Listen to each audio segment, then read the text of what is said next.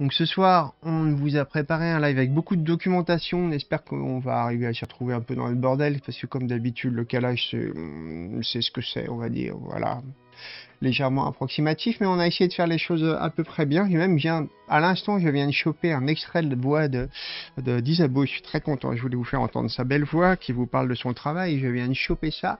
Il a été visiblement interviewé par JetFM. Donc là, il nous manque pas grand monde. Il y a encore quelques-uns des, quelques-unes des fanzineuses dont on a ramené des bouquins qui sont pas foutus de faire un site ou d'avoir autre chose qu'une page Facebook. Donc du coup, on pourra pas regarder ça ensemble parce que contrairement aux Insta, c'est, je suis pas du tout sur Facebook, j'ai jamais été, donc je peux pas voir les pages. Donc il y a deux, trois zozo et zozotes dont on ne pourra pas voir le travail en ligne. C'est semi-chaud. C'est semi-chaud.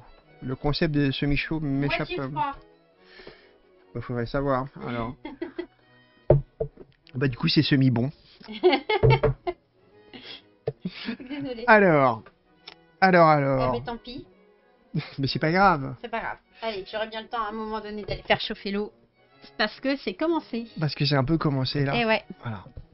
Donc, de quoi on va causer ce soir? Eh bien, on va vous causer de ce qui s'est passé à la Fanzinothèque pendant quelques jours.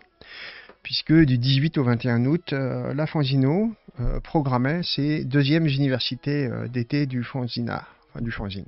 Euh, sous ce nom assez savant, et, et- et il y a, se cache plutôt une activité assez cool et des rencontres vraiment très très chouettes. Déjà, on peut peut-être vous causer un tout petit peu de, euh, de ce que c'est que la Fanzinothèque. Donc les fanzines, on, on vous raconte pas en détail. Il y a eu plusieurs rencontres sur la chaîne euh, sur le fanzina et la production de fanzine. Tout ça est podcasté sur la chaîne YouTube, donc vous pouvez y recourir si vous avez toujours pas ce qu'est un foutu fanzine. De toute façon, on va pas arrêter d'en parler puisqu'on va vous en montrer. Et que c'était un peu spécial nos rencontres, hein, puisque ça causait beaucoup de ce qu'était un fanzine, vu que c'était une rencontre entre les différentes fanzinothèques euh, de France et d'ailleurs. Donc de ça, on va causer. Euh, le programme a été assez chargé. La euh, Fanzino, donc, c'est la plus ancienne, je crois, hein, Fanzinothèque. Alors, du monde, je sais pas, j'aurais tendance à dire oui, euh, qui a été fondée par Didier Bourgoin euh, il y a une trentaine d'années. On vous en a causé quand j'ai fait un live euh, avec. Ah, ben non, c'est même pas avant le live avec Samuel Etienne, c'est quand nous, on a fait un retour de, un retour de salon à Rennes.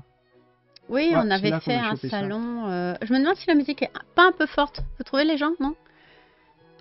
Alors, vous nous dites si la musique est forte, dans ce cas-là, je baisserai un tout petit peu. Ou alors c'est mon retour casque Bah, si ton court casque est trop fort, tu peux le baisser exactement En tout cas, pour moi, c'est- trop fort pour parler. Ah. Euh, oui, on était allé euh, faire une, un, Alors. petit, euh, un petit salon euh, au Jardin Moderne. C'est ça. Et c'est Caroline qui nous avait invités. Et puis, il y avait Samuel Etienne. Exactement, dans ton Il y avait la reportage tout à l'heure. Fanzino. Et, euh, et diverses personnes. Exactement. Euh, que nous dit Berdol? Tu as lu Commune du livre, puis les chiens adverses et incisif et puissant. La rêverie de la seconde partie t'a un peu surpris. Tu veux dire que tu es surpris que je puisse rêver de quoi que ce soit Que j'ai un horizon? Euh, Effectivement, c'est c'est quasiment un livre optimiste, on peut dire. C'est comme ça. Ce qui te Euh, ressemble pas, c'est ça On ressemble pas des masses, oui. Optimiste au communiste, on va dire ça comme ça. Et tu as commandé d'autres bouquins chez Adverse. Eh ben, c'est Ah bah, super. tant, tant mieux. Ça, c'est une bonne nouvelle. Sachez d'ailleurs qu'on vous en reparlera parce que le dernier livre d'Agnès est enfin, il est fini. On a Ah bah, reçu. j'ai eu le prototype pendant la Fanzinothèque. Exactement. Alexandre Balkan des, des éditions Adverses est venu me l'emmener. Je crois qu'il l'a percé et cousu juste pour que je puisse avoir un prototype euh, avant de partir. C'est cool ça. On va pouvoir regarder cette belle chose. Ce travail magnifique sur Balzac. Euh, donc la Fanzino, rapidos. Euh, si ça vous intéresse euh, plus vraiment, il y a un compte rendu de, sur la chaîne YouTube de, des bandes dessinées de ces rencontres au Jardin Moderne à Rennes où on montrait beaucoup de choses, où on découvrait nous le travail de Samuel Etienne, mieux vaut tard que jamais. Par la suite, ouais, dans la section On déballe. On Ouais, doit trouver ça. ça. sur la chaîne. Exactement, dans la section des balles.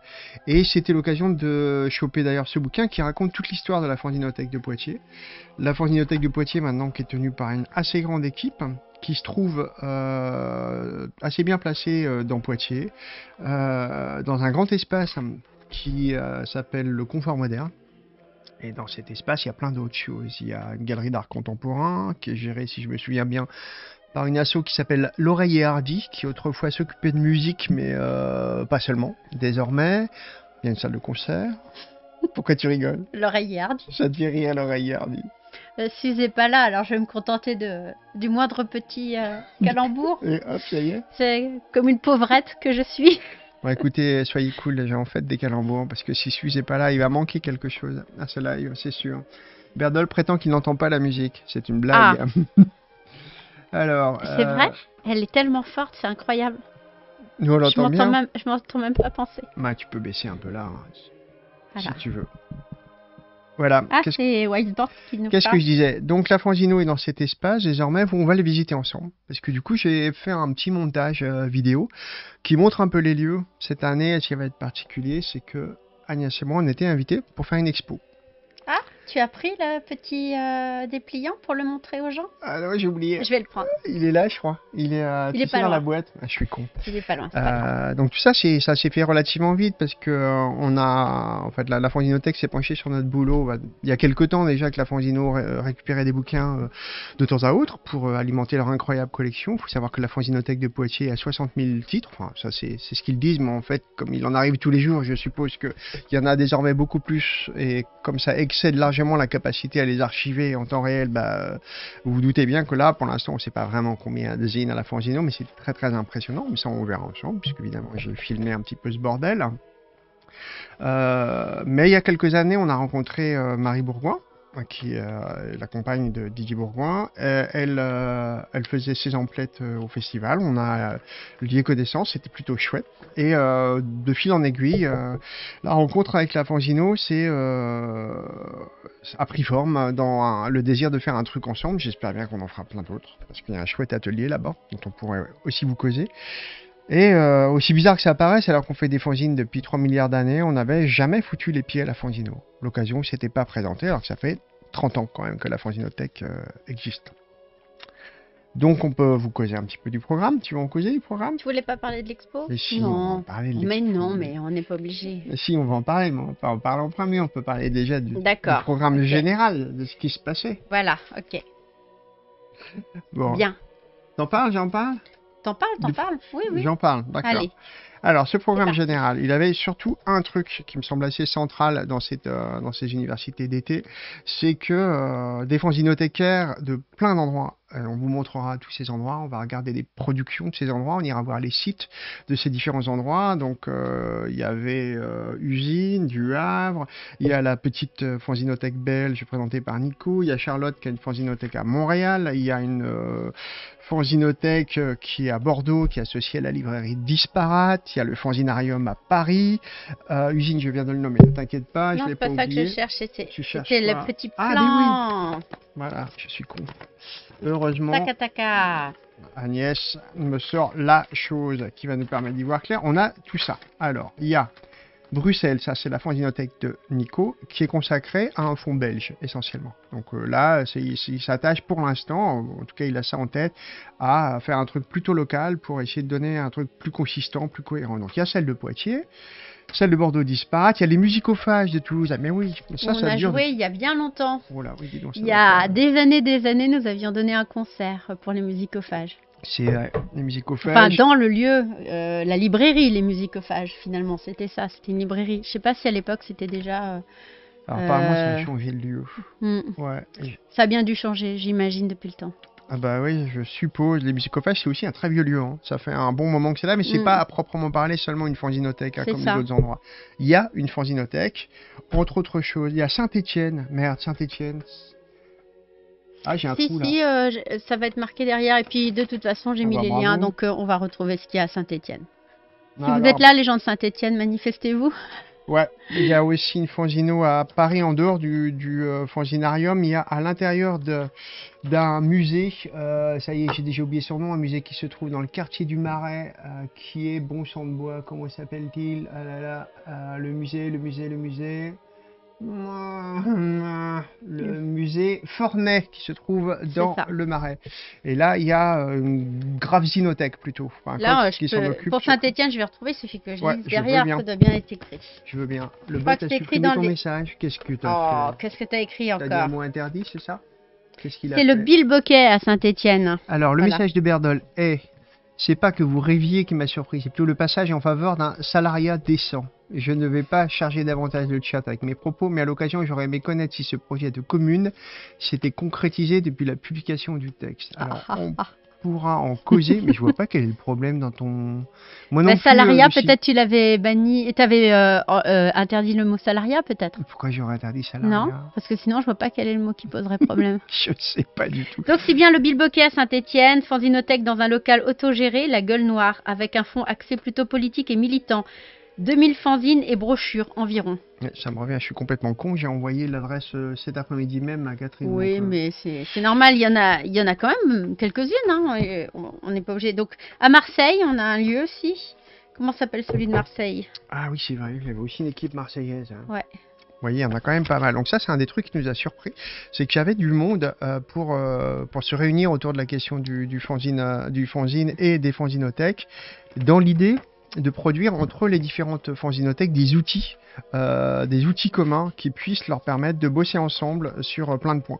Sur euh, des apprentissages, par exemple, à, à partager, à communiser, sur des outils techniques peut-être à développer à plusieurs, sur des échanges de fonds tout simplement parce que les les fanzines déboulent de façon assez erratique et euh, assez peu contrôlable, assez peu anticipable dans les fanzinothèques. Donc il n'est pas rare que des fanzinothèques qui n'ont pas forcément un gros fonds aient quand même des doubles.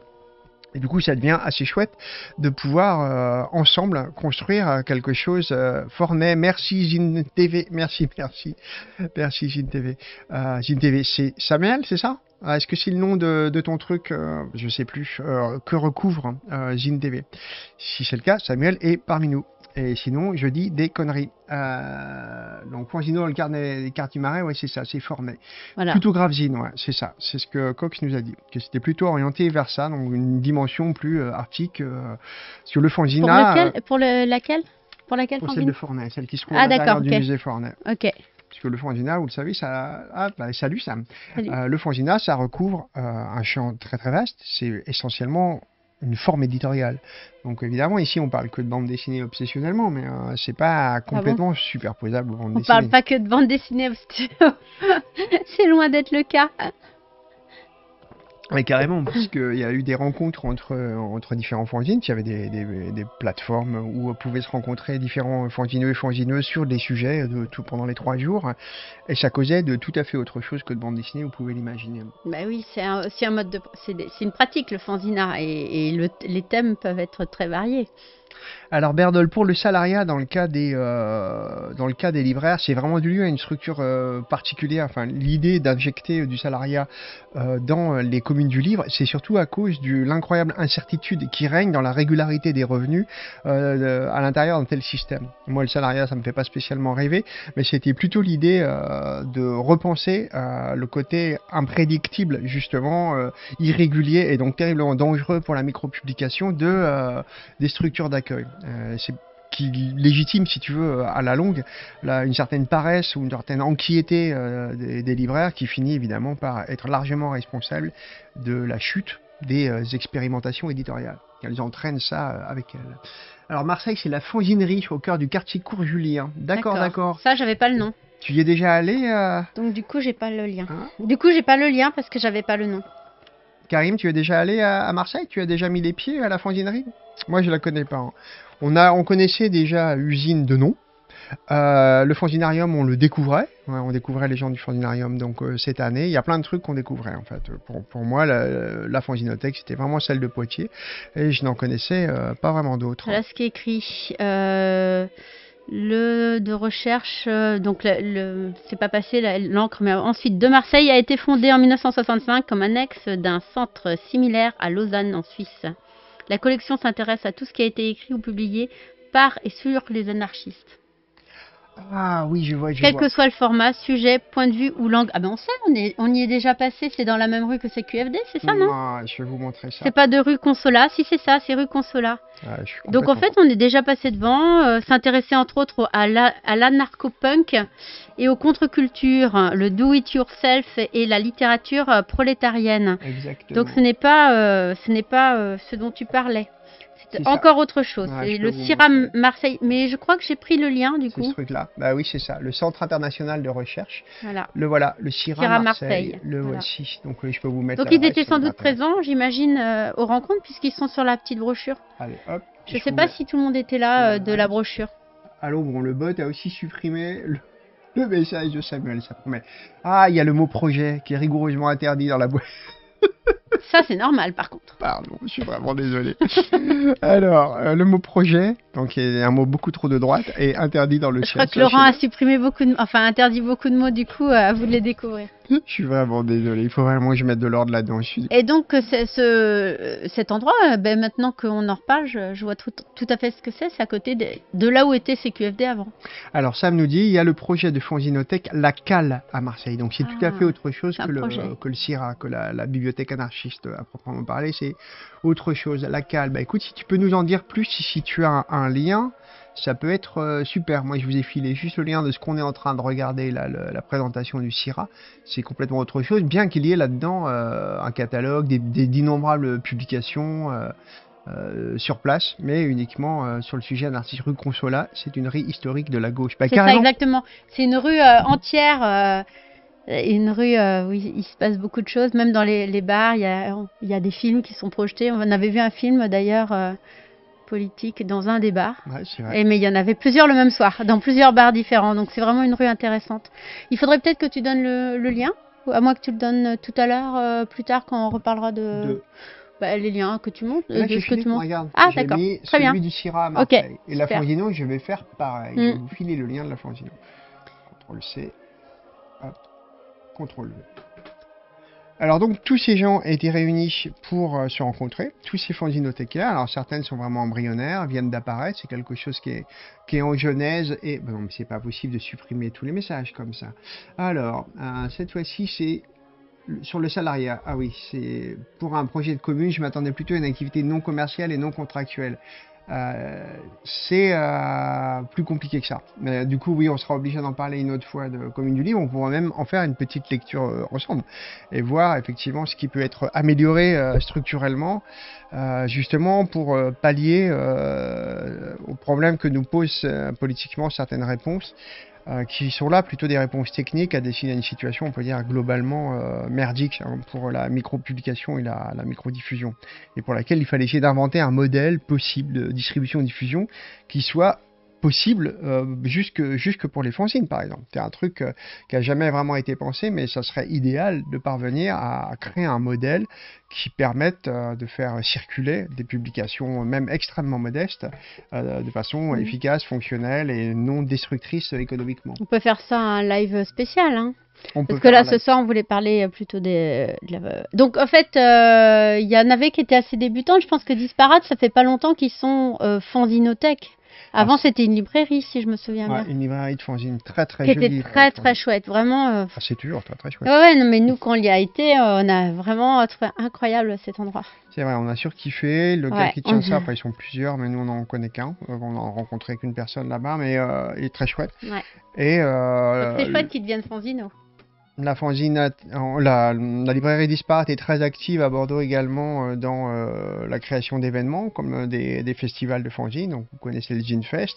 Il y en a un autre qui est en train de se dérouler, ou plutôt qui va se dérouler dans très peu de temps, que le festival Gribouillis. Et Disparate est également euh, une fanzinothèque, ce que nous ignorions euh, Ouais. quand on y était allé. Effectivement, pour les débutants, là, on lit que la petite fanzinothèque belge, donc le truc de Nico, c'est 11 000 fanzines environ, 11 111 euh, environ, offerts à la collection depuis 2009. Ah, remarque 2009, ça commence à faire. hein. Mhm. Essentiellement des auteurs belges ou ayant vécu en Belgique. Du coup, euh, si vous avez des, des choses en double ou euh, si vous avez envie de, je sais pas, oui, ça de faire des dons. Euh, Ah pour ouais. celle-ci, c'est que des, des auteurs belges, mais pour euh, les autres fanzinothèques euh, qui démarrent ou qui n'ont pas grand-chose, bah, n'hésitez pas. Je pense que les dons sont toujours bienvenus. hein. Alors, il n'est pas capricieux, Louisa, il est stalinien, ce Wavebot.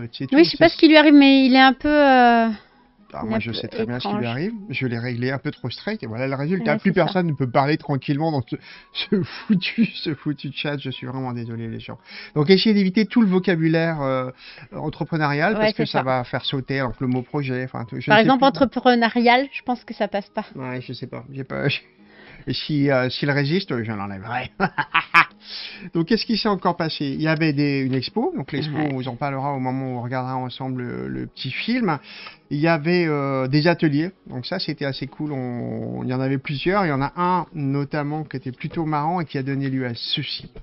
Qu'est-ce que j'ai fait tomber? Je ne sais Là, pas. là, sous tes pieds. Ah oui. Je suis peu adroit. Ça, c'est le guide pas pratique pour réussir à rater euh, sa vie. C'est un très très beau projet euh, qui a été créé euh, par Thomas Dupuis. Alors Thomas Dupuis, vous le connaissez peut-être. hein. C'est un des deux tauliers des éditions Fulbele. Euh, il, euh, avec Grégory Jarry. Et ils font d'ailleurs des bouquins ensemble assez régulièrement chez Fulbele. Il vit à Poitiers, donc il a pas mal Ouais. d'activités à, à la Fangino. Pratique. Oui, visiblement, ouais. il est assez souvent fourré.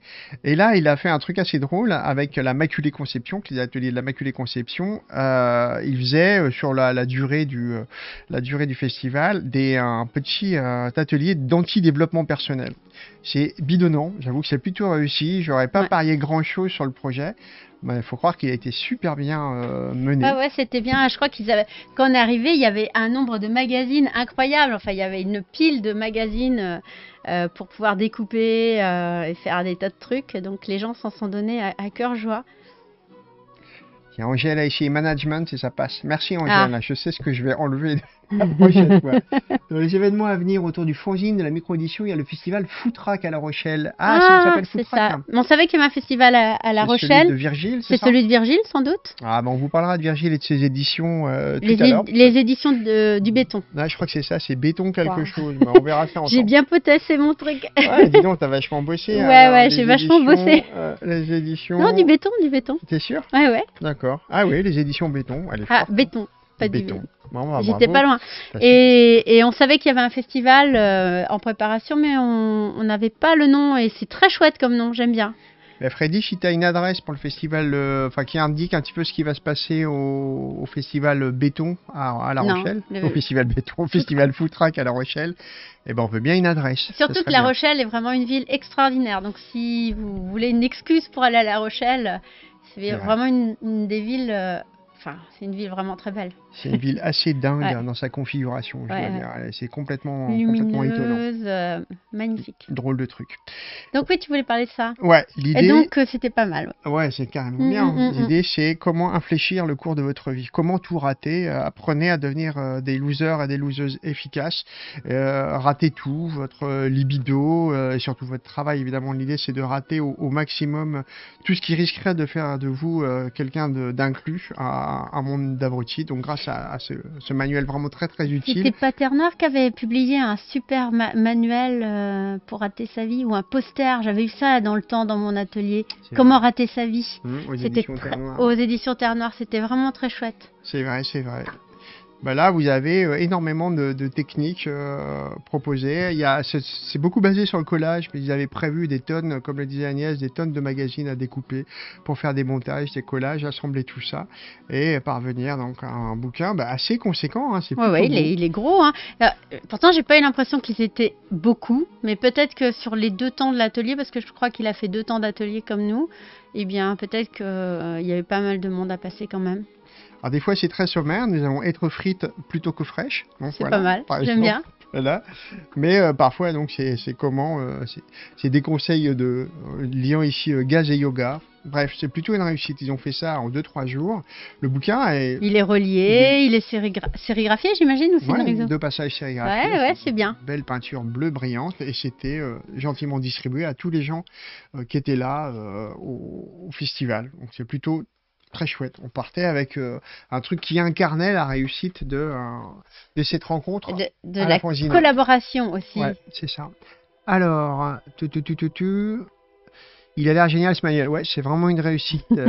euh, du pourquoi un masque coup de vieux, dis donc? Du 24 euh, au 30 octobre, il y a le 10e festival du fanzine de la sérigraphie du DIY à la zone à Liège en Belgique. D'accord. Bah, écoutez, si vous avez toute une série d'informations à faire passer comme ça, euh, oui, allez-y, n'hésitez c'est ce pas. soir. hein, ouais. Le site de la Blétrie à La Rochelle qui accueille le festival Footrack. Et on va regarder ça. Alors, hop, j'ouvre le lien. Est-ce que ça marche? Ça marche comme mon cul. On va essayer autre chose. Ça marche pas. Ah ben non, on va faire autrement. On va faire comme ça. Hop. On va y arriver. Hop.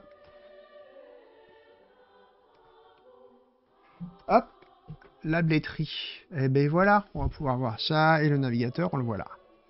Alors, atelier blétrie du mardi au samedi 13h, boutique d'été. Donc c'est à La Rochelle. C'est lié à ça? C'était... Marché d'art. Ok. On n'est pas dans le Fanzina? Si, on est dans le Fanzina quand même? Alors, pour l'été, la galerie de l'atelier blétrie se transforme en boutique dans laquelle vous pouvez trouver une sélection d'œuvres de nos artistes résidents. Mhm. C'est ça qui va accueillir le festival Footrack. D'accord. Ok. Bah, écoute, merci Freddy pour ces renseignements. Donc on sait déjà où ça va se situer. Alors là, sur... euh, Est-ce qu'il y a Il des expos à venir, panorama? Ils disent rien sur les événements. Voilà, exposé. À venir? Non, il n'y a rien. Bah non, j'y étais, tu vois. Là, il y a exposition à venir, panorama, rien à voir. Ok.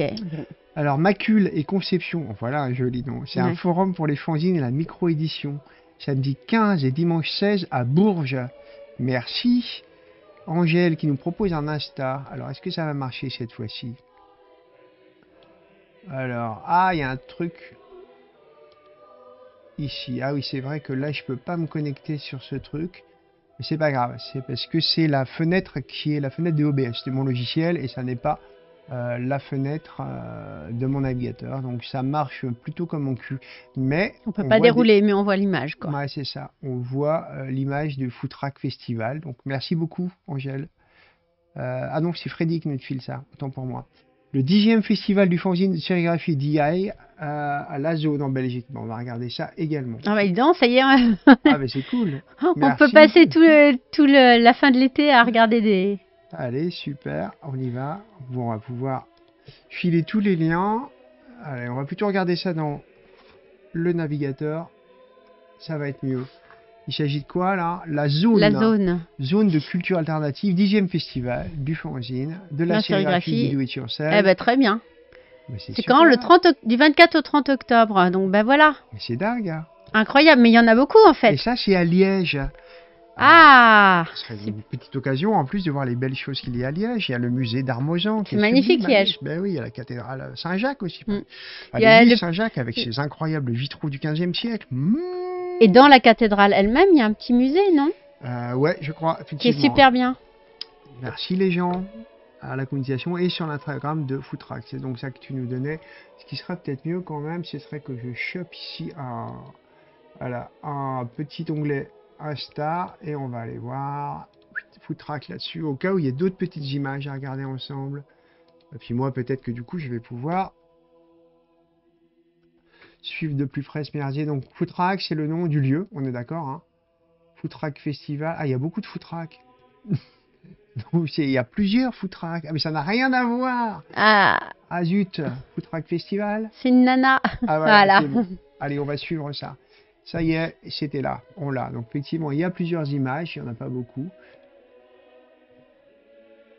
Très bien. Donc ça, c'est organisé par Virgile et ses éditions Béton, dont on regardera quelques publications euh, tout à l'heure. Donc qu'est-ce qu'il y avait encore de beau avec... Donc euh, il y avait donc les ateliers, Ateliers. les stands. il y avait un autre atelier passionnant. Il y avait, il y avait aussi la- l'accès à la Fanzino avec Il y avait un ce- atelier passionnant, elle ne le dit pas, mais là, regardez, là, là, là, c'est Agnès.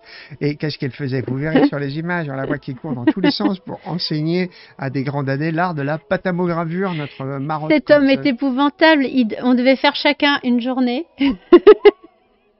et en fait, le samedi, il m'a dit Oh, j'ai tellement pas envie d'y aller tout. Alors que je souffrais du dos terriblement. Il m'a dit Tu veux pas y aller à ma place? Et finalement, c'est moi qui ai fait les deux ateliers. Mais c'est pas du tout par paresse ou pour me défausser, c'est juste parce qu'elle est nettement meilleure que moi à cet exercice, vous en doutez Mais bien. à Rouen, il m'avait déjà fait le coup. En fait, ça fait plusieurs fois que c'est moi qui fais l'atelier. euh. Ah ouais, ouais, maintenant que j'y pense, c'est assez Ça vrai, dit, à. Rouen, j'ai touché des sous. euh, donc- C'était bien. Eh, c'était chouette. Là aussi, c'était bien.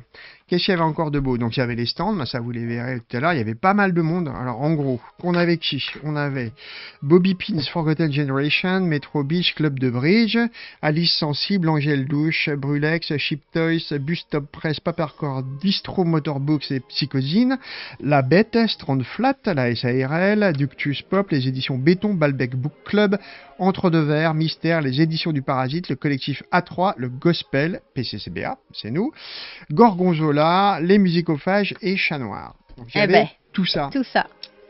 Alors, Le Lou- Louisa trouve pas sa classe que je te laisse faire euh, tous les ateliers? Bah surtout que c'était pas le c'était pas le deal. Il y avait... Normalement je faisais le vendredi, puis je me disais le samedi il va y avoir plein de monde, Laurent le fera.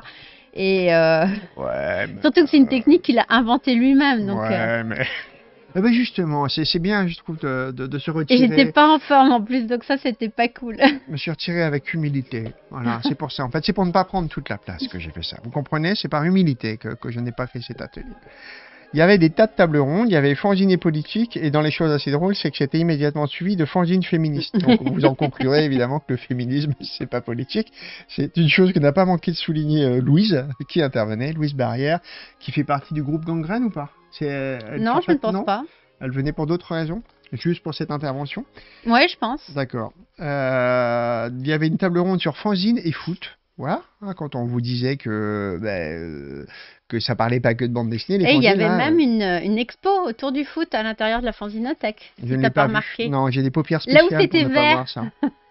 C'est marrant, hein C'était vert par terre. Ah oui? Ouais. J'ai rien vu. Ah, rien vu du tout. Ah, ça n'existe pas. Gladys dit que ton atelier était génial, tu vois Ben comment? Bah, elle était là. Ah bah oui. Bah oui. Euh, donc, Gladys, d'ailleurs, c'est toi qui tires le lieu à Marseille. Est-ce que tu peux en parler en détail, nous en dire un peu plus? Parce qu'on le superposait tout à l'heure au lieu de recherche sur, euh, sur l'anarchisme, mais ça n'a donc rien à voir. Est-ce que tu peux nous en dire plus sur euh, cette fanzinothèque-là? Alors, Louise fait partie de la revue Volume. Heureusement que Samuel est là. Sera- Bravo parce que en fait on l'ignorait. On a parlé beaucoup avec elle, mais on sait pas. euh, Il y a plein de choses qui sont. Il y a des soirées où j'ai parlé avec des gens sans savoir qui c'était et c'était très confus à certains moments.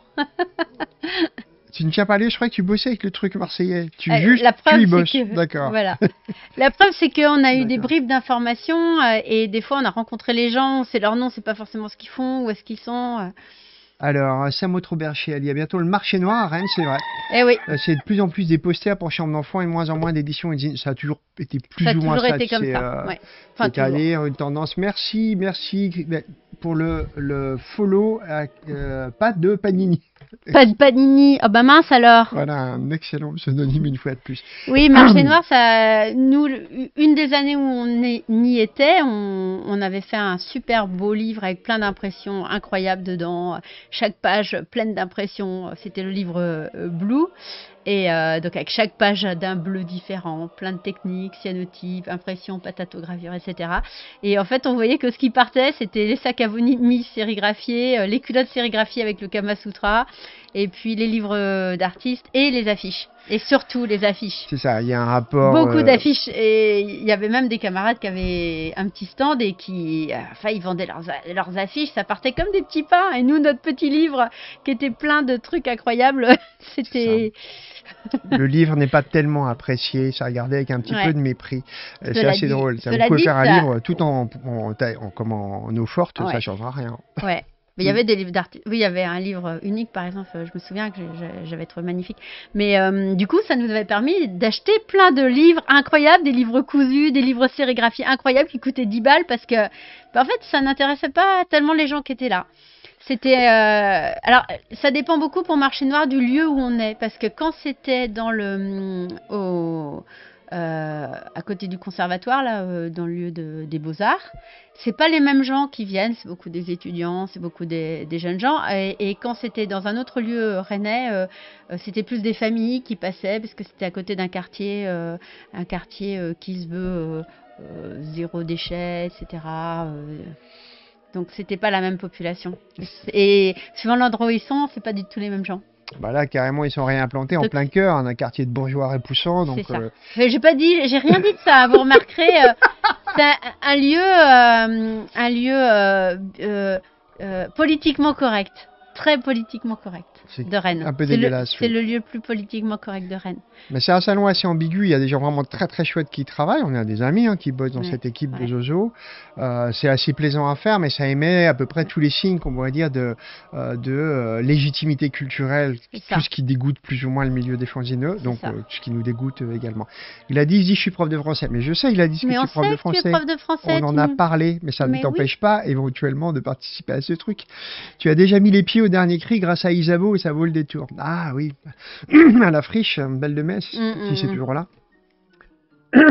où j'en suis? Alors, Oui, donc on en était où? Quel Les est le- tables rondes, Oui, ça c'est le Les- programme. parce qu'on Les regarde tables si- rondes, les tables.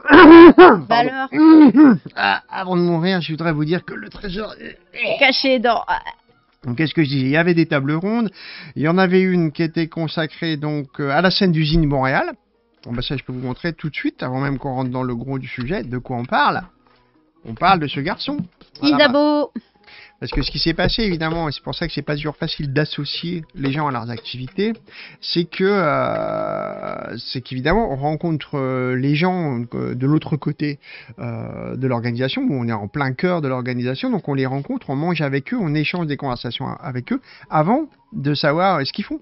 Par exemple, dans les, les cas plutôt marrants, il y a, euh, il y a, il y a des gens qu'on a adoré rencontrer, qui sont les gens du Fanzinarium, on a parlé pas mal avec eux, et c'est seulement au moment du départ, quand euh, eux étaient déjà partis, que nous on se cassait, que j'ai compris que le grand gaillard qui faisait partie de l'équipe, c'était un, un homme dont je lisais les bandes dessinées depuis longtemps, que je connais depuis le festival de Bourg-les-Valence, c'est-à-dire avant d'avoir rencontré Agnès, donc il y a plus dire. de 20 ans, etc. Alors qu'il faisait un fanzine qui s'appelait Stratégie alimentaire. En fait, j'avais passé plein de temps avec Yann Tréhin, mais je l'ignorais absolument. Ah ben, euh, euh, pareil, moi j'ai parlé le soir avec euh, Yann Tréhin, euh, dont j'adore le travail, et, et je ne savais pas que c'était lui. On a parlé de tout à fait autre chose, et donc c'est après que je me suis dit ah ben mais en fait finalement ça devait être lui. Alors, c'est vraiment ça, mais on y avait chopé le booze, mais, mais caché où Mais parle que diable.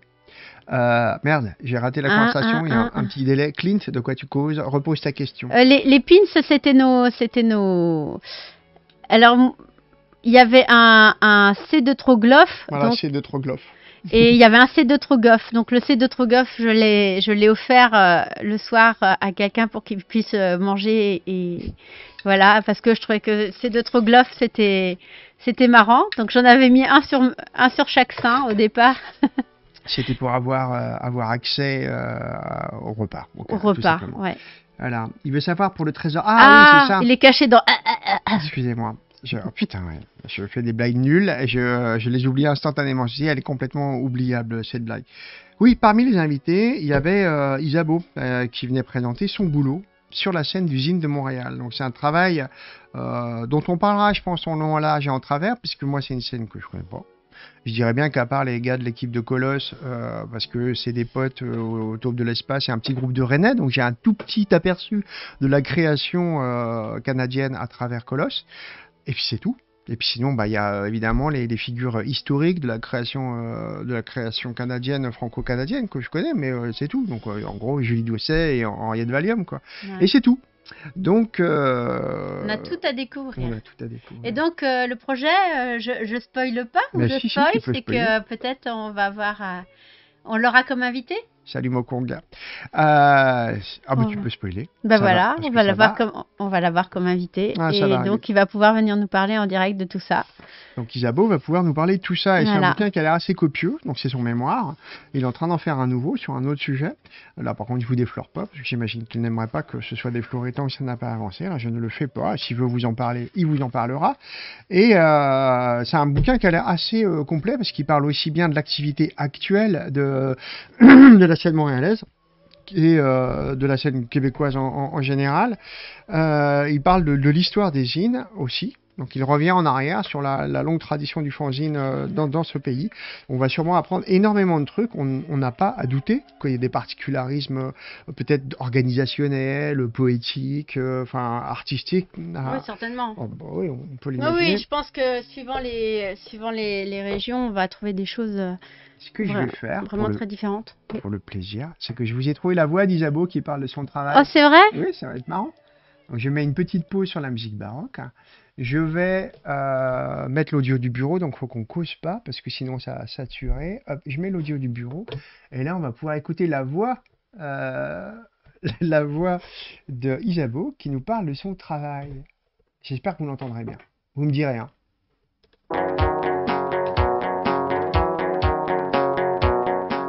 Histoire des zines au Québec, première partie, l'histoire générale des zines.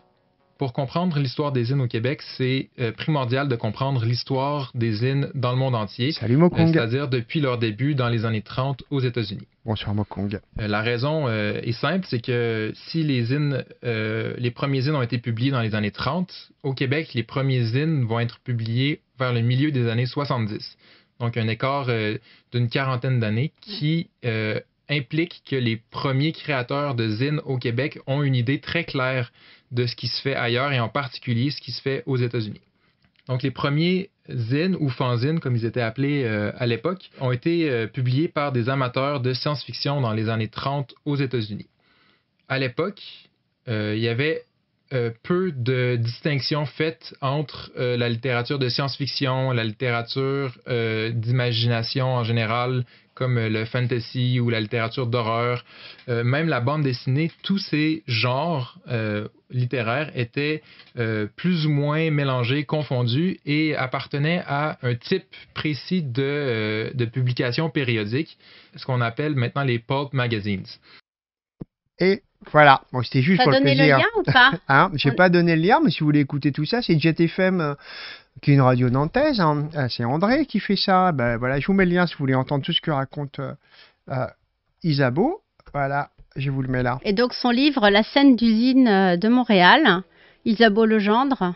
Donc je ne sais pas si c'est publié euh, à, des éditions particulières. Alors ça, c'est euh, l'édition québécoise. C'est l'édition québécoise, d'accord. qui valait vachement cher. Heureusement que c'était le produit là d'un, dire, de, relations humaines et d'une sympathie il immédiate nous l'a, Il nous l'a offert. Heureusement parce que euh, oui, cette version-là est, un peu chère, mais visiblement il y a le projet d'une version plus accessible. Ouais, c'est vrai. Je vous spoil encore un truc. C'est ça, donc vous aurez peut-être le, plaisir. Alors, les âmes d'Atala étaient au fest. Euh, tu veux dire là, au ah, festival Non, ils n'étaient pas, là, malheureusement. Tu aimes beaucoup leur fanzine? Bah oui, la revue amère est très présente chez nous. bah, surtout que moi, je suis euh, une, 19, une, une, finissante, comme on dit. je sais pas comment on dit, mais euh, je suis une, une lectrice de, de, de 19e. Tu es une 19e Voilà, oui, voilà j'ai l'air de dire ça. Mais, euh, mais si, il faut le dire. je suis une lectrice fin de siècle. C'est ça, exactement. de, de, quel siècle, on ne sait pas. Mais j'adore leurs revues et, j'ai plein de numéros et j'ai plein de, de, leurs éditions. Par contre, ils étaient là à Rennes. Ouais. C'est vrai. me semble-t-il, je, leur ai encore acheté des trucs. ouais, puis on les a revus à Nantes au petit festival euh, euh, organisé euh, par Gong Créole, dont on vous a également fait un compte rendu qui se trouve également sur la chaîne YouTube dans les différents retours de festival de fanzine. Ouais, d'ailleurs, je confonds peut-être, c'est peut-être la dernière fois que je l'ai Ouais, hmm. je, crois, je crois, effectivement. En tout cas, oui, c'est une excellente revue. celle sur la nourriture est incroyable, celle sur les enfants est, est superbe. Enfin, voilà, c'est très beau et très intelligent.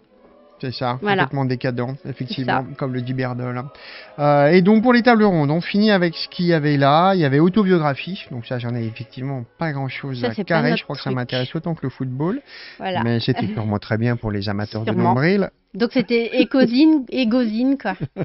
et j'ai écouté une partie de, la table ronde et, euh, et euh, définitivement. Quoi? Bah ça m'intéresse pas. Ça m'intéresse pas? Non. Ah. Eh ben, excusez-nous, hein, les, bah, intervenants. Mais euh, c'est bien, en fait, il faut le faire. Moi, je pense que tout, tout est bien à faire. Et, euh, mais c'est vrai qu'on n'est pas fan de ça. Oui. Moi, je préfère. Euh, enfin, pourquoi? Je peux le dire quand même ah, un bah, petit peu. C'est que je trouve que les expériences personnelles, c'est bien quand ça, ça prend une dimension plus universelle et, et que ça. Je suis pour la sublimation, quoi. Alors ça, c'est parce que j'ai trouvé ça que j'ai trouvé ça joli. ça n'a rien à voir. C'est quelqu'un qui avait laissé un petit dessin et j'ai trouvé ça magnifique. D'ailleurs, si quelqu'un sait qui a fait ça, je veux bien. Il y en avait à la, la fanzinotaire qui traînait. Euh, il y en avait plus. Cafeté dans le chat. Voilà, cafetez-nous euh, ce que c'est. Ah. C'est magnifique. Qui a fait ça? Qui a fait ça? Alors ma caméra là, normalement, elle fait, ouais, elle fait la mise au point. Donc il y a moyen de savoir. Si quelqu'un qui était au salon peut dire qui a fait ça. Donc il y en avait une pile euh, de photocopies de ça euh, quelque part ou euh, je sais pas quoi. Et donc j'en ai, pris un. Et voilà. Ah, il y avait aussi très beau.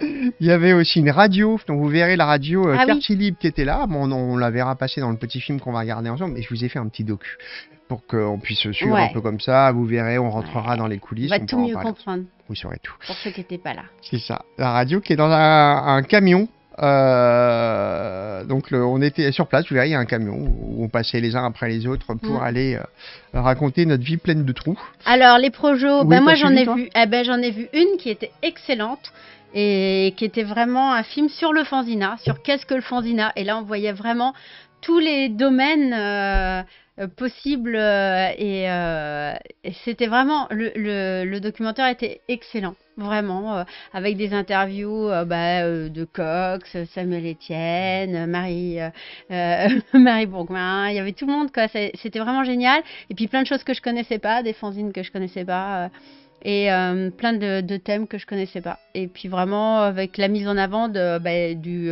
do it yourself et euh, comment certaines personnes aussi étaient rentrées dans des choses plus euh, avaient réussi par le fanzina, en fin de compte, étaient, étaient parvenues à devenir journaliste ou euh, avaient trouvé là une carrière. donc c'était très très intéressant, j'ai adoré. Et en plus, on voyait que au fanzinarium, Cox manipulait Prurit. Et donc ça, ça m'a fait super plaisir. Et je suis allée lui dire, elle a dû me prendre en- pour une dague. Ouais, t'es en train de manipuler Prurit, c'est génial. Euh, Mhm, parce que euh, euh, Mhm. c'est un fanzine que j'adore et qui est très rare et que personne, que peu de gens voient puisque hum, notre ami euh, euh, des éditions Factotum euh, ne vend pas ces trucs, du coup très peu. Et donc c'est un magnifique fanzine si jamais vous tombez dessus avec plein de papiers colorés de toutes les couleurs, toutes sortes de choses à manipuler. Et Laurent et moi vont participer à un des numéros de Prurit avec un avec trois, trois numéros de Prurit, dont un on a fait une histoire ensemble qui a été sérigraphiée par Thierry Bourgalet et il y a un, un puzzle sur la couverture, donc vous pouvez pas le louper. Alors, le film en question s'appelle Fanzina, tout bêtement, Passion et histoire des fanzines en France, avec Guillaume Guardes et Laure Bessy, qui doivent être, j'imagine, les réals euh, du docu. Il dure C'était- 71 minutes. C'était très bien. si vous pouvez le, je sais pas si on peut se le procurer, euh, C'est une avant-première. hein. mais j'aimerais bien parce que j'aimerais bien que tu le vois. C'était vraiment euh, hyper intéressant. Je vais vous écrire dans le chat le nom des euh, auteurs et autrices parce que c'est pas impossible que, bah, que vous y passez dans votre coin. Mais si peut-être Samuel, tu sais, par exemple, Ah, parce que tu étais dedans. Peut-être tu sais euh, s'il y a un endroit euh, où Alors, on peut se procurer le film. Le... Guillaume euh, Guardes. Excusez-moi, voilà. Et Laure Bessy. Laure Bessy. Pardon. Et le film s'appelle tout simplement Fanzina. Donc s'il passe près de chez vous. Il sort le 7 octobre, nous dit Samuel, qui sait tout. Ah, c'est. Samuel qui devrait tenir ce micro, c'est pas moi. Eh ben oui, Samuel, merci. Et donc, euh, on l'a vu en avant-première, du coup. Bah, il est très très bien. Voilà. Excellent. S'il passe dans votre ville, allez, allez le voir. C'est vraiment très bien. Ok, donc qui avait-il d'autre il y avait des concerts. sur lesquels je ne ferai pas de commentaires. Mais tu as dansé, je crois. On Ah, m'a raconté, j'ai oui dire.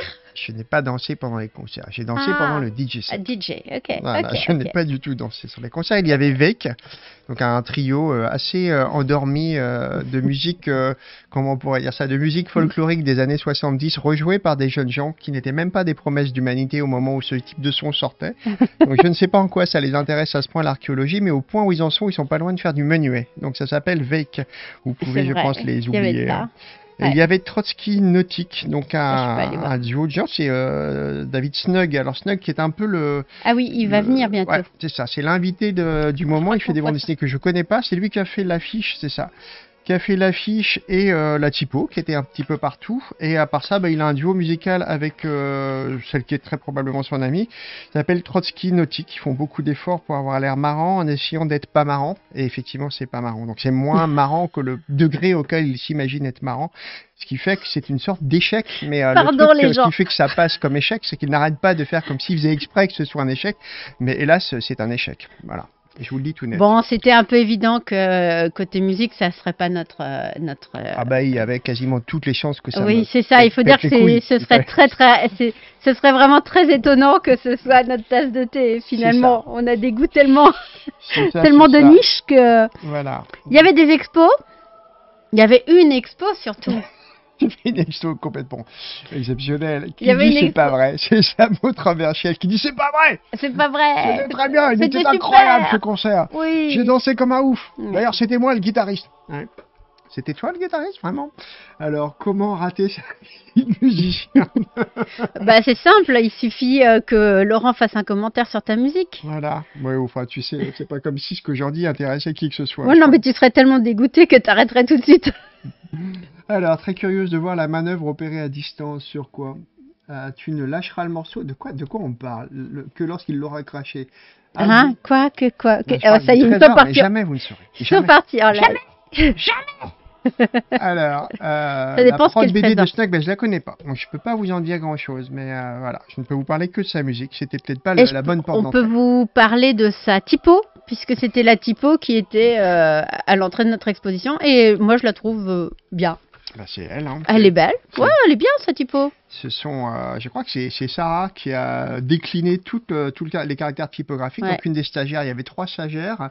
Il y avait Louis, bien. Sarah et euh, Juliette. Mm. Très très efficace. Très bien, les stagiaires. Bravo, les stagiaires. aidé. Bravo Ouais. les stagiaires. D'ailleurs, moi, je tiens à remercier euh, tous les stagiaires euh, du monde euh, et je tiens à, à féliciter aussi euh, Benjamin euh, qui a fait un, un, un travail de 158 pages, c'est ça, si j'ai bien compris, Ouais. sur tous les objets de la fanzinothèque enfin, qui ne pouvaient plus être manipulés parce qu'ils étaient un peu trop vieux euh, et dont les couvertures craquent et tout ça, et, et qui euh, en a donc fait une, une recension et qui était en train de finir ce travail. Et Benjamin, euh, euh, j'ose pas dire son nom, Pourquoi? Ben parce que j'ai peur de dire pingouin, alors que c'est pas pingouin, C'est pingouin. c'est pinguen, voilà, Ouais, c'est pinguen. Donc euh, Benjamin est venu aussi chez nous euh, travailler et c'est un excellent stagiaire. On vous montrera l'objet qu'on On vous a montrera l'objet qu'on a fait avec lui, qui est un oui. objet incroyable. Et euh, c'est vraiment un très bon stagiaire. Il est euh, efficace et bon, on a toujours de la chance avec nos stagiaires. C'est vrai. C'est vrai que les gens qui viennent ici sont toujours exceptionnels. Voilà. Ils sont surtout exceptionnels parce qu'ils nous délaissent de quantité ahurissante de ah travail oui, de puis euh, surtout on les fait travailler jour et nuit, c'est dans le contrat. On les fait travailler jour et nuit euh, et, euh, et il faut qu'ils soient nickel. Donc pour un peu de euh, nourriture. voilà. Donc Alors, ils sont obligés d'être exceptionnels parce que sinon. Il y avait donc deux expos. Il y avait cette expo sur le football que moi j'ai pas vu. Mais comme je vous l'ai dit, j'ai des paupières spéciales qui, qui pudiquement me masquent les 9 dixièmes du monde Ouais. que j'ai bien du mal à voir. Et sinon, bah, il y a celle pour laquelle nous étions conviés à passer à la Fanzino cette année. Et donc on a fait une expo. Et voilà, on a fait une expo. On a construit pour l'exposition des pièces spécialement. Et parmi les choses qu'on a pu faire à la Fanzino, parce qu'il y a un atelier là-bas euh, qui permet de fabriquer des trucs, il y a un atelier de sérigraphie, donc c'est le labo de la Fanzino, c'est Anne qui s'en occupe, c'est une fille à la fois efficace et très Ouais. chouette. C'est vrai, hein Génial. vraiment très bien. Et ils ont Incroyable. aussi une machine.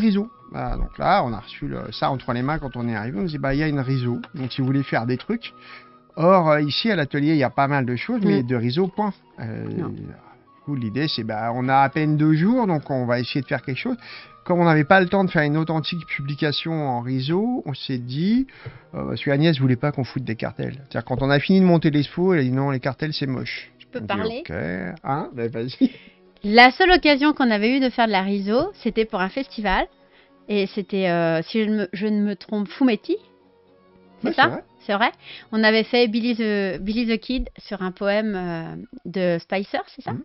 Et c'était un petit, euh, un petit cadeau qu'on avait distribué à tous les gens qui étaient là. Et, et ensuite, on avait demandé quelques exemplaires auxquels on avait fait une jolie couverture. Il y avait deux versions. Et euh, c'était la seule fois qu'on avait fait euh, de, la- de la riso tous les deux. Et euh, on n'en avait jamais refait depuis. Du coup, déjà, ça, c'était cool. Et, et je suis contente d'en avoir refait. Et puis, sinon, pour les cartels, c'est complètement faux. C'est que je, je trouvais... J'ai le droit de le dire, je peux tu le dire peux tout dire. alors, je peux tout dire. Je trouvais que, vu l'exposition qu'on avait conçue, les cartels allaient faire euh, une. C'était très. Il y avait un rideau, euh, il y avait des pans, il y avait les, les cadres avec euh, les œuvres dedans. Et je pensais que, comme la pièce était quand même assez petite, les cartels allaient, allaient brouiller l'ensemble et allaient brouiller la vue. Donc, j'avais plus envie de cartels alors qu'on leur avait demandé d'acheter du carton plume exprès. Et c'est vrai que je trouvais que ça, ça n'allait pas. Et du coup, on a eu cette, cette idée de, de la brochure euh, que les gens pouvaient prendre avec eux.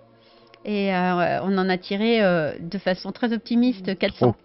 C'est ça, non 400 Beaucoup trop. Ouais, c'est ça. On a tiré beaucoup trop. Et donc on en a laissé plein sur place. Donc si vous voulez, elle existe, elle est là-bas. Et je pense que nous-mêmes, on fera peut-être quelque chose avec. On verra. Peut-être. C'est verra. riso, trois passages couleurs. hein. Donc on en a tiré autant, c'est pas seulement de notre faute. hein. C'est à cause de Gilou qui, a- qui nous a menti effrontément sur le taux de fréquentation. Donc, on a pris très au sérieux sa provocation. Et il a, il a froncé ses sourcils. Il n'a pas besoin de les froncer d'ailleurs, Oh, parce il qu'il a dit. toujours un, un air sérieux. Donc, Donc on le Gilou croit. qui nous a aidé à monter, euh, qui nous a aidé à monter l'expo. Donc on le croit volontiers, il a l'air grave et sérieux. Et quand il nous a dit, bah, bon, il y a au moins 4000 personnes qui vont passer, dis, ah, tant que ça, ah d'accord, mais il faut faire beaucoup de flyers. Quel saligo. Et il faut quand même parler de l'accueil. C'est Andy qui nous a accueillis. Ce serait bien de parler un petit peu de l'accueil quand même. Et des gens qui étaient là et qui ont été. euh, Andy a été formidable. Il nous a accueillis extrêmement euh, bien. Il a été présent pendant tout le festival. C'est ce genre de personne à la fois discret, efficace et qui est toujours. euh, on sait qu'on peut lui demander à n'importe quel moment quelque chose et ça c'est génial. Toute l'équipe qui était là, euh, que ce soit euh, pour faire à manger euh, ou derrière le bar ou pour aider, euh, toutes sortes de choses. J'ai pas tout vu ce qui s'est passé, mais je sais qu'ils étaient là. C'était, il y avait un accueil incroyable. Euh, à la Fanzino, euh, Grégor qui s'occupe euh, des de, de la gestion euh, aussi, documentalistes. de documentalistes. Ils sont deux documentalistes, Et il y a Marie Bourgoin, dont on vous a Et, parlé et vraiment, euh, euh, les stagiaires, euh, Andy euh, et Gilou, et enfin vraiment une équipe incroyable. C'est vrai. Voilà. C'est pas pour le passer coup, le euh, tirage, c'est tout est vrai. Si vous passez à la Fanzino, je pense que vous serez bien accueillis. Ouais, c'est pas seulement un un lieu lieu c'est une accueillant. Et Anne, cool. évidemment. Alors, que, ouais, que nous dit euh, Samuel qu'il y a eu moins de monde que l'an passé Euh, Andy il a l'air déçu qu'il n'y en ait pas plus. C'est ça. Il avait dit qu'il y avait eu autant, quoi. Bah ouais. Mm. ouais. Alors, c'est une soirée pour qu'on regrette de n'avoir pas pu venir à Poitiers. Bah, C'est ça. on va vous faire partager quelques petits Ouais. bouts, on va vous Oh, montrer vous viendrez l'année fanzines. Ce prochaine. sera comme si vous étiez venu. Andy a peu. dit que ça allait avoir lieu à peu près ouais, dans les mêmes époques l'année prochaine, donc euh, euh, carrément il faut y aller, ouais. Alors, où est-ce qu'on trouve l'affiche bah, Déjà à la Fanzino direct, puis pour tous les gens qui nous commandent des bouquins, c'est sûr qu'on foutra un petit truc en plus dedans. Ouais, ouais. Puis peut-être sur les salons, on en fera cadeau aux gens petit- qui passent. hein. est-ce qu'on fera, est-ce qu'on l'a, est-ce qu'on l'améliorera pour en faire un petit truc? Je sais pas, la question se pose. Mais on peut le montrer déjà. Bah, c'est Euh, fait. ah bah c'est fait, t'as J'ai montré. Donc euh, derrière il y a expliqué tous Voilà, les trucs. là. Donc il y a trois passages, trois Voilà. passages où je me trompe. Ouais, c'est ça. Ouais, ça. Donc là, il y avait au dos, euh, euh, tout, bah, tout est à l'envers. Mais c'est pas grave. Il y avait les explications de, de chaque pièce, comment c'était fait. euh, voilà. Donc, Des pièces qu'on avait fait euh, pour grande partie exprès pour pour le pour le lieu quoi. hein. Ah, Donc c'était et là, là pareil bonjour l'efficacité. On avait demandé une tringle, elle était là quand on est arrivé. On a demandé euh, deux chaises blanches euh, en bois, elles étaient là quand on est arrivé. Donc euh, pff, exactement ce qu'on voulait. Exactement. Donc ça c'est fou. Alors, ce qu'on va faire, si vous voulez bien, est-ce que ça vous On dit qu'on se mate film un petit peu le film? Ouais, C'est pas très ça. long. Euh, J'ai fait un petit montage de 13 minutes, mais ça va vraiment nous permettre de nous plonger complètement Mm, dedans. mm. Donc, on va Vous y serez comme ça un petit peu. Voilà, et comme ça, on s'arrêtera de temps en temps. Alors, normalement, j'ai prévu un petit raccourci clavier euh, pour. euh, ah, Pourquoi tu n'as pas ton casque, toi? Hmm? Pourquoi il n'est pas sur ta tête? Bah, parce que. J'ai prévu un petit raccourci clavier pour qu'on puisse euh, Qu'est-ce que tu des. fais? Ah ouais, mais ça devrait, ça devrait être là. Voilà. Hop. C'est quoi qui est tombé? Ah, ben c'est usine. Pour euh, pouvoir lancer, arrêter, faire des pauses, on va voir si ça marche bien. Il y a un effet ça- miroir vertical appliqué à l'une de nos deux vignettes, la mienne. La mienne. Parce que l'idée, c'est que nos deux visages soient retournés vers l'intérieur. Voilà. Ouais, vers les vers les fanzines. Voilà, exactement. Voilà. Donc, normalement, si je fais Donc je suis à l'endroit et toi t'es à l'envers, c'est ça? Ouais, c'est ça. Ça me va. Ça te va? Mais Dans la vraie vie c'est le contraire. Dans Donc, la euh, vraie vie, c'est le contraire. Exactement. Sortez les popcorn, on va se balader. Et, ouais. euh, et moi je vais chercher de l'eau chaude. pas Allez. très mauvais. Ah oui, voilà une très très bonne idée. Moi, je vais virer l'audio du bureau, sinon ça va être en doublon. Et puis on balance le film. tu as montré ton chien. Elle a un joli petit chien autour du cou. Je lance le film.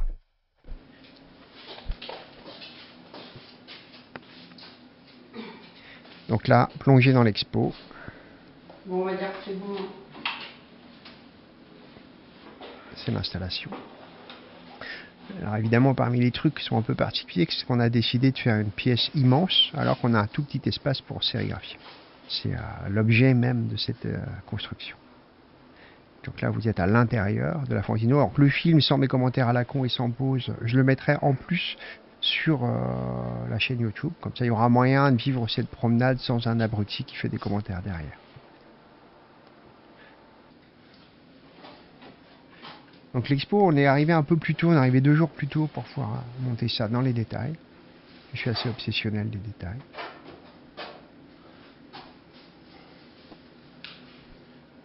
Alors les pièces du fond que vous allez voir, elles ont été construites exprès pour l'occasion. Sinon, ces pièces-là sont des pièces modulables. Oui, c'est dans le confort moderne, Ah, dans le confort moderne.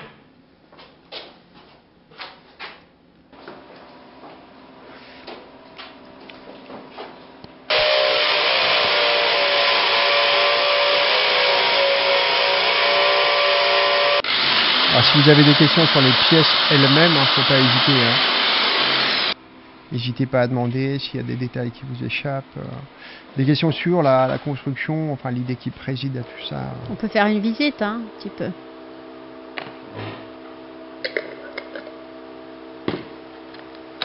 Donc ça c'est le soir quand on est arrivé.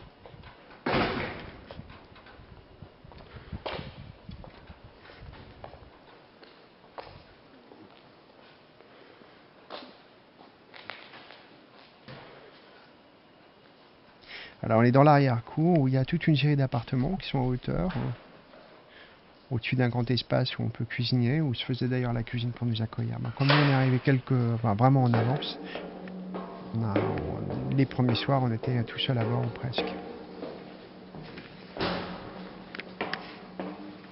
Et c'est très chouette, hein, l'endroit où on dort.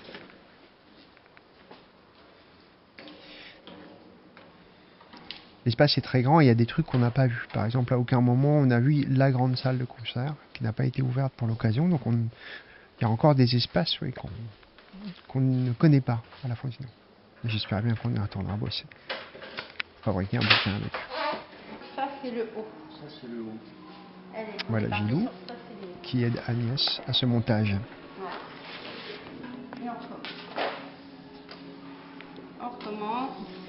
On a dû mettre en place plein de, de protocoles parce qu'il y avait beaucoup de En calque. Il y avait beaucoup de calque, il fallait trouver la bonne profondeur et donc mettre des papiers derrière pour avoir des, de cette profondeur. C'était un peu complexe.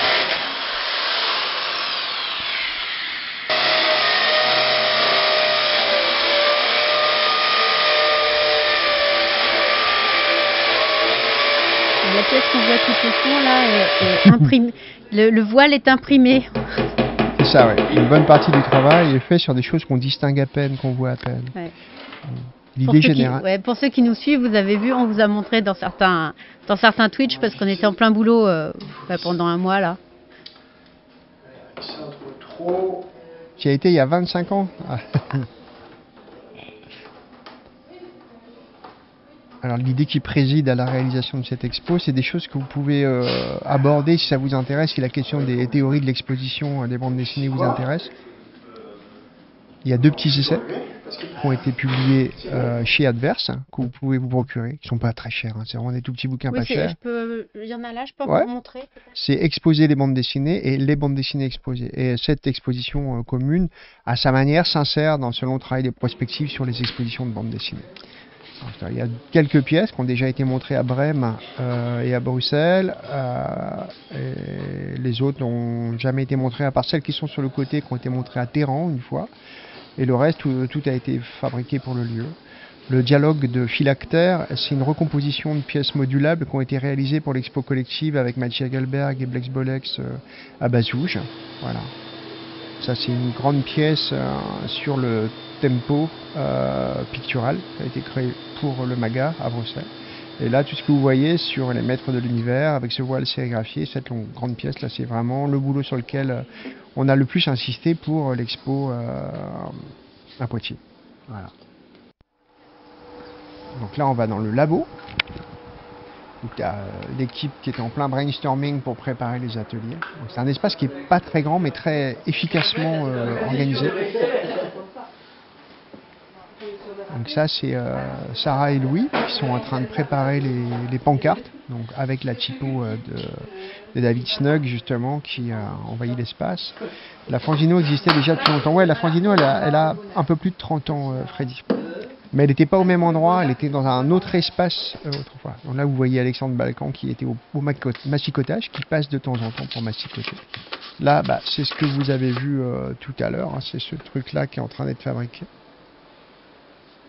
Là, on va rentrer vraiment dans le, la Fangino à proprement parler, Tu avais vu qu'il y avait des culottes enfin, dans, dans l'espace public. Non, je n'ai pas vu ça. Vous voyez, c'est assez grand, hein. c'est un bel espace. Énormément de bibliothèques, un nombre considérable de fanzines. Je vous dis, il y en a plus de 60 000. Ah, L'équipe est en train de préparer l'accueil. Donc Grégoire à l'avant-plan, qui est un des deux documentalistes avec Marie. Et Andy, que vous avez déjà vu tout à l'heure, qui nous aidait à installer euh, euh, le- sur les murs de béton euh, une des pièces. Là, c'est Patrice, qui est un des collaborateurs de Samuel, dont vous découvrirez un des travaux tout à l'heure, puisqu'on a ramené un fanzine.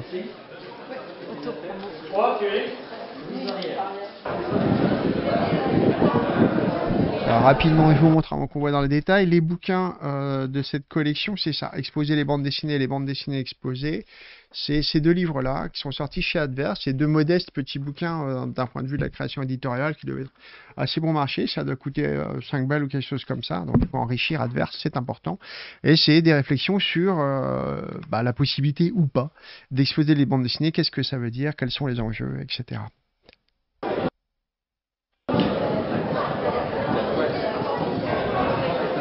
Là, c'est les rencontres. À l'avant-plan, c'était Nico et Isabeau, dont on vous a déjà parlé.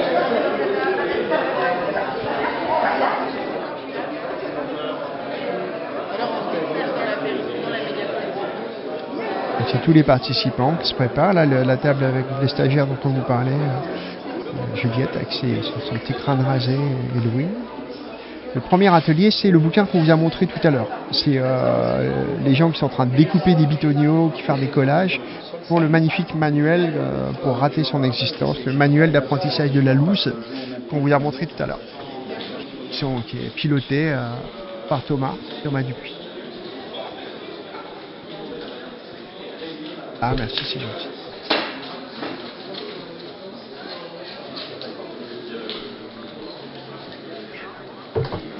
Eh bien, on voit, il a dit ça à l'avant-plan, qui découvre des trucs. Donc ça, c'est la radio.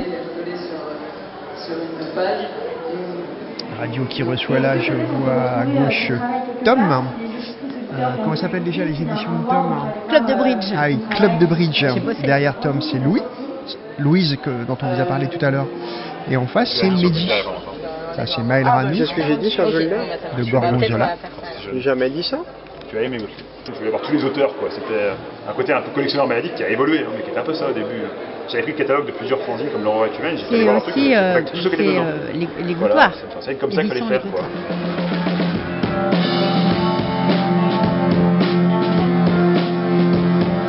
Donc Vec, Donc voilà les jeunes garçons nostalgiques d'une époque qu'ils n'ont pas connue, euh, grâce auquel bah, quiconque euh, qui aurait des difficultés à trouver le sommeil bah, trouve là un moment idéal pour aller se coucher. Pour euh, partir à l'expo, pour payer 2,50€ et c'est à 15 minutes d'ici.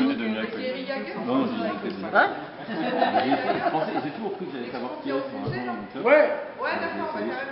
Nathalie de Gangrène je vois mal Si, c'est ça. De Gangrène. Daniel de Chéri Bibi. Voilà, chez Bibi. Louise à côté. Qui a vraiment ici un look à la Opet pour ceux qui voient la référence. Essaye des blagues belges et tu les transformes en gendarmes. Ouais, non, les Belges, je les garde avec les Belges, pour toi, connard. Ça me fait plaisir. Et moi, tant que je suis unique, ça me rappelle. Euh, en rentrant en France, donc j'ai fait après nous le déluge, donc là, Les tables rondes. Le sixième numéro. J'ai fait sur euh, la mort. euh, Donc ça, c'est sur l'alcool, Légosine, enfin, d'ailleurs, il me semble. Des expressions de la langue française qui sont Autobiographique, un peu drôles, parce quoi. qu'il y en a plein euh, qui sont très marrantes. Qu'est-ce qu'il y a Clint euh, suppose que ça finissait en bataille de des ring. Quand j'étais plus jeune, je faisais beaucoup de zines. Si tu savais. Euh, Les soirées. Euh, des trucs un peu Les euh, nuits. chiadés avec beaucoup de chroniques, d'interviews, euh, voilà. Et je pense que je me sentais pas du tout capable de faire un truc pareil, donc pour moi, le zine restait un truc un peu lointain. Ensuite, on, a, on pose comme ça. Et Là, bon, puis, évidemment, euh, le moment phare, c'est les stands, hein, desquels on vous a ramené tout ce qu'on va vous présenter.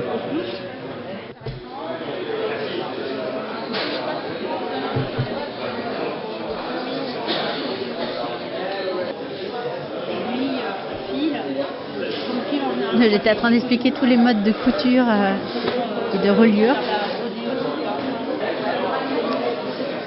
Ce qui est important, évidemment, c'est que c'est un moment d'échange de savoir-faire aussi. quoi. C'est entre nous, on a pas mal de trucs à échanger. Vous verrez d'ailleurs que parmi les, les, les intervenants, euh, il y a l'imprimerie populaire qui s'est fait une spécialité de faire le, le partage des savoir-faire et techniques.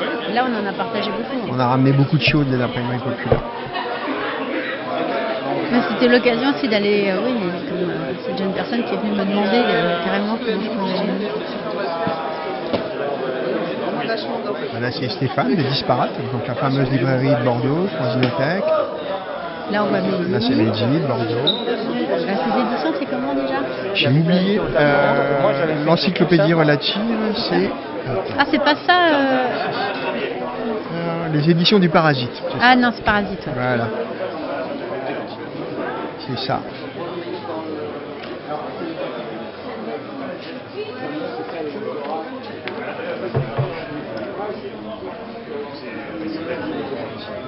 Donc là, c'est les stands de Samuel Etienne. C'est son pote Patrice. voit Maël Ranou. Flat. Maël Ranou, les éditions donc Les Goutoirs, et euh, le magazine Gorgonzola et S'il faut retourner comme la pâte à l'atelier Patamo. D'accord, vous voyez, et pas trop fin pour pas traverser. Et, euh, mais ça, c'est parfait. On avait trouvé que des bouteilles de vodka pour faire pour étaler la pâte, mais c'était très bien. Ça marchait bien les bouteilles de vodka. Ouais, souvent on imprimait l'étiquette, mais bon. Donc il y a eu deux, deux jours d'atelier, vendredi, samedi. Donc les gens pouvaient repartir avec leurs plaques Un des imprimées, fangineux, le plus jeune des fangineux euh, Voilà. du salon. à qui on a pris des trucs d'ailleurs. Malo, on a ramené plein de trucs, on Ouais. vous montrera. Tu- oui, tu as. Ah oui, ils sont là. Ok. Là, j'ai écrit à l'envers. Comme le rouge, bleu, tout ça. Vous voyez, c'est les encres là, on les trouve À l'envers. facilement, c'est les encres à l'eau. Mais comme c'est à l'envers, ça. Il est bien fait pour l'instant. Malo qui flatte Gladys. Gilles séducteur. Delphine Fordinaria. Je prends des documentalistes et de la recherche. Quoi. Un endroit où il y a plusieurs bécanes à, à- à l'usage des chercheurs.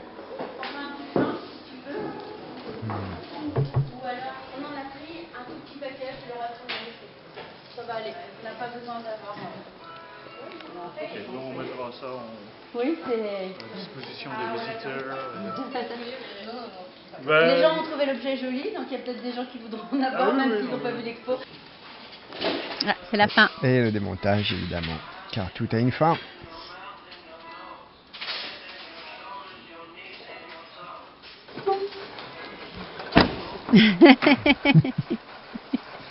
Voilà, on arrive sous le soleil, on repart sous la pluie. Dans notre magnifique petite auto qui fait tant de kilomètres. Oui, on a vu Gilou. Voilà le petit film. Et voilà. Voilà, voilà. Donc ce euh, tout petit film euh, bah, sera visible euh, sans commentaire et intégral. Avec le reste, on, l'ajoutera en, en podcast, qui vous permettra de- plutôt de vous mettre dans l'atmosphère. là. Voilà, voilà, voilà. Très bien. Alors, on va peut-être commencer parce que pour l'instant, euh, c'est une longue introduction. En fait, c'était l'intro, tout ça. On voulait juste vous parler des conditions dans, laquelle, euh, dans lesquelles on a, on a chopé des fanzines, mais euh, on n'a toujours pas vu de fanzine. Qu'est-ce Voilà. que c'est que ce bordel? On va peut-être parler de fanzine quand On va même. peut-être faire ça à un moment, quand même. Allez, on commence? Eh ben, on est parti. Eh ben, On va commencer rapidement, peut-être par le tour des fanzinothèques. Ce Moi, je mal. pense que c'est ce qu'il faut faire. Donc, on vous a montré tout à l'heure, je sais plus où il est passé, mais la petite carte, elle est là. Elle est la petite carte ici où il y a euh, donc euh, c'est un petit dépliant donc qui était euh, distribué où il y a la petite carte avec euh, les fanzinothèques.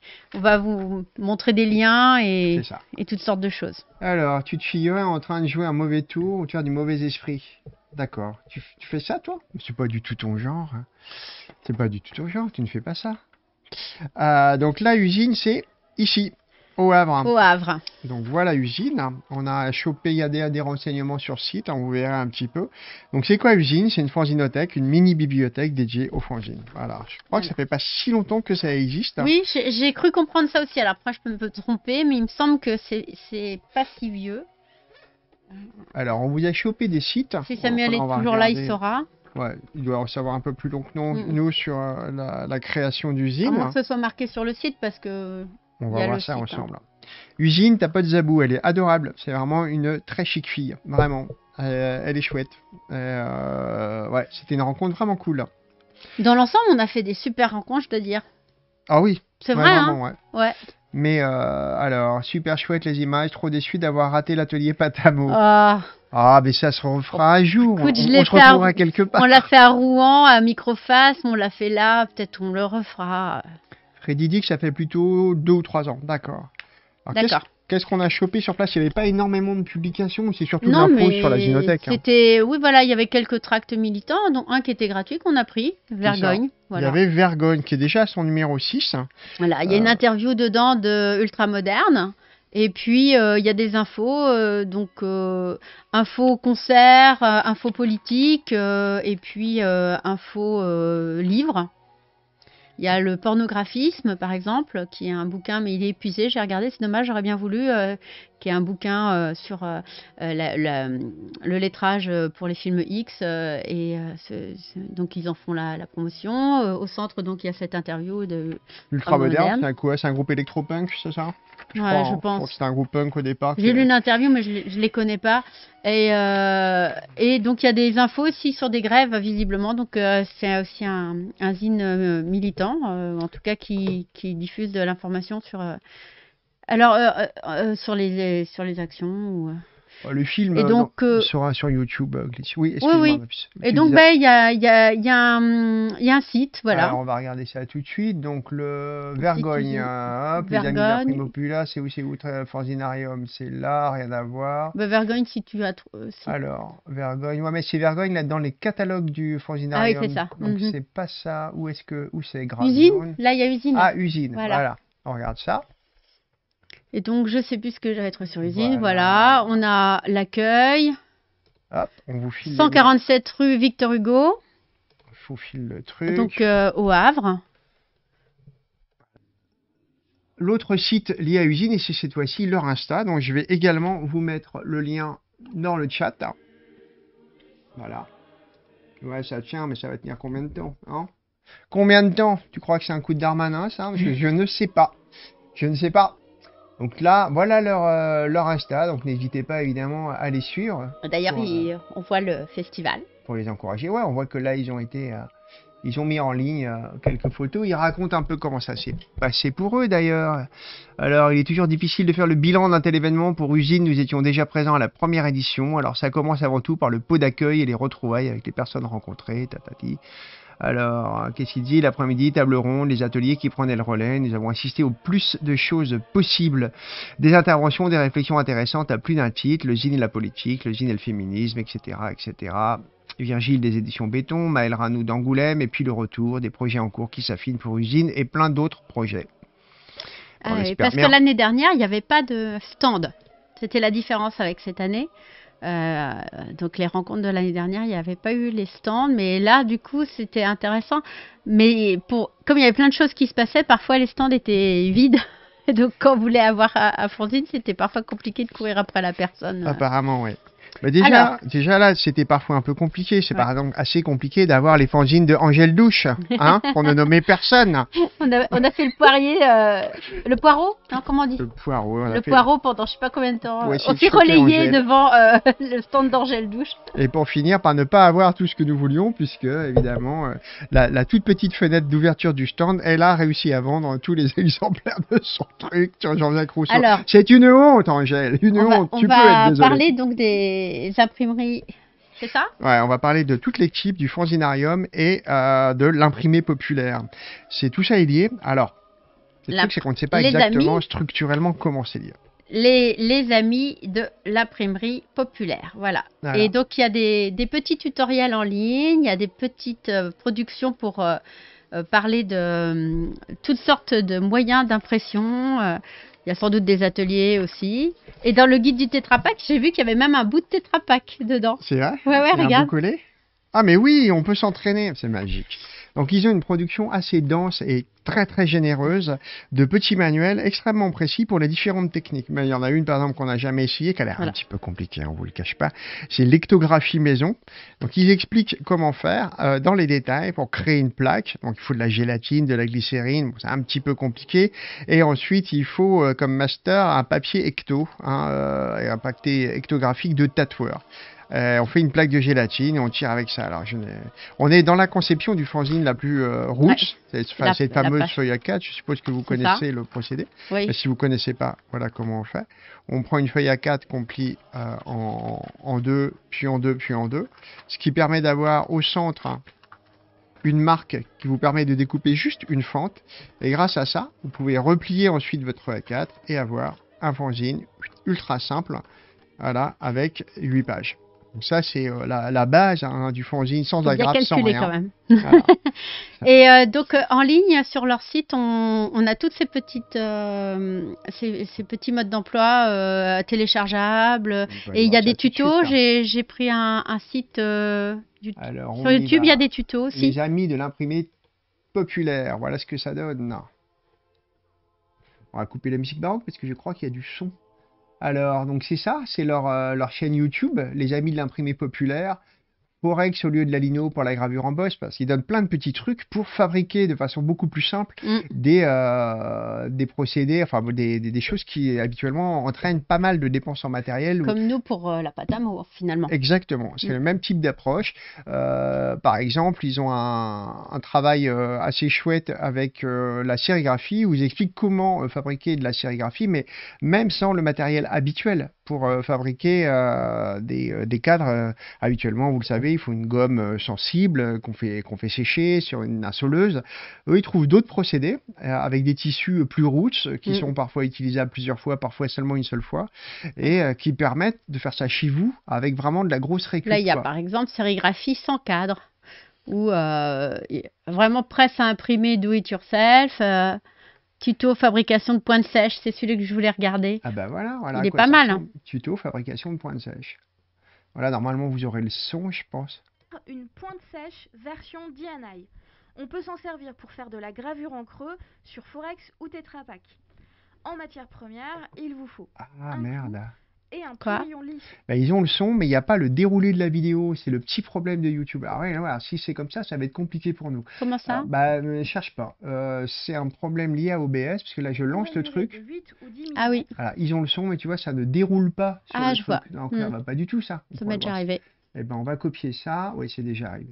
Chez moi, ça arrive ça euh, aussi régulièrement. Mon OBS refuse. euh, il faut que je télécharge les vidéos pour les montrer. C'est pas grave. On va faire ça comme ça. CTRL V, contrôler l'audio via OBS.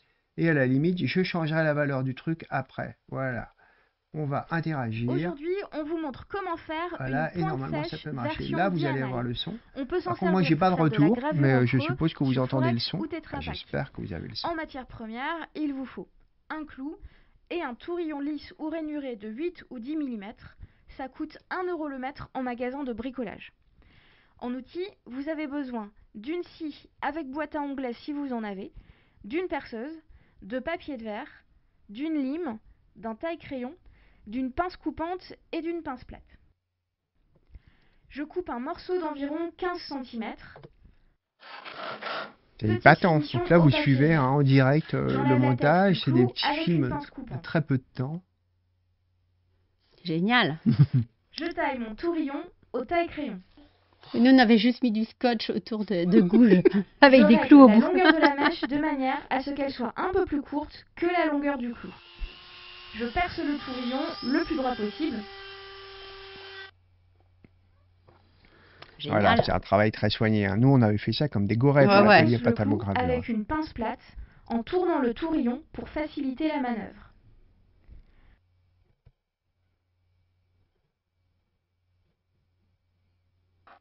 Épatant, non Et il y en a énormément. Il y en a plein. Il y a vraiment. la pointe sur une lime à. Et voilà. Test sur une plaque de. Donc, Le on a vu sillon hein, est tout net à et l'heure. profond. Et la pointe n'accroche pas dans les courbes. Oh. Waouh Merci d'avoir suivi notre vidéo. Voilà, donc il y en a plein. Il y a, il y a vraiment, euh, j'ai hâte de tout. euh, Enfin, je crois que je les regarderai tous. J'en ai regardé que quelques-uns. Et euh, Alors, par contre, j'ai mon navigateur en trop. Là, hop, on le vire. Voilà. Voilà. Vous voyez le Oui, parce que sinon on voit ce qu'on. voilà, voilà. Donc, vous avez Moi, là. j'ai vu sur le côté tous les trucs qu'on regarde sur lesquels on clique, oui. Ah oui, on a vu ça. Notre vie Là, je vous file le lien hein, vers, euh, vers euh, l'incroyable travail qu'ils font pour apprendre. Et je crois que j'avais trouvé un autre, euh, un autre site où Alors, qu'est-ce que tu m'as trouvé? ben, l'endroit où on peut télécharger euh, normalement les, euh, Ah, les PDF. les hein. PDF. hein. Est-ce que c'est pas ça par hasard? Là, c'est un peu tout. Ah là, c'est sur une technique. Sur ce site-là, vous trouvez tout. Donc euh, le Guillotaku qui est expliqué, donc euh, l'impression de poisson. Alors, ça, Et je peux ici, vous si vous y allez- sur le Yotaku, vous allez voir. Ouais. Si euh, vous y allez, euh, vous avez ici nos faits et gestes, nos ateliers, nos techniques do it yourself. Donc en fait, tu- là ici, tu as toutes les, tec- les techniques voilà, qu'on peut retrouver ici. Et ce sont les... À chaque fois, il y a, il y a une petite vidéo et puis il y a le- la petite brochure. Donc, si on clique sur la brochure, hein, normalement, on va voir le voilà, PDF. on a le PDF. Regardez-moi peut, ça, c'est voilà. pas génial. Donc euh, voilà, vous êtes vraiment euh, parés, hein, les amis. Et je pense que sur place, ça doit être génial. Donc c'est où déjà? Ça y est, j'ai un peu. C'est à Paris. C'est à Paris. Bah, A priori, c'est à Paris. Alors, est-ce qu'il y a l'adresse des ateliers populaires Oui, 40 rue, 48 rue des Vignoles Voilà. à Paris. Je peux vous l'écrire dans, dans le chat. Hop. Donc là, c'est vraiment génial parce que euh, si vous avez envie de vous lancer euh, dans un truc qui vous paraît même vraiment compliqué ou de trouver la technique qui vous convient le, mien- euh, le mieux par rapport à, à ce que vous faites, je pense que là, vous avez de quoi faire, quoi. Hop, hop, hop, j'ai perdu leur truc. Je vais rouvrir l'onglet fermé. Voilà. Donc c'est les amis de l'imprimerie populaire. C'est ça, les amis de l'imprimerie populaire. Donc, Voilà. on vous en a ramené plusieurs. Là, on a euh, donc tous les petits papiers, évidemment, qui lient à leur espace et pour euh, vous renseigner. Il y a le guide pour Tetra Pak, par exemple, avec un petit bout de Tetra Pak offert. Donc, le Tetra Pak, vous voyez ce que c'est. hein, c'est ce qui a, euh, bah, c'est ce qui constitue généralement vos, vos récipients de lait, par exemple. Ou du fruit. Ouais. Le Tetra Pak se grave et se tire bah, comme la pointe sèche. hein, Tout le à fait, tout à fait. C'est le même principe. Ouais. Et il y a, je crois qu'il y a une des petites brochures qui explique toutes les techniques de d'obtention d'impression, avec un petit tableau récapitulatif. Euh, C'est-à-dire, euh, et je crois que même à la fin, euh, je crois que c'est là-dedans. Dans Acon l'imprimerie? C'est ça. Comprendre et bidouiller avec les moyens du bord les techniques d'impression traditionnelles. Et à la fin, il y a un petit, euh, voilà, un petit. J'ai trouvé ça génial. C'est exactement pour moi. Il faut cocher à chaque fois ce qu'on a compris, euh, comment marchent euh, justement les histoires d'inversion, qu'est-ce qu'on imprime, qu'est-ce qui est imprimé, où est-ce qu'on met l'encre, est-ce que ça va être double inversion ou simple inversion. On a beaucoup parlé de ça pendant le, pendant, pendant le temps où on était là-bas, puisque euh, il y a des gens qui voyaient notre plaque d'allugraphique où on était en train d'exposer, et où j'expliquais qu'il fallait une double inversion, que c'était à la fois en miroir et à l'envers. Et, euh, et par contre, avec la, la patamogravure, euh, c'était juste, c'est juste retourné, quoi. Donc, euh, c'est des choses qu'il faut se mettre en tête suivant ce qu'on veut. La gravure en creux, la gravure en... Taille d'épingle. Voilà, la gravi- voilà. Et il y en a une dedans qui est faite, d'ailleurs. On reconnaît les beaux dessins de Yann Tréhard dont on parlait tout à l'heure. entre Bon, on va hein. parler là, puisqu'il y a des choses qui ont été imprimées là. Ouais. Par exemple, de- les- on va Alors, montrer un des à fanzines montrer ces belles choses. C'est quand même vraiment passionnant. Vous, vous apprenez à fabriquer vos Ouais. propres cadres. Celui-là est vraiment très très bien parce qu'il y a tout. Il y a le- la sérigraphie, le pochoir. euh, Alors, c'était le local de la CNT à un moment. Écoute, je sais pas, Claire. Alors là, tu m'en demandes trop. C'est pas impossible, mais j'en sais foutre rien en vérité. comprendre en expérimentant, c'est ce qui est écrit. C'est ça, comprendre en expérimentant. Voilà. Donc là, on peut dire qu'en en termes de générosité, on fait pas Euh, vraiment je pense qu'ils sont très accueillants, ça peut être que ça. hein. Enfin, Ouais. celui-là, il vous le fait absolument. Celui-là, il vous le faut à qu'on l'imprimerie. Voilà. Tout pour faire à la maison de la sérigraphie. Donc ça, c'est ce qu'on voyait en PDF, ce qui veut dire que si vous n'arrivez pas à choper les imprimés, vous avez vu que sur le site, euh, eh ben, on trouve assez facilement hein, sur www.imprimépopulaire.fr. Donc, je vous ai foutu le lien là euh, dans le chat. Euh, vous pouvez choper tous les PDF pour fabriquer ça. Donc ça, c'est tout à fait extraordinaire. Ils ont, alors, on peut même les, les voir ces oiseaux, puisque j'ai chopé un, comment, un- une rencontre avec eux. Alors, on va pas la regarder en entier parce que, parce que, parce que euh, c'est un petit peu long, mais on verra peut-être à la fin. Peut-être qu'on se fera un react assez, assez long. Alors, tout ça est lié. euh, moi, c'est que dans. C'est lié au fanginarium. Alors le truc c'est que on n'a pas posé de questions sur l'organisation, sur la structure. Donc si quelqu'un euh, du Fanzinarium ou euh, des amis de l'imprimé populaire est dans, dans le live là et dans le chat, qui peut nous renseigner sur la structure, à savoir en quoi sont liés euh, le Fanzinarium puisque c'est visiblement les mêmes personnes. Vous verrez bien qu'on rencontre quand on visite le Franzenarium les mêmes personnes que ceux qui s'occupent des euh, imprimés euh, populaires. Du... Donc savoir comment c'est foutu, euh, si c'est dans le, la même orbe, si c'est vraiment exactement la même équipe qui s'occupe des deux. Alors, on n'a pas trouvé l'info. Ok, Yann t'a raconté que le Franzinarium s'est installé dans un ancien local de cordonnier, d'où les images de chaussures sur les murs. Ah, ok, d'accord. très bien. Est-ce qu'ils sont liés du coup c'est, enfin... Ils le sont, ça c'est pas une question. Oui, mais de quelle façon? C'est ça, ouais. Est-ce qu'ils travaillent ensemble? Est-ce que... Euh, c'était un quartier d'imprimeurs à la base, nous dit Claire. D'accord, d'accord. Il y a J'imprime en couleur chez Quincajou Gallimard, qui est trop chouette, de Christian Neuville. D'accord, c'est une autre euh, référence, tu veux dire, pour l'impression, c'est ah, ça? D'accord, c'est un, autre livre. Euh, tu connais pas tous les membres de l'équipe par contre. Eh ben écoute, euh, au Fanginarium, nous, bah, du coup, on a rencontré Delphine, euh, Cox et, Yann. Il y a un quatrième larron qu'on voit sur le documentaire qu'on a chopé. Donc quand on fera un petit saut, eh ben, on, pourra, on pourra regarder un peu ça. Alors hop, je copie le truc. Voilà. Je pense qu'il suffit de faire ça. Et on peut voir un petit bout de ce truc. CTRL V. Hop. Et là, normalement, on va voir ça. Et puis il y a le côté, moi je trouve que dans le papier, dans l'objet, il y a le côté des rencontres. De... Alors, on va prendre au début. Attends.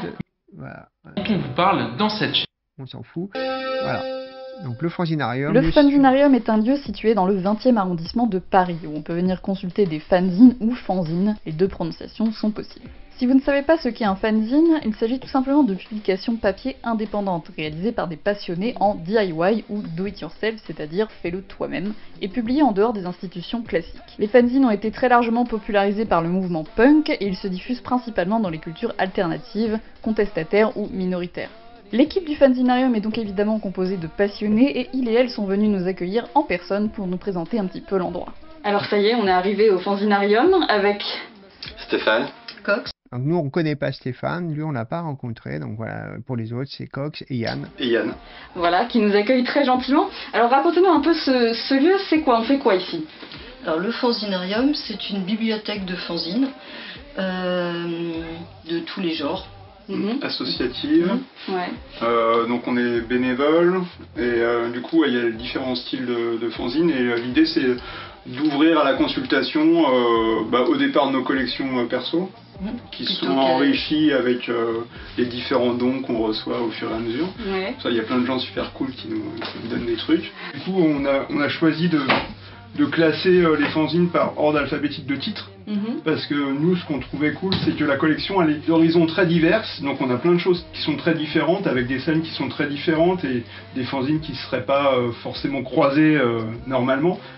Voilà, donc ça, on le regardera peut-être en entier à la fin du live si vous voulez, ça peut être assez chouette de regarder ça. Et sinon, Samuel nous dit qu'en auto-promo, euh, qu'il y a un autre film qu'il a réalisé sur sa chaîne, Zine TV, on copie. Et alors, je vais foutre ça dans les liens, voilà, comme ça on pourra peut-être y faire un tour. Et qui est une autre visite du Fanzinarium, donc décidément une heure et demie. Mais enfin, Samuel, une heure et demie Moi qui trouvais un film de. Euh, bienvenue à bord et merci pour le follow à Karakir. Euh, mais enfin, Samuel, je trouvais que 20 minutes c'était long, mais alors là, une heure et demie. Là, il le voit pas. Hein. non, non, vous, vous ne le voyez pas le, le truc pour l'instant, mais euh, voilà. il se trouve que. Voilà, il y a ça.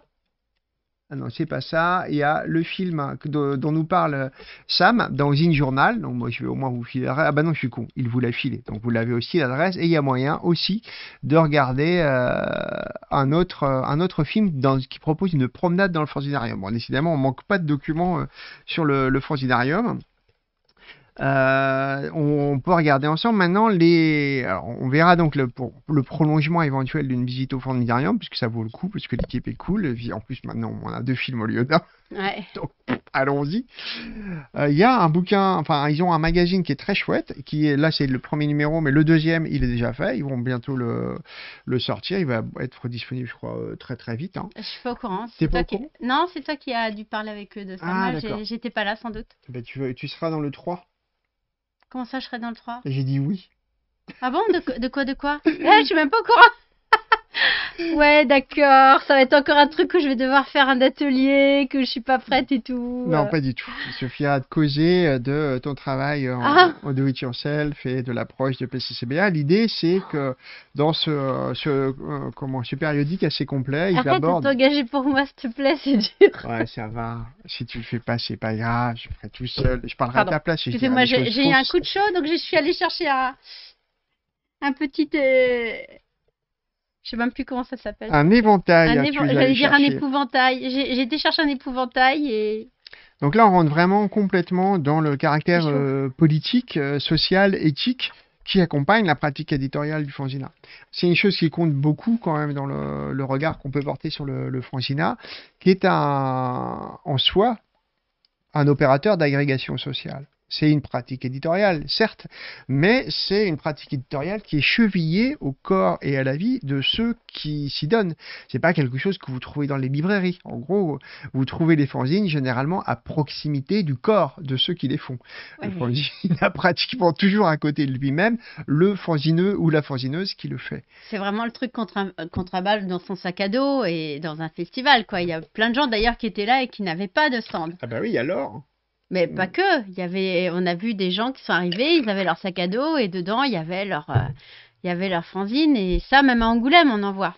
À Angoulême, bah, par exemple, on pourrait parler de de Imus. Euh, qui continue, euh, euh, euh, Sébastien Lumineau, il continue à, arpenter Angoulême avec son sac à dos et, et à distribuer, échanger ses petits fanzines qui sont à découper. Enfin, et voilà, il y a, y a, des gens qui ont cette pratique. c'est vrai. On n'est pas dans la librairie, on n'est pas dans le on n'est pas dans cet esprit-là, qu'on est dans le, vraiment dans l'esprit de trucs bricolés, euh, très proche de soi, souvent. Euh, on parlait des gosines, mais euh, il n'y a pas que ça. les gens qui font les autres fanzines de bande dessinée ou autres, c'est souvent très personnel aussi quand même. C'est vrai que j'étais un peu moqueur à l'égard de l'égosine parce que, euh, parce que ça, ça m'exaspère en fait. Le, récit de soi m'a toujours cassé les couilles, mais c'est pas une question euh, euh, de qualité d'existence. Hein. J'ai pas plus de sympathie pour les récits d'explorateurs qui vous emmerdent avec leurs exploits à l'autre bout du monde que pour les gens qui pèlent des noix dans une chambre de bonne. Tout ça m'emmerde prodigieusement.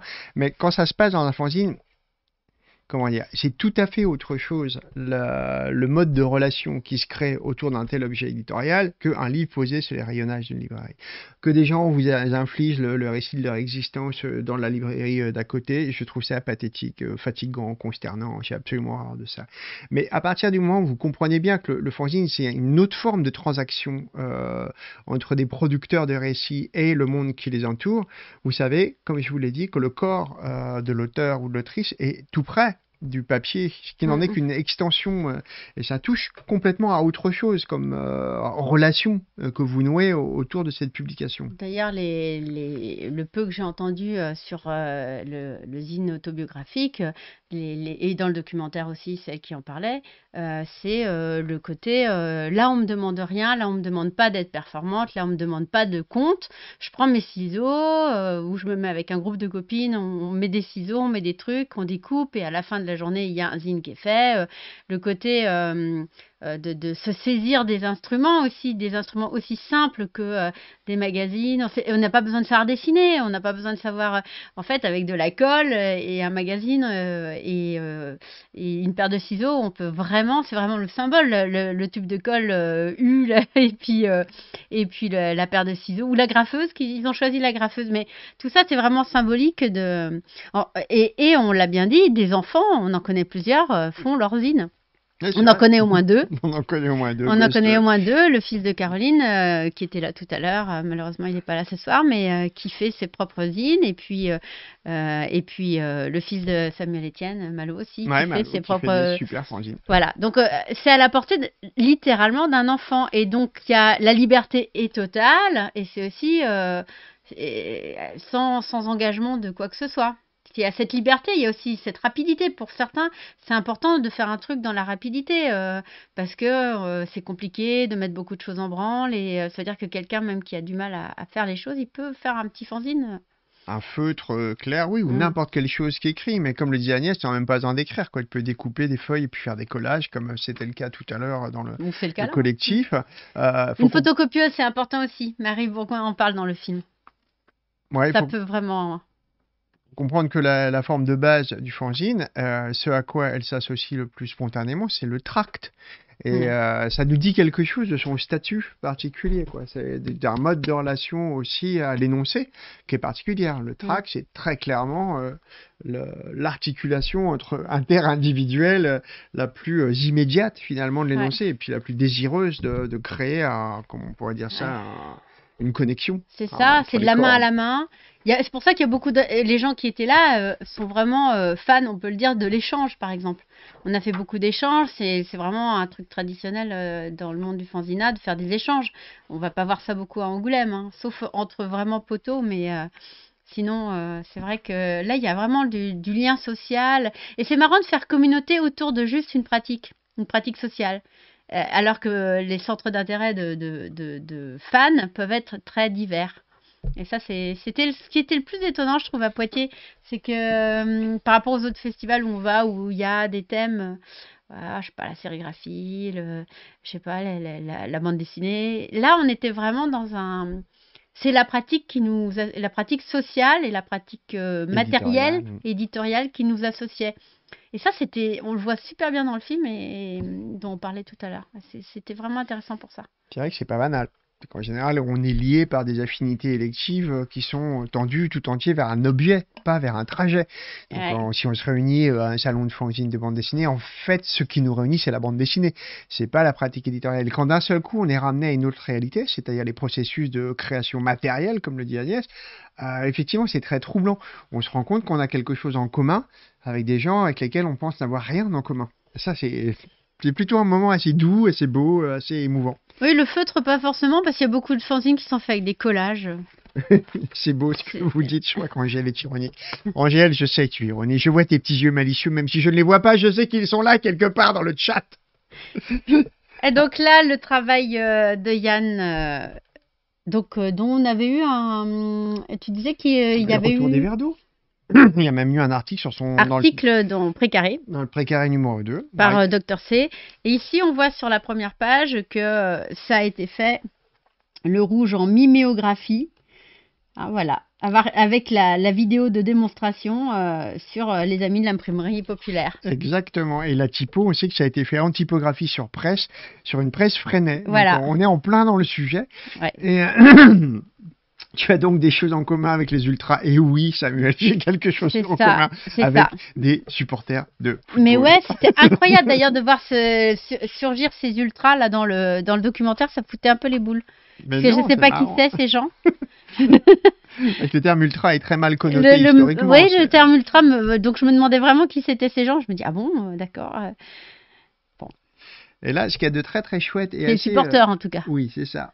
C'est vrai, c'est des supporters. C'est Ouais. fascinant avec ça, c'est que bah, exactement le, ce que, que je vous disais par rapport au mode de relation. euh, moi, j'ai aucune sympathie pour les, les, les, les livres amoureux, etc. Mais sauf que là, on touche complètement à, à, à autre chose. On est dans une forme extrêmement confidentielle de publication chez Yann Tréhin qui publie au compte-goutte d'une part et euh, dans des quantités vraiment euh, dérisoires. Donc on compte-goutte en nombre de, de bouquins, mais même si là, bah, Agnès a craqué elle a fondu sur trois. Et c'est assez génial parce que le caractère est extrêmement euh, proche euh, du corps de l'autre que propose le fanzine autorise Yann Tréhin à nous parler d'un corps encore plus proche que jamais de, de lui. C'est celui de sa compagne, Delphine, à qui il a consacré là au moins pas moins de deux bouquins qui sont Mm, très mm. émouvants. Du coup, c'est vraiment des, des livres d'amoureux. Et c'est euh, très chouette. Ouais, Enfin, moi, je suis très fan du dessin de Yann Tréhin déjà. Et puis, euh, je trouve ces bouquins très très beaux. Et, et celui-ci, euh, c'est aussi pour la couverture que je voulais le, le- le montrer. On va pouvoir montrer peut-être la Bien couverture. sûr, bien Donc, sûr. cette couverture est assez exceptionnelle. Tu peux l'ouvrir peut-être en, en la retournant. Tu veux que je la retourne comme ça? Ouais, ouais, c'est ça. Donc on a euh, carrément de la perforeuse là. euh, pense à Schlack Schlack. C'est c'est euh, c'est comme euh, un papier très épais sérigraphié euh, qui est euh, plié en deux. Je sais pas si Un vous pouvez voir là le, degré d'épaisseur de la Ouais. couche sérigraphique là. Ouais, elle est carrément. On peut la mais on peut la sentir. euh, C'est très impressionnant. c'est ça. C'est magnifique. une hein. matière sérigraphique très Et là, euh, je l'ai montré tout à l'heure à Caroline qui a dit que vraiment elle était aussi impressionnée par cette couverture avec ce petit nœud euh, ici. et on a donc un petit retour à l'intérieur qui, euh, qui rejoint ici. Donc euh, vraiment, euh, on a l'impression que c'est vraiment fait. Là, il y, a- il y a vraiment une, une- une matière. la matière, quoi. On est, on est vraiment dans le. Berdol Dans le-. Il en a pas fait beaucoup, il en a fait 32 et on peut trouver ça sur les livres de Yann. Alors, attends, Oui. je vais vous filer le lien. Donc celui-là c'est With, With Love, je suppose, un With Cœur. Donc attendez, comme ça, voilà. Et c'est pareil euh, avec les magnifiques dessins, il faut le dire, de Yann Tréhin. Un peu foutraque, un peu. euh, Je vous fous Il y a ça toujours des poissons. Je sais pas pourquoi, mais il y a toujours des poissons. Ne cherchez pas. Voilà. Et là, c'est vraiment intéressant parce que c'est c'est l'histoire d'un homme qui, qui passe de, de l'onirisme à, à la vie de bureau. Donc, on a des dessins qui sont très euh, euh, ancrés dans le monde de l'entreprise, ce qui me plaît beaucoup. Et parfois, et, et par moments, ça, ça, ça. Ah bah, je suis en train de montrer euh, pour rien Je puisqu'on vais me juste le couper, t'inquiète pas. C'est juste pour montrer qu'il y a une possibilité, euh, je pense, de commander à Yann ses bouquins euh, ou d'autres choses. Donc là, il y a, il y a tout son univers poétique et, et plastique. Euh, il y a posez-moi vos questions, je suppose, ça doit être des questions du genre Yann, je veux ton livre Alors bonsoir, question provoquant, combien d'exemplaires faut-il déposer son fanzine à la Bibliothèque nationale? Alors, je sais plus où on en est avec les dépôts à la BN, euh, parce que je faisais ça quand je- j'avais des fanzines euh, littéraires dans les années 80-90, mais j'ai oublié. Il en fallait pas mal, hein. je crois qu'on était obligé de se délester de quasiment une dizaine de trucs, parce qu'il en fallait à la préfecture aussi. Mm. Enfin, il fallait enfiler beaucoup. Bon, je file plus rien depuis très longtemps et quand euh, mais bon, si je me croyais obligé de le faire, c'est d'abord parce que j'étais très jeune et je savais pas ce qui était vraiment nécessaire ou pas de faire, et d'autre part, je, je, j'avais une vision extrêmement, euh, euh, comment dire, normative finalement de ce qu'il fallait faire quand on faisait des revues. J'ai cessé assez rapidement d'envoyer quoi que ce soit. Euh, non, non, je crois je peux qu'aucun dire quelque chose, oui. c'est que je crois que si tu fais moins de 50 exemplaires, tu n'es pas dans l'obligation. euh. Moi, je m'étais renseignée pour, je sais, euh, bah, justement, nous, on est tout le temps en dessous pour nos petits, fon- euh, nos petits livres, euh, comment on va appeler, euh, le bulletin euh, de PCCBA ou Blue ou Rosa non. On, on est toujours en dessous de 50, donc euh, quand tu en fais en dessous de 50, comme ce qui est notre cas, puisqu'on fait à la maison et on coud avec notre petite main, on peut pas en faire beaucoup. Là, tu, je crois que tu es pas obligé. Et d'ailleurs, vaut mieux parce que nous, on en fait tellement peu d'exemplaires quand on en fait 35, ben, on n'a pas envie de les distribuer, quoi. C'est normal. Alors Samuel nous dit un seul et plus au ministère et plus au ministère de l'Intérieur depuis 2006. D'accord. Ah, mais les trucs dont je te parle, Un seul, même si tu as une antérieur, hein. très petite production, parce que nous, on est dans la micro. euh, nous, on est dans la micro. hein, on fait très peu d'exemplaires. Oui, mais à vrai dire, personne ne le fait. Enfin, moi, je connais pas de fanzineux qui filent des fanzines à la BN. non. Donc voilà, je parlais du travail de Yann Tréhin, euh, que je vous conseille complètement. euh, Ah, Yann, tu nous as trouvé une deuxième adresse. ouais, je crois. Yann. Je suis, Ouais, je suis ultra fan, je suis désolée. Il va être... Ah, il va être content. Il a dit Ouais, parlez du fanzinarium, mais moi non. euh, Ah bon? ouais. Ah bah merde, pardon Yann, je voulais pas parler de toi. Si, si, tu voulais. En plus, on a discuté de complètement autre chose quand, euh, quand on a discuté. On a par- parlé de Val et de Sommes-nous trop bêtes pour euh, tester l'intelligence des animaux. On n'a pas du tout parlé de fanzine et je savais pas qui tu étais. Et toi non plus, j'imagine, tu ne connais pas mon travail. C'est drôle. Donc c'était fort sympathique notre conversation, du coup. Voilà, donc on peut cliquer là sur Voilà, c'est bon. Vie, vie, commune, c'est un de ceux que j'ai acquis aussi, qui est vraiment très chouette. La couverture est également très chouette. Ouais, qu'on va pouvoir vous montrer également. Voilà. Là, vous avez la présentation en ligne de vie commune. Et vous voyez ce que ça donne dans la vraie vie. Euh, bah, c'est celui-là. Non, vie commune, c'est celui-là. Ah, c'est celui-là, oui, c'est là. Celui-là, c'est With Love. Enfin, With Cœur. Je sais pas comment tu. Qui est très chouette. Voilà.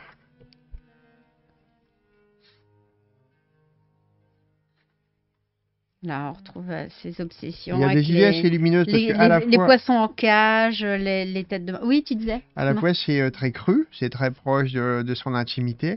Mais ce qui est intéressant, c'est le point de bascule. C'est quand on passe à des représentations qui seraient euh, des représentations euh, au plus près la d'une pornographie, c'est-à-dire d'une implication des corps, euh, des, des, deux corps de nos amoureux. Alors, on, on le frôle jusqu'à un certain point. Mais le point de bascule, dans ce cas-là, Yann Tréhin décide de substituer à des scènes tiré d'accouplement de, pornographique. C'est euh, ça ou qu'on serait striké après Enfin, je sais, si on ah, oui, ferait... C'est vrai, on est sur Twitch. Et on est sur Twitch. Et sur Twitch, des fois, ils sont un peu... Ils Donc, sont un peu euh, la, euh, la, la, cage, euh, l'arbre à tête de mort. On retrouve vraiment des, euh, des motifs, enfin moi qui me plaisent énormément. Donc euh, voilà, j'aime beaucoup son travail, comme vous l'aviez compris. Et ça, c'est pas du tout destiné à être vendu. Non. Mais ça, c'est juste pour, pour ouais, c'est pour mettre le doigt sur le caractère social, socialisant et particulier de la production de fanzines. Il y a des fanzines qui sont pas du tout destinées à être vendues, qui sont destinées à être échangées, données lors de rencontres particulières. Chacun de, des fanzines fabrique des choses comme ça. Et là, on a découvert en, Delphine, donc, qui s'occupe du fanzinarium et, euh, et, qui est très présente donc, dans ses, les Amis de l'imprimé populaire, une tréquise. Et c'est pas si fréquent qu'on rencontre des amateurs et amatrices de Star Trek. On a commencé Elle à en ne parler. cache pas, c'est une fan intégrale. Je ne trahis pas un vrai secret. Non, c'est pas un secret visiblement. Elle le revendique. Voilà. voilà. Et ce qui est très on, marrant, on la haute pas du tout. mettre le doigt sur Star Trek The Next Generation. Bah, euh, on, je crois qu'elle est très Voyager, elle surtout. Non, je sais pas. Moi, tout lui va. Enfin, on a Moi, je suis en train ça. de me revoir Voyager pour la 25e fois. Donc, 25 fois, 20, euh, 7 saisons, euh, 25 épisodes. Et je suis une fan intégrale. Et c'est vrai qu'il faut parler de la couverture, Laurent. Ouais, je voulais parler de ça parce qu'il Ouais. y a un côté très humoristique dans cette couverture. Euh, Delphine se moque du côté très chic, très smart de, euh, des fameux euh, vernis sélectifs où on, on fait un caractère brillant apparaître à la surface d'un livre. Et elle a fait Un une parodie de vernis sélectif. C'est un vrai vernis sélectif, je crois qu'elle a récupéré avec des autocollants découpés. Donc elle, elle se moque euh, du luxe inouï euh, qui est présenté avec euh, un certain chic bourgeois sur certains livres, mais elle le fait avec un authentique luxe qui est le luxe du Fonzina, qui est celui d'avoir du temps et de, de, de l'esprit d'invention pour fabriquer des choses mieux que les autres. Voilà. Et ça donne un, un incroyable vernis sélectif Voilà. en film autocollant Donc, qui est de la merci. récup, je crois. Merci. Donc, Un seul, un très chouette bouquin consacré à, vraiment pour les fans, Pour les euh, fans de de, Star fan, Trek, de voilà. fan à fan. vous ne, vous ne pouvez pas comprendre. Voilà. Seul Voilà. Franck Brusset, s'il est dans les parages, pourrait comprendre quelle est notre source de joie. Et Voilà. merci Delphine. Merci, C'est vraiment adorable. Mais c'est un bel exemple de, de justement ce que peut être un fanzine. C'est euh, par exemple d'être seul au monde et de dire j'adore tel groupe de rock, j'adore euh, tel, tel feuilleton, tel truc, et, et être le seul à. Et puis un jour on rencontre d'autres gens comme nous. Et je pense que avant, avant Internet et les réseaux sociaux, c'était encore plus émouvant de rencontrer quelqu'un qui était fan des mêmes choses. Ah oui, rencontrer ses semblables, c'était pas facile, facile. Bah, tu vas nous parler de ça? Ça, c'est des choses que. Ah bah oui, on n'a pas acheté pas les mêmes choses, Agnès et moi. Ah bah non. Ariane Tréhin, c'est elle. Moi, j'en ai pris un. Et elle a pris les deux autres. Donc, on a... des fois, on se retrouve sur un stand, on, se découvre. euh, C'est le cas pour Yann Tréhin, c'est le cas pour Gauthier. Euh, on se dit à l'avant Attends, qu'est-ce que tu as pris? Parce que moi aussi, ça m'intéresse. Faisons en sorte au minimum de ne pas prendre les mêmes. Là, elle est passée un stand, j'ai juste vu ça de loin, je me suis dit, ouais, ça a l'air chouette, mais, Mais c'est trop tard, que elle ah, avait déjà acheté. attends, j'ai un problème, c'est coincé en dessous. Ça, c'est coincé en dessous. Ah, Ah, bêtises. Donc, euh, donc, l'IA V. Donc euh, j'ai j'ai trouvé son. Rapproche-toi un peu Ah, plus parce que non non mais juste de la caméra pas, pas toi. Bah si tu es bienvenu. hein. Donc euh, moi j'ai j'ai craqué sur son travail parce que euh, ben, déjà c'était elle en avait pas fait beaucoup parce que je crois qu'elle voulait juste elle était avec le stand gangrène je sais pas si elle était vraiment avec elle mais elle était au même endroit et elle avait fait quelques exemplaires pour la Fanzino et je crois qu'elle pensait pas qu'elle aurait un stand donc il y avait très peu d'exemplaires donc euh, j'ai dû même négocier avec elle pour euh, pour obtenir cet exemplaire-ci ils étaient tous différents euh, ce que j'aime là-dedans, c'est que c'est à la fois plein d'humour et très joliment fait. Ça s'appelle Prends-en de la graine. Donc, ce sont des productions assez, on va le dire, il y a un certain féminisme, certaines revendications. Là, elle, emprunte les codes à l'herbier et elle se moque, euh, elle se moque des petits herbiers d'autrefois, mais tout en faisant un petit objet un petit peu euh, genre luxueux. Il est à la fois luxueux et pas luxueux, cousu, euh, du papier craft, de l'impression et ce fameux papier qu'on voit souvent dans les, dans les carnets ou dans les, dans les scrapbooks, avec cette petite coquetterie de, de plantes euh, en papier calque. C'est ça. On peut Voilà. montrer peut-être là. Vous Donc c'est une sorte voir, de, de faux herbier avec euh, des, euh, des phrases humoristiques. Et un papier euh, fabriqué par une sorte de papier chiffon qui est probablement une production artisanale Et- de l'autrice elle-même, j'imagine. Voilà, et elle a fait une autre. alors j'ai vu après, on, on va regarder son site parce que c'est une artiste vraiment qui me, qui me plaît. J'aime beaucoup ce qu'elle fait. Je suis allée voir du coup son site. Euh, donc je l'ai découvert là, hein, et puis je suis allée voir son site pour, euh, pour l'émission. Euh, donc là, elle, elle, va imiter aussi les, les, petits bréviaires catholiques. Donc là, c'est les Saintes Vilaines. On a aussi cette, cette découpe en ogive qui rappelle, qui rappelle vraiment ben, les églises, hein, la gravure, toutes sortes de choses, des codes. Et là, on va avoir donc des, des saintes qui sont, ben, comme le dit la- donc les saintes vilaines, il y a Notre-Dame de la Chour, matrone du Larcin en grande surface. Et donc il y a une petite prière.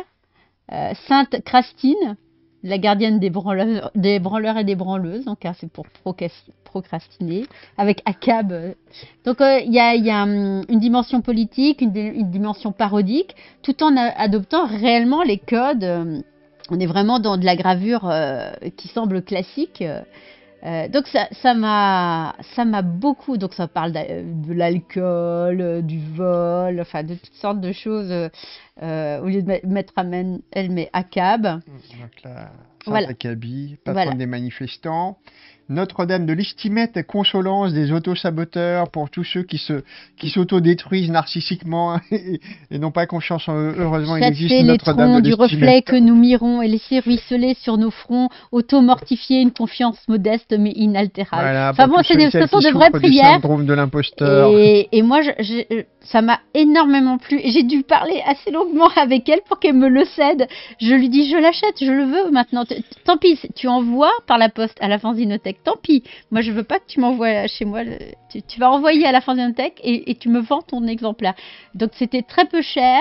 Il y en avait très peu. Et c'est exactement aussi le genre de choses que que j'aime, c'était fait maison et tout ça. On va Alors, regarder un peu Berdol demande si elle n'a pas contribué Yaya d'un trait à la revue Freakwave avec Anne van der Linden. Ben, Alors on va pas, regarder, regarder sur son site, elle fait que- beaucoup de choses et je pense qu'elle est, elle est très dans, euh, euh, elle fait des expos, elle est vraiment dans l'art contemporain. euh, moi je l'ai comparé, euh, je comparé à une autre artiste que j'aime énormément, qui fait aussi, qui est dans les deux milieux. Et vous allez voir, elle fait des très très belles choses, vraiment. Ah, euh, une connerie, voilà. ah, elle fait par exemple des, des colliers avec des, Attends, il faut que je retrouve le truc. Qu'est-ce que j'ai branlé? Twitch Fanzino. Ah, je vais le mettre au début. Voilà, ça va être plus simple. Des Ah. colliers, je crois que c'est elle Alors, euh, que j'ai vu qui faisait des colliers où elle, euh, elle, euh, elle fait des, euh, des contrepétries euh, en collier quoi. C'est, elle fait des choses vraiment très chouettes. euh. Alors, tu l'as retrouvée? Petite feuille, ça pourrait être ça. Hmm, Ça me dit rien. Ah si, c'est ça. C'est ça? Ouais, L'IAV. Atelier spirale, ouais, c'est ça. C'est ça. Donc voilà, euh, donc je crois qu'il y a un Insta et il y a aussi. euh, Bah ça c'est un Tumblr, donc je vous le elle a son Ah oui. Alors Claire demande de qui c'est, donc le petit nom. Euh, c'est L'IAV. Voilà. Voilà. L'IA Villevieille en fait. Voilà son, son vrai petit nom.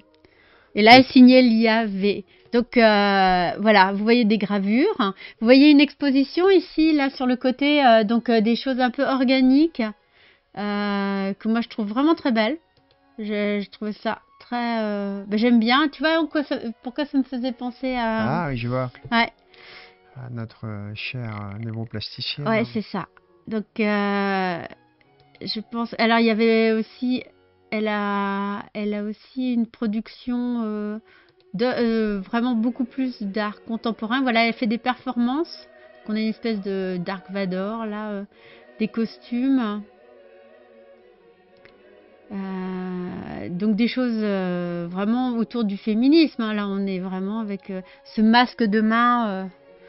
J'ai trouvé ça plutôt bien fait. Elle a une revue, enfin, tu vois, il y a, il y a viol- euh, une revue, euh, je pense, euh, de violeur, tueur, agresseur à ton tour d'avoir peur. Donc quelque chose dans la sororité, hein, je pense. Une hein. belle citation d'Artemisia Voilà. Gentileschi, qui elle-même ici coupe la gorge de son violeur, Oui, justement. parce que c'est censé être la- le, le modèle de son violeur qu'elle. Donc on a des choses d'inspiration catholique, donc ça, ça me plaît, ça me plaît beaucoup, comme vous savez, ce genre de choses. Voilà, moi j'aime beaucoup son travail. Donc j'ai découvert euh, du coup, euh, Nous sommes dangereuses. j'ai j'ai découvert ce travail euh, là, là, grâce à ce. C'est une belle euh, rencontre. Du coup, j'ai pas beaucoup parlé avec elle. J'ai juste négocié comme comme comme si Alors, je voulais acheter un tapis, quoi. Vraiment, c'était vraiment ça. J'ai pas du tout été, été cool avec elle. Je l'ai forcée presque à me vendre son truc. Ah, mais comme on a été coupé tout à l'heure, j'ai pas été rationnel dans la visite des Fanzino. Il y a des petits trucs que j'ai oubliés. Bon, on reverra ça tout à l'heure. Il, y a, Ok. il y a un tour que j'ai pas fait. On n'a pas vu le site des, musicof- des musicophages. Ah, on n'a pas, vu la Fanzinothèque de. Montréal. On n'a pas Oui, vu la dérouillée qui bosse avec et on a continué à filer le truc. ça à cause de la coupure. Alors Bordel regarde de si merde. pas trouvé un autre truc à elle. Alors là, c'est Angèle, Ouais, Patrice, ok, bah, j'ai Latron, peut-être trouvé que ça, mais bon. Petite feuille, imprimerie pop. Ah, imprime pop, on- qu'est-ce que c'est que ça? Oh, on vous a pas filé le lien de l'imprimerie. Il y a un Insta pour l'imprimerie pop. Ouais, avec un peu de retour, un peu de retard, pardon. Là. Je vous file le lien pour l'imprimerie pop. Voilà, c'est là.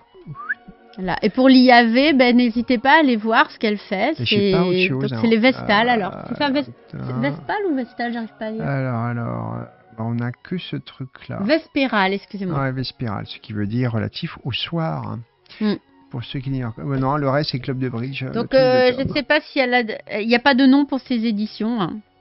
Imprimée à Lyon, donc euh, sans doute elle est de Lyon. Voilà. Quelqu'un la connaît euh, dans le dans le chat euh, L'IAV. Si quelqu'un en sait un peu plus. Si quelqu'un eh ben, sait un peu c'est plus que ce, ce Tumblr.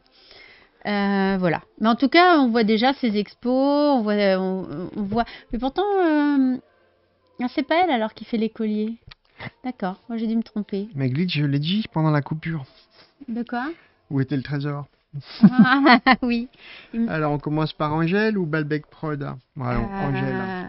J'ai pas été mettre de l'eau chaude tout à l'heure. Si, il y a 2000 ans. Attendez, là j'ai un doute. Il est possible Donc que. voilà le travail d'Angèle Douche. Ah ben je hein. te laisse présenter parce que moi Ouais. je- j'ai peut-être fait je des suis bêtises. passé sur son stand à plusieurs reprises dans l'espoir de lui acheter ses trucs parce que tout m'intéressait chez Oh. elle. Angèle oui. a un humour C'était décapant. super. Elle est très drôle et elle fait des très jolis objets Ouais. en plus. On fera un petit saut aussi sur son site. Caroline qui était là tout à l'heure a adoré. Donc euh, quand je dis Caroline, euh, on peut reparler, on reparlera de Caroline. euh. Alors Angèle dit c'est moi les bracelets anagrammes. Ah, qui a dit ça? C'est Bah, qui? c'est Angèle. Ah mais voilà, j'ai visité Bah, toutes les, tous les sites à toute vitesse et j'ai- tu vois, j'ai fait quelques confusions. Oh là là. J'ai trouvé ça très chouette en tout cas, sache-le. Alors Angèle, donc comme vous La le vérité voyez, est rétablie. est une emmerdeuse puisqu'elle n'est pas foutue de faire des, des cartes euh, qu'on puisse ranger correctement quelque part. Donc elle fait des cartes rondes, c'est super chiant. Salut à toi, Brandber. Euh, moi c'est bien un Berdol, hein, l'IAV, c'est vraiment bien. Donc j'ai choisi tarte aux fraises. J'avais le choix entre toutes sortes de nourritures écœurantes et euh, donc on a l'insta d'Angèle, mais on ira voir ça euh, tout à l'heure. Ça, c'est un autocollant de bon goût qu'on peut mettre sur la joue de son scooter ou sur son réfrigérateur. Et euh, Angèle fait des bouquins. euh, sa partie, ok. Donc, qu'est-ce que je disais? Il y a un vrai soin apporté à l'objet même sous son allure modeste. Ici, on a un travail assez délicat avec une espèce de petite, euh, de euh, euh, de petits cordons de laine euh, euh, pour tenir euh, les, feuillets entre eux et euh, une découpe sur le titre Sincère condoléances. Voilà, là, on a affaire à un livre de sentences euh, comment euh, illustré cette fois-ci. Je suis vraiment désolé hein, pour ce bordel, mais euh, c'est- très rare. Ça faisait vraiment Ouais. des mois que c'était arrivé. Ah mais oui, oui, ça soir. fait... oui, ça fait des mois qu'on n'a pas eu des coupures comme ça. Ouais, c'est vrai. Je sais pas ce qui se passe, mais euh, c'est plus compliqué quand on est dans le salon. Hein. J'ai jamais ça à côté. bah, du coup, je sais Mais pas quoi pourtant, t'as fait quoi Un fil, là? Ouais, normalement, on a le câble dans le cul, là, donc ça doit fonctionner. C'est avec une profonde douleur que nous avons appris votre envie de rentrer tôt parce que vous bossez lundi. ça, c'est à condoléances. Toutes nos condoléances pour votre candidature dont nous accusons bonne réception. Actuellement, nous ne sommes pas en recherche de profils comme le vôtre, mais qui vit dans notre mémoire n'est pas vraiment mort. Etc., etc. Donc toujours euh, des condoléances pour euh, des choses, euh, des choses qui meurent tous les jours dans la vie et à différents degrés de, je dirais, d'importance et de gravité. Le malheur d'avoir perdu votre dignité sur cette trottinette ne nous fera pas oublier le bonheur de l'avoir connue. Mon Dieu. Donc voilà, et euh, on va aller voir le site d'Angèle. hein, Et donc, euh, c'est là qu'on va voir les, les fameux colliers dont je parlais tout Exactement. à l'heure. Alors, allons Désolée pour cette Désolé confusion. pour cette coupure, mais je crains qu'il y en ait d'autres. hein. Ah oui, puis pour la coupure aussi. En Bah général, oui. quand ça fait ça, euh, c'est bon pour notre gueule pour un moment. hein. Alors, très ta ta ta ta ta. Où, où es-tu? Ça, c'est Swazik. Où est Angèle? Ah, quel bordel. Hors cadre, ça n'a rien à voir. Angèle douche, la voici. Désolé. Hop. C'est souvent quand on revient de... Tu l'as déjà dit tout à l'heure et j'ai contredit. Oui, t'as contredit. J'ai fait un Mais- live il y a deux jours et ça s'est très bien passé. Donc là, vous avez plein d'autres choses. Mes illusions sont détruites. Donc Angèle fait aussi des, des calembours euh, lamentables, par exemple. Mon Dieu. Où est-ce que j'ai vu les colliers alors? Est-ce que c'est sur ce site-là ou... euh, Peut-être. Bah là, Angèle rit et il n'y a vraiment pas de quoi. Donc là, vous voyez le, le petit euh, fascicule que, que j'ai gourmandé avec la tronche de Jean-Jacques. Mais il y a quand même pas mal de trucs sur cette table. Alors, il y a- tu avais pas emmené beaucoup, beaucoup de choses là euh, au salon? Ou alors c'était déjà parti euh, très rapidement? Moi j'aimais bien, c'est pas bon signe. On l'a pas ramené, mais... Du bout des lièvres. Quelle honte. Ça te fait rire, vraiment. Voilà. Et Donc, les colliers, file, alors euh, Pourquoi le je les vois pas, les colliers Bah, écoute, je ne sais pas. Parce que moi je les ai vus en faisant mes recherches. hein.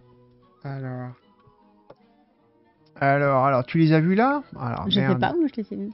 Twitch Fanzino. Peut-être sur un Instagram. Pokézine Grave Zone. J'ai pas à propos de Club de Rire, Angèle Douche. J'ai qu'un truc, hein, après on tombe tout de suite sur le, le- le D'accord. bazar. euh, euh, non, on est Bah, tout de c'est en suite chez- fouillant dedans alors. Je suis vraiment désolé. Ils sont plus bas Ils sont plus bas sur l'Insta, tu veux dire c'est ça. J'ai dû fouiller, j'ai bien fouillé. Ah voilà, ils sont là. Voilà, il y en a là. Ah, c'est ça. C'est ça.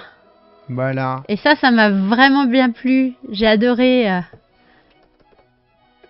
Cruel recul et peine épine, c'est très chouette. Hein. Et puis donc, il y en a plusieurs. J'ai vraiment trouvé ça vraiment bien. Parisien, aspirine, cruel Mm. recul. Oui, c'est vraiment très bien. Donc, il y en a plusieurs. euh, Si tu regardes d'autres images, Laurent. Ce sont des anagrammes. Merci Oui, de oui, nous euh. édifier, Angèle. Nous n'avions pas remarqué. En plus, elle nous prend vraiment pour des cons. hein.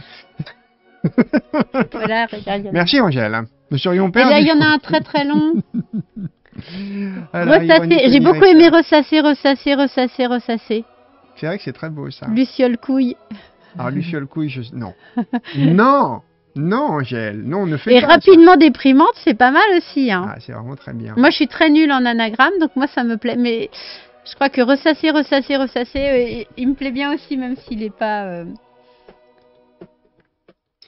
C'est pas un. c'est Un pas palindrome, hein. Un palindrome. Euh... Si Bah si, c'est palindromatique, C'est un- c'est un euh, palindrome, pas la d'accord. structure générale, parce que... Ressasser. Ah bah ouais. C'est vrai. Ah bah merde. Ouais. Et en plus, comme ressasser. Maintenant, je sais très bien. Bravo. Bravo, pour tout ça. C'est drôlement bien. Voilà. c'est vraiment drôlement bien. Donc, dès qu'on te revoit, on t'achète plein de trucs. Tiens, il y a une petite, la petite pochette. Donc, le programme, euh, on en a causé un petit peu hier, on a fait le tour de tout ça. J'ai noté qu'il y avait deux, trois fanzinothèques qui étaient présentes dont on n'avait pas parlé. Ça, c'est mal. Donc, je me suis rattrapé ce soir et j'ai listé euh, les quelques adresses des, euh, des différentes fanzinothèques qui étaient présentes pour ces rencontres et que je vous ai pas présentées. On peut vite re- redire vite fait. je sais pas. Ah, si t'as la carte, je veux bien. Et comme ça, on va pouvoir commencer par ça. Par, euh, par cette espèce d'immense projet qui réunit les, les, fanzines, les différentes fanzinothèques. Et C'était là une des bonnes raisons d'être, d'exister de ces universités d'été. Et on vous en a présenté un programme incomplet. On va, on va compléter avec les deux trois endroits euh, que vous n'avez pas vus hier soir. Alors, il est où le plan? Bah, Le plan des Je vois tout sauf le plan. Ah, évidemment. C'est ça, voilà. Bravo. Voilà. Donc, ce qu'on n'a pas vu. Alors, on a vu celle de Marseille. On a vu. euh, on était passé sur les sites de usines. On a vu le Fanzinarium. Mais par exemple, à Paris, on n'a pas été euh, dans la petite antenne fanzine tenue par Cox euh, de, du musée Forner. hein, C'est ça? Donc ça, c'est un truc qu'on va aller voir un petit peu. Il y a les musicophages à Toulouse, on en a complètement zappé ça. Il y a Disparate à Bordeaux, on a évoqué la librairie. Mais on l'a pas montré. mais on n'a pas montré l'endroit et on n'a pas montré le site. On Ben est, voilà. on est nul. Ouais, on fait, on fait n'importe quoi. donc- On a montré le Havre, donc ça, c'est c'est bon. fait, ça c'est fait, voilà. Donc, et après, et puis Bruxelles, on a évoqué la petite bibliothèque belge, la petite fanzinothèque belge de Nico. Et euh, on a vu Nico dans le film, par ailleurs, euh, se faire haranguer par Daniel de Chéri Baby. On l'a vu, avec ses petits poils blonds et sa bonne bouille, mais on n'a pas vu le site de sa fanzinothèque euh, spéciale Bruxelles, spéciale euh, production et création belge. Donc on va aller voir ça. Et puis peut-être que c'est en toute fin de live, comme on avait pensé le faire, qu'on montrera le film sur la, euh, le fanzinarium. Ah oui, ce serait bien de voir Voilà. ça. Ah, ce serait bien, parce qu'on l'a pas vu nous-mêmes, on le non, découvrira on l'a avec pas vous. vu, on a, on a passé quelques secondes hier, c'est tout. Ça avait l'air cool. Ça comme ça, on pourra vraiment découvrir ce qu'ils font là-bas, les détails des lieux, puis écouter, euh, écouter les gens qui tiennent le Fanzinarium, qui sont quand même une bande plutôt chouette. Euh, ça va sûrement nous éclairer à la fois sur la mission de cet endroit et sur, euh, sur la façon de le gérer. Ça nous permettra aussi de mieux comprendre ce qui est, comment euh, se structure une petite fanzinothèque. Donc, on a vu un petit peu à Poitiers, mais Poitiers, c'est une grosse machine, c'est un truc assez imp- imposant, euh, ça a 30 ans d'histoire. Donc, le fanzinarium, c'est plus jeune. On pourra voir comme ça comment ils fonctionnent, euh, quelle est leur vision aussi. Parce que c'est un, un des traits les plus intéressants, évidemment, de l'approche du fanzina, c'est que c'est un territoire de vision, euh, une constellation, une vision euh, à la fois des différents objets qui réunissent les gens autour de tel ou tel fanzine. Donc leur, objet, euh, j'allais dire de culte, oui, mais il s'agit un peu de ça. Il s'agit en tout cas de leur, leur passion, leur hantise, appelez ça comme vous voulez. Donc nous, ce sont les bandes dessinées, mais d'autres, comme on a pu le voir, ça peut être le, football. C'était aussi, d'ailleurs, il y avait un, sur le, stand, il y avait un, spécialiste de l'histoire des, des skinheads. Euh, donc c'était un peu étrange de se trouver en compagnie de skin, mais bon, c'est ainsi.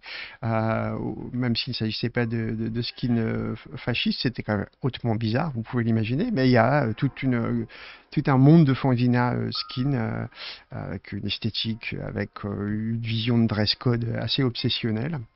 Euh, donc euh, le rapport au fanzine, c'est aussi euh, cette espèce de pluralité des visions. Et on n'a pas tous les mêmes. Je ne sais pas si vous avez euh, vu l'entretien avec euh, Maël Rano autour des fanzines. Alors c'est sur la chaîne bande dessinée. Je vous invite à essayer de trouver le truc. Je n'ai pas noté la- l'adresse de cette vidéo euh, à proprement parler, mais si vous tapez Ranou dans le moteur de la chaîne YouTube bande dessinée, hop, voilà, Maël Ranou, vous faites une recherche là-dessus. Ce qu'il y a d'intéressant, c'est que pour ouvrir le live, hein, c'est un live euh, de la série euh, On déballe. C'est des, des lives pendant lesquels, excusez-moi, je vais essayer de ne pas mourir en direct. Ça ne se fait pas. Euh, un live euh, On déballe, donc au cours desquels généralement on présente des, toutes sortes de publications. Ça Comme ici, c'est ça un, ouais, un live on déballe, finalement. C'était ça. Et pendant ce On déballe là, on, Maël et moi, on présentait notre vision du fanzine. Donc lui, c'est sa spécialité, euh, on pourrait dire, de chercheur. C'est même si c'est un, un, éditeur de fanzine, euh, c'est également un homme qui, euh, dont c'est l'objet, sur lequel il écrit, euh, etc. Et lui et moi n'avons pas complètement la même vision. On peut avoir toute une histoire longue avec le fanzine sans participer nécessairement à la même représentation de ce qu'est, de ce que doit être un fanzine.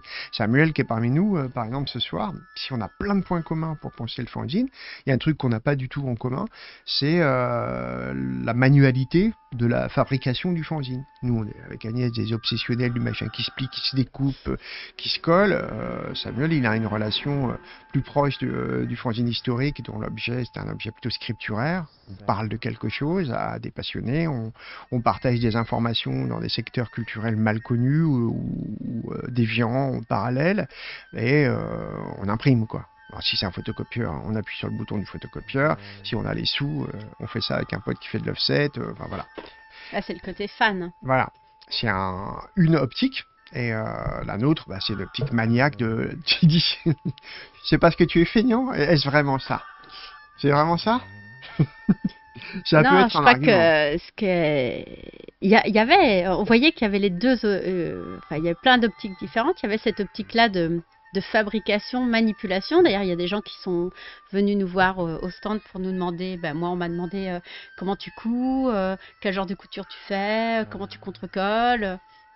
Donc des gens qui sont vraiment dans cette idée de choses en effet à manipuler et euh, un peu difficile à faire ou euh, vraiment objet, euh, objet manufacturé, on va dire. Et puis il y en avait d'autres qui étaient vraiment dans le dans, dans le côté euh, transmettre de l'information sur un groupe qu'ils aiment ou sur un, sujet qu'ils aiment. Donc avec quelque chose d'un peu répétitif dans, dans la forme. Ouais, ça peut être roots, ça peut être pensé. je dirais même qu'il y a, il y a toute une école du, du fanzine, enfin école, un monde du fanzine euh, qui, euh, qui trouverait plutôt euh, absurde qu'on mette autant d'attachement à la forme, puisque au contraire, il y a une éthique du roots et du chip. Et de la main à la main, comme on l'a dit hier. Et aussi, Mm. ouais, du truc qu'on file de la main à la main.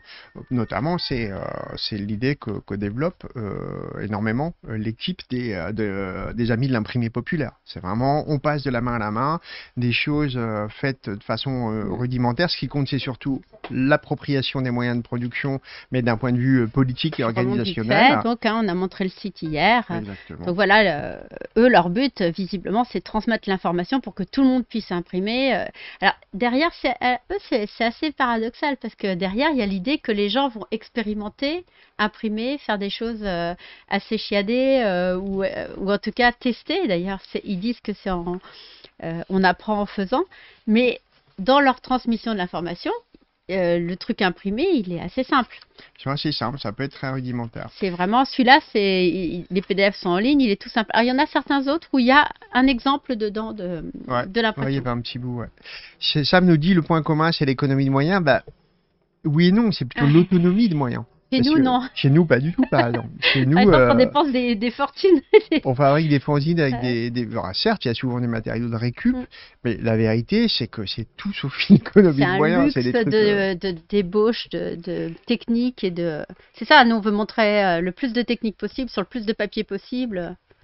faut pas oublier que le, le- le- comment le, la, la sérigraphie n'est pas un- une technique très économique. hein. Non, Si pas vous pensez ça, euh, fuyez, allez dans l'autre direction. C'est pas du tout une technique économique. quand on travaille en cyanotype, par exemple, on a fait des, des petits fanzines, euh, enfin des petits livrets tout en cyanotype. C'était, Barbure, tu veux le lien sur euh, tout pour faire de la sérigraphie Oui, c'est euh, imprimerie populaire. Les amis de l'imprimerie populaire, on l'a donné hier. Ah, on l'a hein, donné hier, pour ceux qui, on peut refaire, hein, mais n'hésitez pas à aller voir ce qu'on a fait hier. Catalogue en ligne, ça va être là. Tu veux celui sur. Attends, c'est pas ça. Hop, tu veux celui sur le... la sérigraphie où Ah, est-ce que tu l'as gardé Les amis de l'imprimerie populaire, c'est ça. Si tu l'as gardé Ouais, ouais, ouais, ouais. J'ai gardé toutes les archives, catégorie Voilà. blog, du plomb. Ça va être ça. On va regarder. Alors le site est très bien fait, hein, comme je le disais. Il y a non seulement les ateliers, il y a des petites vidéos qu'on peut voir sur. euh, voilà. point de sèche. Attends, nos techniques. On a regardé Point de Sèche hier. Sérigraphie. Hop, on va choper ça. C'est là. Et le PDF, il est là. Donc, Voilà. copier l'adresse du lien. Pour le PDF, c'est ça. Donc il y a des techniques un peu plus compliquées ou plus anciennes. Enfin, on voit bien que leur but c'est aussi de faire découvrir des choses anciennes, parfois compliquées. hein, J'ai Ouais. regardé. Des fois, ça peut l'être. Ouais. Donc, euh, alors- les- on va regarder ensemble les lieux qu'on n'avait pas été voir et qu'on avait euh, donc euh, oubliés, et c'est mal. Donc, il y a la librairie Disparate. Donc, je vais vous filer immédiatement le, le lien ici. Voilà, oh, c'est facile, c'est disparate.fr. Alors c'est un lieu vraiment formidable. Enfin, quand on y était allé il y a quelques années, sous la forme librairie, on avait trouvé que le, la, la, la collection de, de fanzines était plutôt. euh, Ouais, c'était bien. Ouais, ouais, Ouais. ouais, on avait. euh, moi, j'ai trouvé que c'était le paradis. C'était plutôt une Il y réussite. avait plein de petites choses, plein de petites productions euh, très très jolies, très très rares. euh, très- Alors, évidemment, ça tombait pas bien. Je crois que c'est un moment où on n'avait pas beaucoup de fraîches, donc on n'a pas ramené énormément de choses. C'est normal, c'est parce qu'on était, euh, on était, euh, tu sais, euh, il y avait eu le Noël Cornelius machin truc. Ah oui, c'est vrai. Pour ça, on avait dépensé. On avait dépensé plein de sous chez ouais, Cornelius. Ouais, qui faisaient des, ils font des prix cassés à Bordeaux une fois par an à Noël. Donc on avait acheté énormément de livres, on avait acheté presque tout. Ouais. Donc du coup, on n'avait plus de sous pour Mm. disparates. Et à l'époque, je suis pas du tout certain que c'était déjà une fanzinothèque. Ça, Là, vous voyez sur, euh, sur le site de la librairie, désormais, il y a fanzinothèque. Ça a changé d'endroit. C'est plus au même endroit de Bordeaux. Alors Stéphane m'a dit que c'était pas très très loin. C'est plutôt dans la direction. Enfin, c'est rue, de- rue de Bègle, je crois, ou quelque chose comme ça. De toute façon, je vais pouvoir vous dire où c'est. Donc ça, c'est la fanzinothèque. Donc c'est des choses qu'on peut consulter Ah, sur place. C'est bien. On dirait du trois fois par jour, ça, non? Ouais, ça, oui, c'est- Ouais, du trois fois par jour. C'est un petit bouquin de Baptiste Viro, Yann Ouais. Kébi, donc tout ça, c'est euh, tout ce qu'on voit là, c'est trois fois par jour. Super petite maison euh, d'édition, on vous conseille, c'est très très chouette. carrément. Euh, on se prend des contact. petits Leporello très très beaux. Alors, où est-ce que c'est maintenant? C'est ça, c'est rue de Bègle, 99 rue de Bègle, à Bordeaux. Voilà, donc c'est pas c'est pas du tout excentré euh, et effectivement euh, c'est relativement simple à trouver. Et l'accueil est hyper sympa aussi. Voilà. Donc ça, ça fait partie des euh, différents endroits qui se réunissaient pendant ces, ces universités pour essayer de, bah, de produire des outils communs entre les différentes fanzinothèques. Qu'est-ce que j'ai oublié aussi? Qu'est-ce qu'on avait oublié? Il y a les musicophages Voilà. que voici. Donc c'est un lieu historique de Mais Toulouse, là aussi ça a changé. hein. Euh, la fois où on était passé en, en concert, c'était ailleurs, et je serais bien foutu de vous dire où c'est. Et je vous donne le lien des musicophages. Voilà. Alors où c'est maintenant les musicophages. Où êtes-vous? C'est rue Marie Magnier à Toulouse. Voilà, le contact se trouve facilement sur le, sur le site. Je ne sais pas s'ils ont encore beaucoup de, de, de relations avec le monde sonore. qu'ils faisaient énormément de choses sur la musique. Alors, si, toujours. Donc l'émission Sauvegarder et valoriser le patrimoine des musiques actuelles, créer et diffuser la ressource auprès de tous les publics, accompagner la créativité des artistes. Et sinon, il y a la médiathèque, avec une grande médiathèque patrimoniale de 25 000 documents. Ils font des expos. Les premières fanzinothèques spécialisées en musique en France. C'est ça. Donc là, euh, on est vraiment dans un dans un monde musical, quoi. C'est ça, ouais. D'ailleurs, on y était allé pour ça, nous. Ouais. euh, On avait donné un concert là-bas. C'est ça. Donc, il y avait les, musico- mais, pardon, les musicophages à Toulouse. Et qu'est-ce qu'on n'a pas Qu'est-ce qu'on a encore oublié? Ah oui, il y a la dérouillée qu'on n'était pas Ah oui, c'est ça. Donc la à- dérouillée, c'est plus un... des impressions. Ouais, et ils sont associés à. à- C'est Vergogne qui, ça, qui, en, euh, qui donnait le lien. Le petit fanzine, Vergogne. Donc ça doit être au Havre, j'imagine, ces ateliers, je suppose, puisque c'était. euh, C'était lié à ça. Ah non, c'est à Dinguet. non, vous savez où c'est Dinguet, vous? C'est c'est près de chez... Hein? C'est près de chez nous. C'est en Bretagne, oui, oui. Bah, en tout cas, j'ai cru voir que c'était en Bretagne. D'accord.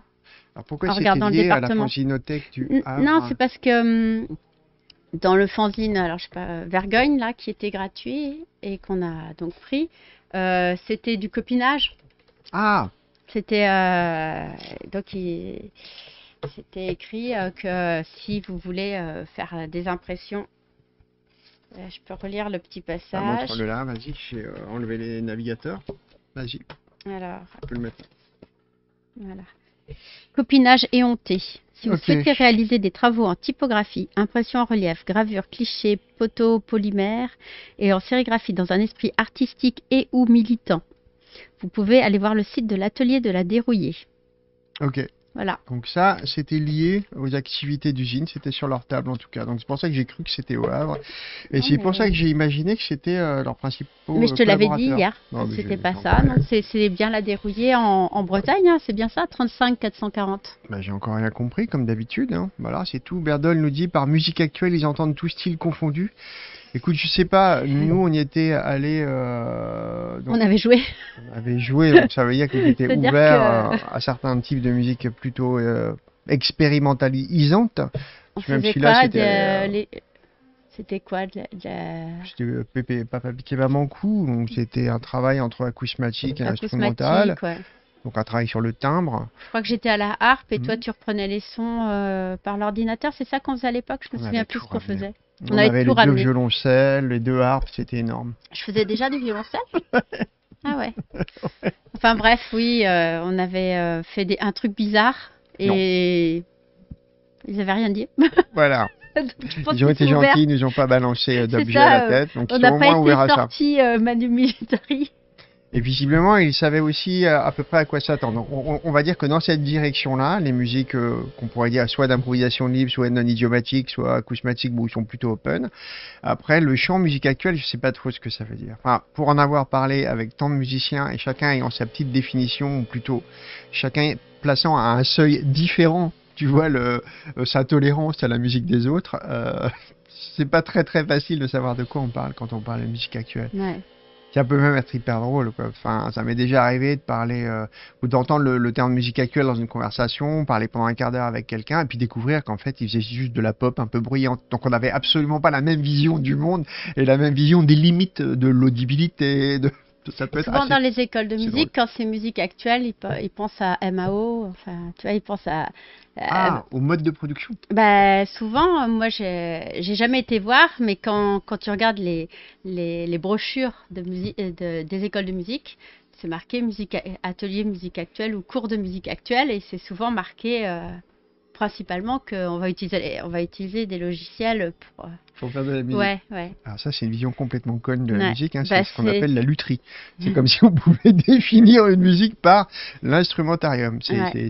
une rare stupidité. Après, euh, corrigez-moi si je me trompe, parce que euh, juste là, j'ai souvenir que à chaque fois que je vais dans une école de musique, que je vois ça. euh. Ah ok, d'accord. Après, j'ai jamais rencontré les profs, c'est dommage, j'aurais pu. Alors, euh, que nous dit Sam? C'est le terme institutionnel pour musique amplifiée ou musique populaire. Populaire.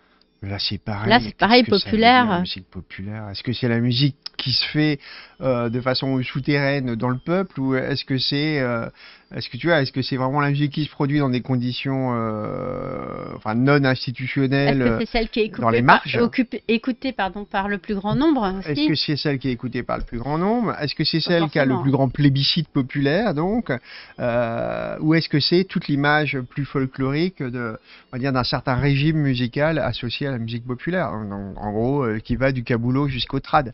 Et enfin, tu vois, il y, a- il y a une dimension du populaire. Moi, je vois même pas de quoi Est-ce que c'est la musique euh, du peuple C'est ça. Or, euh, du peuple, Agnès et moi, jusqu'à preuve du contraire, du contraire, faisons partie. Notre musique n'est pas institutionnelle. Or, je suis persuadé que si elle et moi on joue dans un fest-nose, on se fait caillasser sévère, à mon avis. Ça va Ouais. très très mal se finir, cette affaire. Ouais, on pourra même pas. ça- Si, on pourrait. On pourrait Par opposition aux musiques savantes. Bah, Ah, bah, opposition, elle a c'est- plus court depuis le 19e siècle. Enfin, depuis qu'on a foutu des petits bouts de musique hongroise, euh, c'est fou quand même de, de penser comme ça encore. Enfin, vraiment, hein, ça ne nous sert à rien pour penser. Parce que du coup, euh, Radio Music de Cage, c'est quoi? C'est musique savante ou musique populaire? Et puis tu as, tu parlais de Bartok là à l'instant, j'imagine, mais. euh, Ouais, par exemple, ou Litz même. Enfin, Hmm. sans déconner, ça fait un moment qu'on injecte de toutes parts. Ah, La, la musique la de John Zorn, elle est savante ou elle est populaire? Ah, C'est un cas cheap, quoi. Euh, les, les quatuors à cordes des John Zorn, euh, donc on connaît surtout pour faire... euh, Enfin, qu'on connaissait, c'est les années 90. hein. Euh, c'est quoi Populaire Savant Sonic Youth hmm, Savant Populaire? Mais de Je toute façon, de tout temps, les, les musiques entre ce qui se jouait par exemple à la cour ou dans les églises et ce qui se jouait dans la rue, c'était, il y avait des dialogues constants, constants, constants. Donc c'est très compliqué de différencier quand même. Hein. Alors, Peut-être que le terme musique populaire ne sert que aux institutionnels Ça, quand ils ont des envies de folklore euh, dans leur petit raout mondain. Ils disent, Pouah, allez, on va se faire un Non, mais pour les écoles de musique, c'est normal qu'il y ait par exemple exemple des, des catégories, quoi. hein, c'est sûr. euh. Ça, qui a besoin de ces catégories dans la vraie vie Je crois que c'est c'est ce qu'on devrait se demander en fait. Personne. hein. Pour toi, c'est du jazz, John Zorn. Voilà, pour Gumpic, c'est du jazz.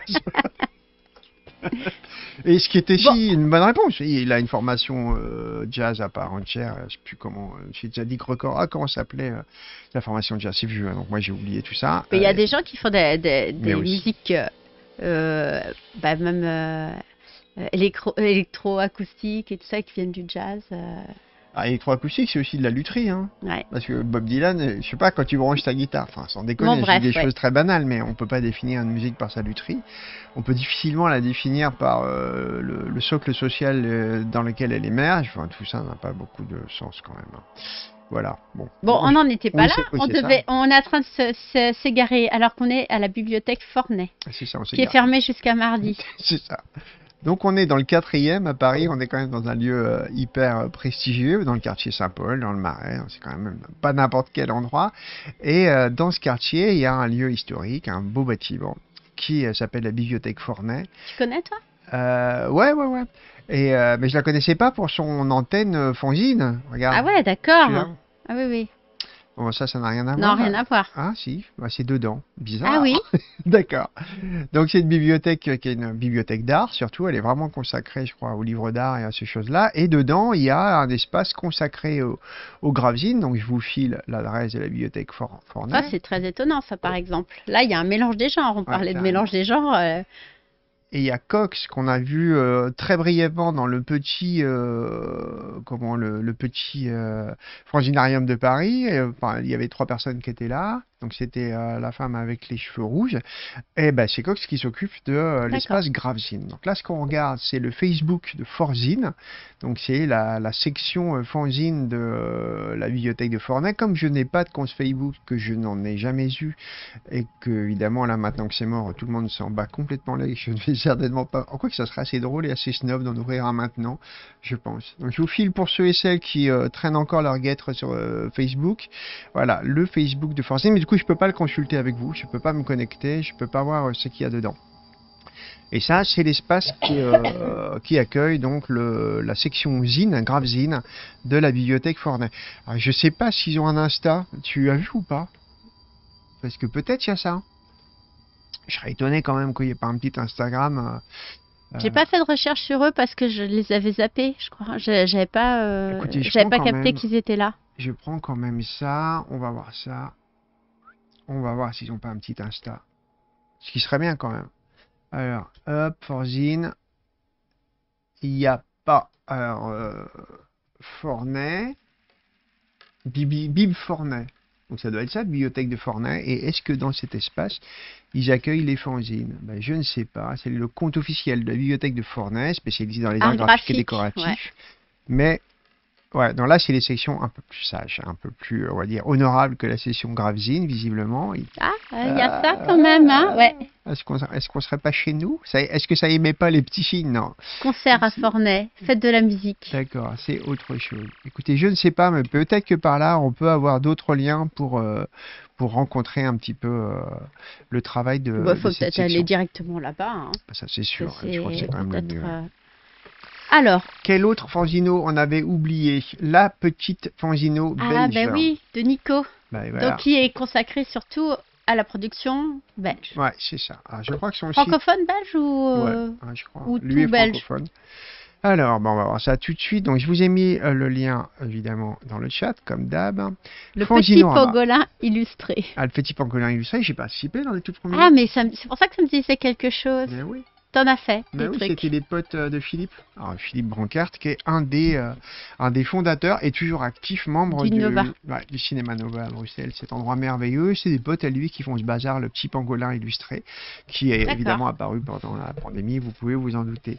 Un MySpace. ah, c'est le nom que j'ai cherché l'autre jour. mais hier, oui, quand, j'évoquais. Les réseaux sociaux euh, antédiluviens, euh, complètement épouvantables, le pire de tous. Je me souviens qu'il y a très longtemps, en Belgique d'ailleurs, tu avais dit un jour MySpace n'existerait plus, plus personne sera dessus, et puis quelqu'un t'avait dit mais non, c'est impossible. C'est- oui, bah, un musicien d'ailleurs, parce Ouais, qu'il y avait dit, énormément de musiciens dessus, tous les musiciens étaient là-dessus, et ils communiquaient leurs concerts là-dessus, que là-dessus. Ils faisaient plus de, ils faisaient pas de pub ailleurs que là-dessus. Ils me branlaient plus rien. Ils Et donc nous, euh, comme on n'en avait pas, euh, c'est vrai qu'on nous avait dit ah mais euh, il faut vraiment en avoir un. Ah ouais, c'était étonnant.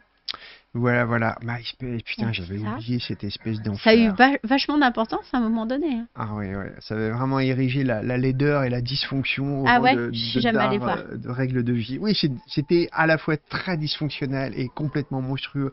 Toute tentative pour fabriquer une page qui soit un peu accueillante, un peu était vouée à l'échec. C'était quoi? Ça ressemblait à des blogs? C'est pas ressemblait- descriptible. Bah, non, humainement, il n'y a pas moyen de décrire ce que pouvait être Bah, à l'époque, c'était déjà un réseau social. Ouais, je des connaissais hein. rien du tout à ça. Effectivement.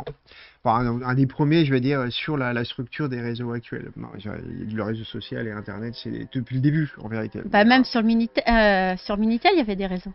On va oser parler du Minitel. Si si, il y en avait. Il y avait des gens Il a qui chattaient sur j'ai pas Minitel. trouvé, Gladys. J'ai pas, j'ai pas trouvé. C'est exactement ce que je suis allé chercher. Il n'a pas d'Insta euh, la, bah, la bibliothèque Fortnite, j'ai pas trouvé.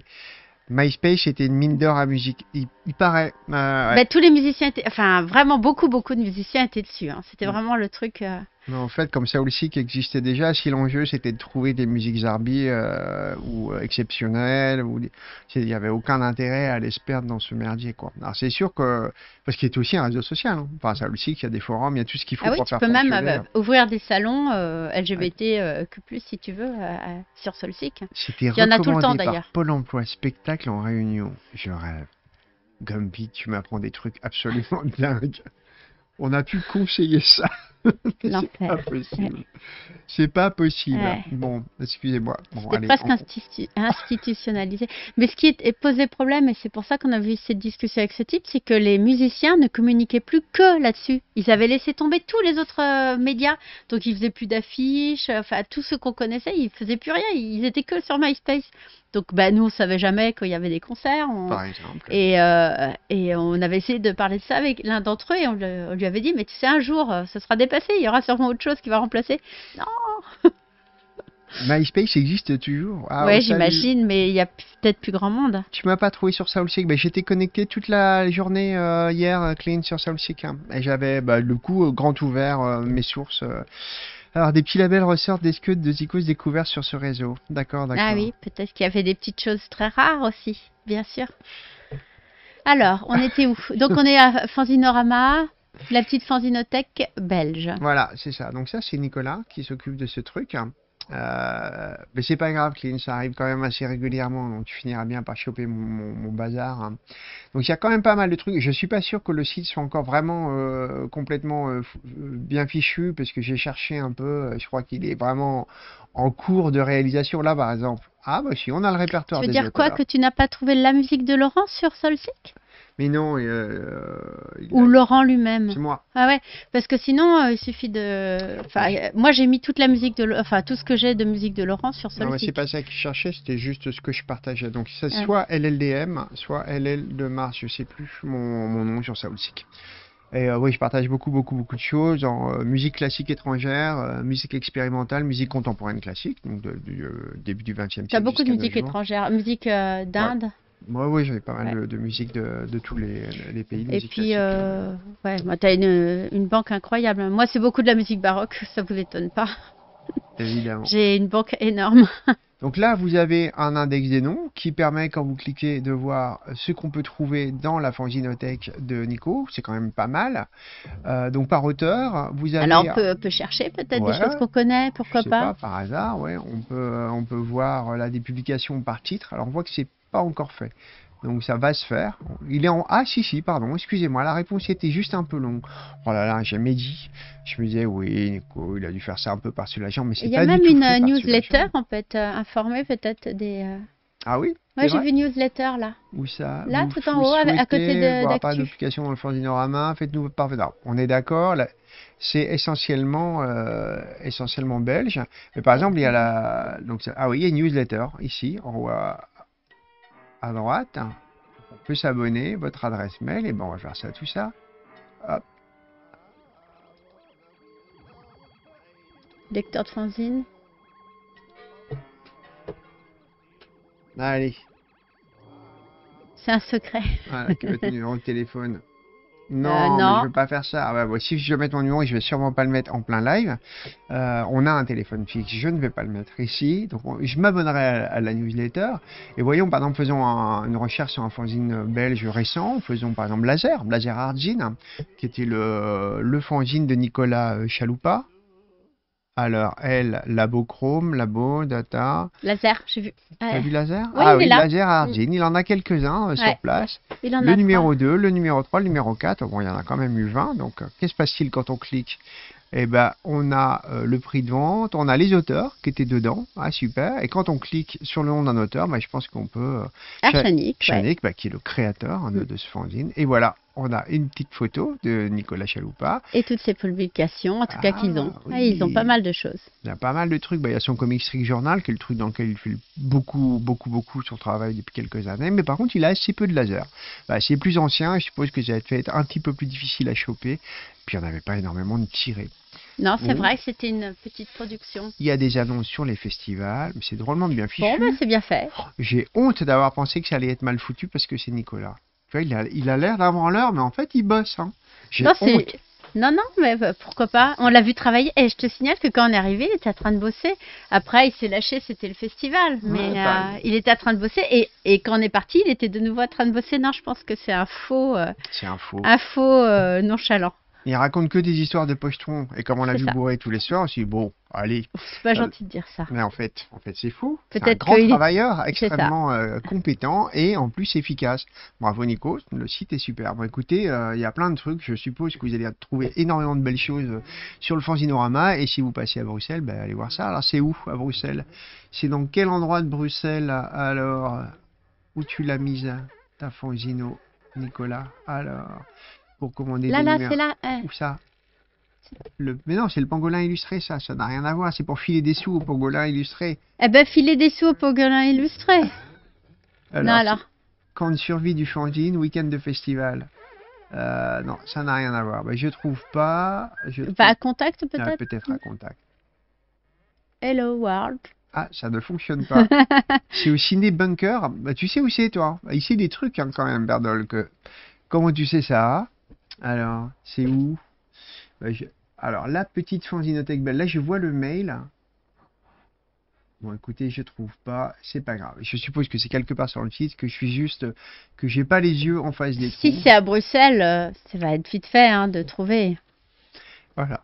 Alors, et le, la dernière adresse importante pour les choses générales euh, que, euh, que je voulais vous montrer, que j'avais complètement oublié. Donc, on a eu Fornel, les musicophages, Disparate, la Fanzinothèque de Montréal, la petite Fanzinothèque de Charlotte. Mais là, il y a juste un Insta. Ah, tu as habité Bruxelles. Donc, ok, euh, Sam est d'accord. C'est au bunker. Et William. Ah, bah. William qui Ah, est salut là. William. qui Ouais. sait exactement où c'est ça? C'est à Saint-Josse. D'accord, Ah, d'accord. C'est marrant, on l'a jamais. Rue des Plantes. Bon, bah, C'est peu bien. visible euh, parce Bah, qu'on y. C'est grand, Saint-Josse. Enfin, c'est pas grand, Ouais, non, Saint-Josse, c'est une des plus petites communes de. Je, me trompe pas, hein, c'est la plus petite commune de Bruxelles, Saint-Josse. Alors, rue des Plantes, 66A, 1210, Saint-Josse. Bah, merci beaucoup, William. Eh ben, on passera la prochaine fois. De toute façon, on, on s'est bien entendu avec Nico. Donc, ouais, euh, c'est un très chic type et j'ai vraiment hâte de revoir sa bouille. Alors, là, on est sur l'insta de la- la Fanzinothèque de Montréal. Alors, hop, je vous file ici le lien. Donc, comme c'est une Le- jeune Fanzinothèque, et c'est le tiers-lieu, c'est ça? Comment? Je vois, c'est le tiers-lieu, non? C'est ça, ouais. Euh, la gin distro du tiers-lieu à Montréal. Alors, c'est euh, euh, comme la plupart des jeunes fanzinothèques dont on vous parle, que ce soit Usine, que ce soit euh, Disparate, que ce soit la fanzinothèque de Montréal. Alors, la petite fanzinothèque belge, si vous êtes belge, si vous avez des fanzines belges, ou si. Voilà. Et euh, quel autre Le fanzinarium, c'est des relativement jeunes euh. Donc, si vous avez des doubles, ou si vous avez envie euh, que, que vos collections, euh, au lieu d'être jalousement gardées chez vous, finissent par être communisées, vous savez ce qu'il faut faire. Vous leur envoyez des zines. Nous, on leur a filé des zines, on leur a filé pas mal de trucs, mais on n'avait pas beaucoup, beaucoup de stock. On n'avait pas anticipé cette histoire. On avait Mais mal euh, je, je le coup. reprévois le coup pour euh, quand on va en- euh, aller en Angoulême, de faire un détour par Poitiers pour euh, aller filer des, des choses qu'on a. Mm. Carrément. Et puis on a des fanzines belges, nous, des il arrive années, que Laurent et moi achetions les- le même. Enfin, c'est, on a des zines en double parce que bah, des fois, on craque sur la même chose et y a- ça arrive qu'on ait des choses plusieurs assez fois. fréquent, ouais. C'est assez fréquent même. Même des livres. des Même fois. des livres, on peut aller au salon d'Angoulême. Même des de livres d'art. C'est vrai qu'il est arrivé. qu'on achète le même. Le même livre d'art, comme de Ouais. con. Donc, euh, ouais, on a des zines euh, belges des années euh, 60-70, donc on pourra euh, filer ces vieilles choses. On a plein belles. de zines militants aussi qu'on nous avait offert. Ah oui, il y a tout un stock de zines On a un, militants, un euh, stock euh, de féministes, euh, tout ça. Ouais, et on a des très vieux, ça irait très bien, usine. Ça, On en a des très vieux des années 60-70 et puis bah ouais, je sais pas si on a envie de les garder, on pourrait les partager. Ouais, c'est plutôt une bonne idée. On va faire ça. On va faire ça. Donc ça, c'est l'insta de la fanzinothèque du tiers-lieu Montréal. Voilà, donc faut les contacter, faut contacter Charlotte pour leur envoyer des trucs et euh, pour découvrir un peu le boulot qu'ils font là-bas. Voilà. Bon, évidemment, c'est loin, loin, loin pour moi. hein. Je pense que je, je verrai jamais ça. Je ne vois pas comment je, De quoi je traverserai la mer. On n'ira jamais à Montréal. T'as pas arrêté de dire ça. Mais c'est trop loin. Ça fait peur.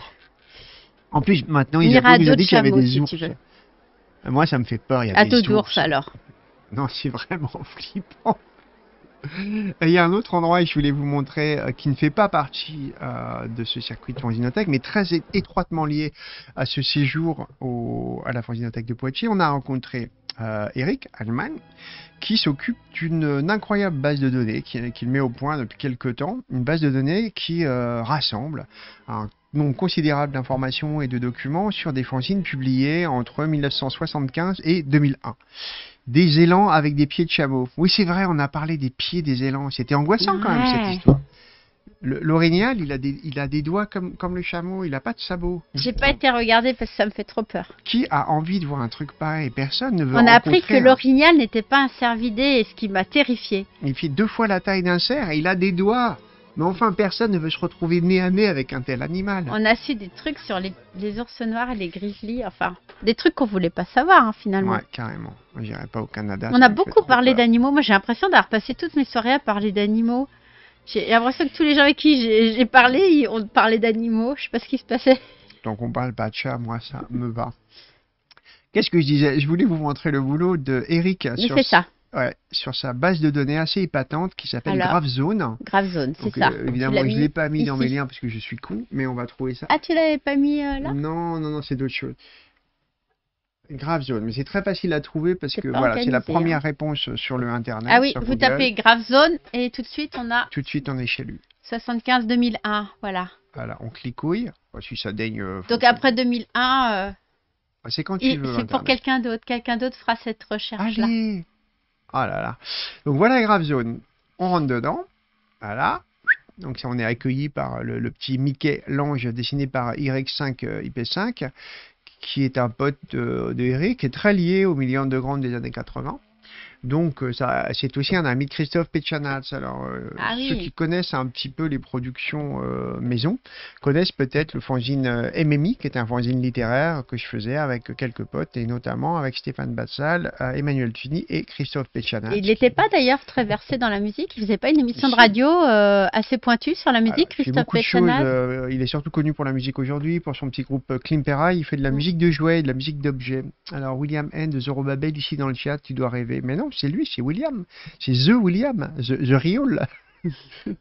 bah, il est régulièrement là. Il n'intervient pas beaucoup. cette année. Tu me manques, William. Je ne t'entends plus beaucoup Il y, a, dans le ah chat. il y a eu des lives avec euh, William, il y en a eu plusieurs. Si tu veux voir euh, les sur la chaîne euh, bande dessinée, tu peux YouTube, sur la chaîne YouTube, tu les verras. Ouais, d'ailleurs, il y a on eu plusieurs reparlera euh, tout il y a eu des on déballe hein, aussi, si, il William. me semble. Il y a eu Oui, on oui, oui. déballe et tout. On en fera d'autres. hein. On reparlera d'un tes Il y a même auteurs des a. présentations de livres, je crois. Enfin, William est très présent quand même. Ouais, on a un, un des auteurs dont on a ramené plein de fanzines qui travaille avec un type que vous avez publié avec euh, Martine Lopez Ah, Lama. ouais. Donc on vous montrera des trucs. On Euh, est fan, fan, fan, fan, fan. Alors, GraphZone. Euh, Donc c'est très complet, c'est plutôt très bien foutu. Euh, Il y a énormément de renseignements. Alors c'est très orienté vers une certaine pensée justement du fanzina, du graphisme et de l'underground.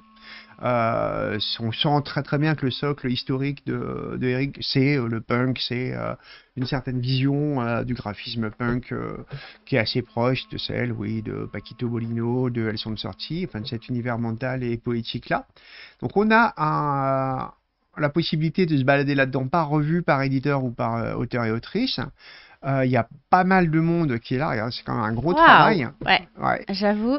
Imaginez qu'on soit par exemple fan euh, de Imagex, hop, Hop. et voilà, on a les... Il n'y a pas beaucoup de publications Imagex. hein. Donc il y a... Ah, je vois qu'il manque un truc. Ce que ne sait pas probablement euh, notre ami Eric, c'est que Imagex a refait surface grâce à Mail Ranou dans euh, Gorgonzola. Donc, Ah oui, il y a un spécial d'ailleurs. Ouais, tu vas pouvoir com- compléter euh, ta base de données, Eric, située dans le coin, parce que Imagex a refait surface il n'y a pas très longtemps, il y a un an ou deux. euh. Mais oui, mais il a fait que il fait 75-2001. Oui, mais il s'intéresse aussi aux auteurs et autrices qui Ah. ont été très actifs dans cette période-là. Ouais, d'accord. Donc on peut poursuivre. Et si par exemple vous voulez faire des recherches par, euh, par publication, on peut chercher par exemple des publications euh, euh, rares. Allez, voyons s'il y a les amis par exemple. Les amis. Alors il l'a peut-être mis à elle comme ami. L'étourdi, ouais, je pense que ça va être là. Les amis, je fais ça au vu, c'est un vieux truc des années 80. C'était Paquito et quelques amis à lui qui avaient monté ça. Il n'y avait pas. Ah, il n'y a pas. Ah, Il y a le j'aurais- lynxatif, par oui, évidemment. Mais peut-être que. Ah, d'accord. Bah, il y est pas. Il y est pas. Ça m'étonne. J'aurais pensé que c'était là. dans la base. Euh, ah oui, et oui, oui. Bon, bah tant pis. Alors, on pourrait peut-être le retrouver par auteur. Est-ce que. Parce qu'il y avait euh, le petit père dedans. Qu'est-ce qu'il y avait comme auteur rare dans la collection des amis? Alexios Tioyas, par exemple, qu'on ne voit nulle part. Euh, il est devenu, enfin, si on voit nulle part dans le monde des bandes dessinées maintenant, c'est un illustrateur assez célèbre. Ah ben voilà, les amis Ah ben voilà, membre de Les Amis. 1900, ah ben voilà. Ah, un petit problème d'indexation. Si tu es quelque part, Eric, je sais qu'il sait pas, il, suivait euh, le, le, live hier, mais il ne s'est pas inscrit, donc il ne peut pas communiquer avec tout dans le chat. Mais les amis, ben voilà le collectif, il est là. Ah, il en manque. Il en manque euh, deux ou trois. Donc voilà, et aucun n'a été scanner. C'est très bien foutu. Quand, vous a, quand il existe des numérisations, c'est marqué. Quand il y a une pastille rouge, c'est qu'il n'existe pas encore de numérisation. Ah, et quand vous cherchez euh, des trucs. Donc là, par contre, je sais pas. Appel à bénévoles, appel, appel à stagiaires, vite, vite. Alors, pour les amis, je vais le faire. Je vais promis que je le ferai. Euh, Ah, tu lui as dit déjà. Ouais. Et euh, pour. euh, Alors. Il faut faire ça. hein. Il faut que les gens puissent voir Ah, il y a... quand, donc, quand il y a choses des plus rares. T'étais encore sur Zinorama. D'accord, tu parlais d'autre chose. Le Vortex, un agenda punk marseillais. T'étais encore sur une Zinorama. Non, non, on a bougé. Donc, ça, c'est une petite auto-édition de Baladi. Ce que je ne sais pas encore, que j'ai pas compris, mais il y a une petite virgule. Donc, ça veut dire. Je sais pas ce que ça veut dire. Qu'est-ce que ça veut dire? Donc, c'est la Suisse. On peut rentrer dedans par ça. Euh, Il y a des bizarreries. Ah oui, ça, je pense que c'est d'autres choses. C'est des textes euh, généraux sur le fanzina et sur les fanzineux. Ce que je me demande, c'est est-ce qu'on peut accéder à ces numérisations? C'est marqué qu'elles existent, qu'elles sont en 300 DPI, mais on ne voit pas de PDF, donc je ne sais C'est pas. marqué collection Fanzinothèque de Poitiers. Non, mais ça, ça veut dire que Ouais. le truc est là-bas. Ah oui, mais on n'a pas accès à la, à la numérisation. Écoute, si, il y je a une petite flèche là, regarde. C'est quoi ça? Non, c'est Ah, pour non. aller à la suite. C'est pour passer d'un document à un autre euh, chez l'auteur. Alors là, on a la possibilité de se balader euh, dans des choses euh, qui sont plus de l'ordre du, du travail sur les, les fanzinas, les, le fanzina. Donc il y a beaucoup de choses, beaucoup de documents Ah ouais, il y a, il y a de quoi euh, aller se, se renseigner. euh, avec des entrées multiples, avec pas mal de choses. euh, on peut ensuite avoir une, une promenade comme ça euh, qu'il a appelée cosmique. Je suppose que c'est pour avoir une vision un peu de la constellation des fanzines.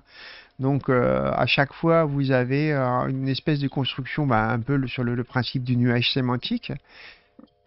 Constellation, Des choses qui sont en lien les unes avec les autres, c'est ça, ça, Ou de la même époque, ou sorties en même temps, ou avec les mêmes auteurs. C'est Ouais, ça? Sans doute. Et je découvre avec vous. Hein. J'ai pas encore eu le temps de mettre beaucoup de nez dans GraphZone parce que c'est grand. Il y a beaucoup beaucoup de choses là-dedans.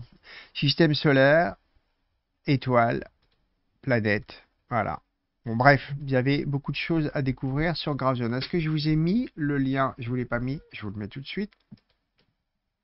De toute façon, vous avez vu, hein, vous tapez Grave Zone et ça y est. hein. Et vous y êtes. Il y a, Faut pas il y a trop que se ça. gourer. Et alors, pour finir, euh, ben, je crois que c'est tout.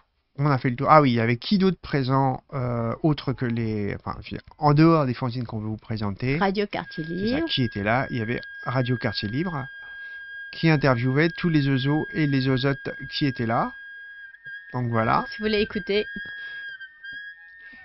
Donc c'est Agathe Gallo qui nous interrogeait, et qui euh, s'occupe de ça. Ah, il y avait une deuxième personne derrière elle qui était au son, à la technique, mais je ne connais pas son nom. Là, c'est l'émission spéciale euh, consacrée au Fanzina, donc je vous mets le lien, mais il y a plein d'autres trucs hein, sur son euh, SoundCloud. Alors, hop, je vous file le lien. Et le voilà, ça vous en fait hein, des, des chiers de liens. Vous allez pouvoir perdre votre vie cette 1h22, semaine. ouais. Voilà. Voilà, voilà. Et sinon, j'ai vu que tu avais euh, dans, dans tes liens, après, Ouais. c'est quoi C'est Je crois que c'est bon là. Samuel Etienne, c'est Ouais. l'histoire du Fanzina. Ouais, ça c'est pour situer un peu le boulot de Samuel parce qu'il y a beaucoup beaucoup de choses et du coup dans euh, notre entretien Grave on les cite tous. vu là. T'avais juste mal rangé. Ah oui, j'ai mal arrangé. Ah, je suis con.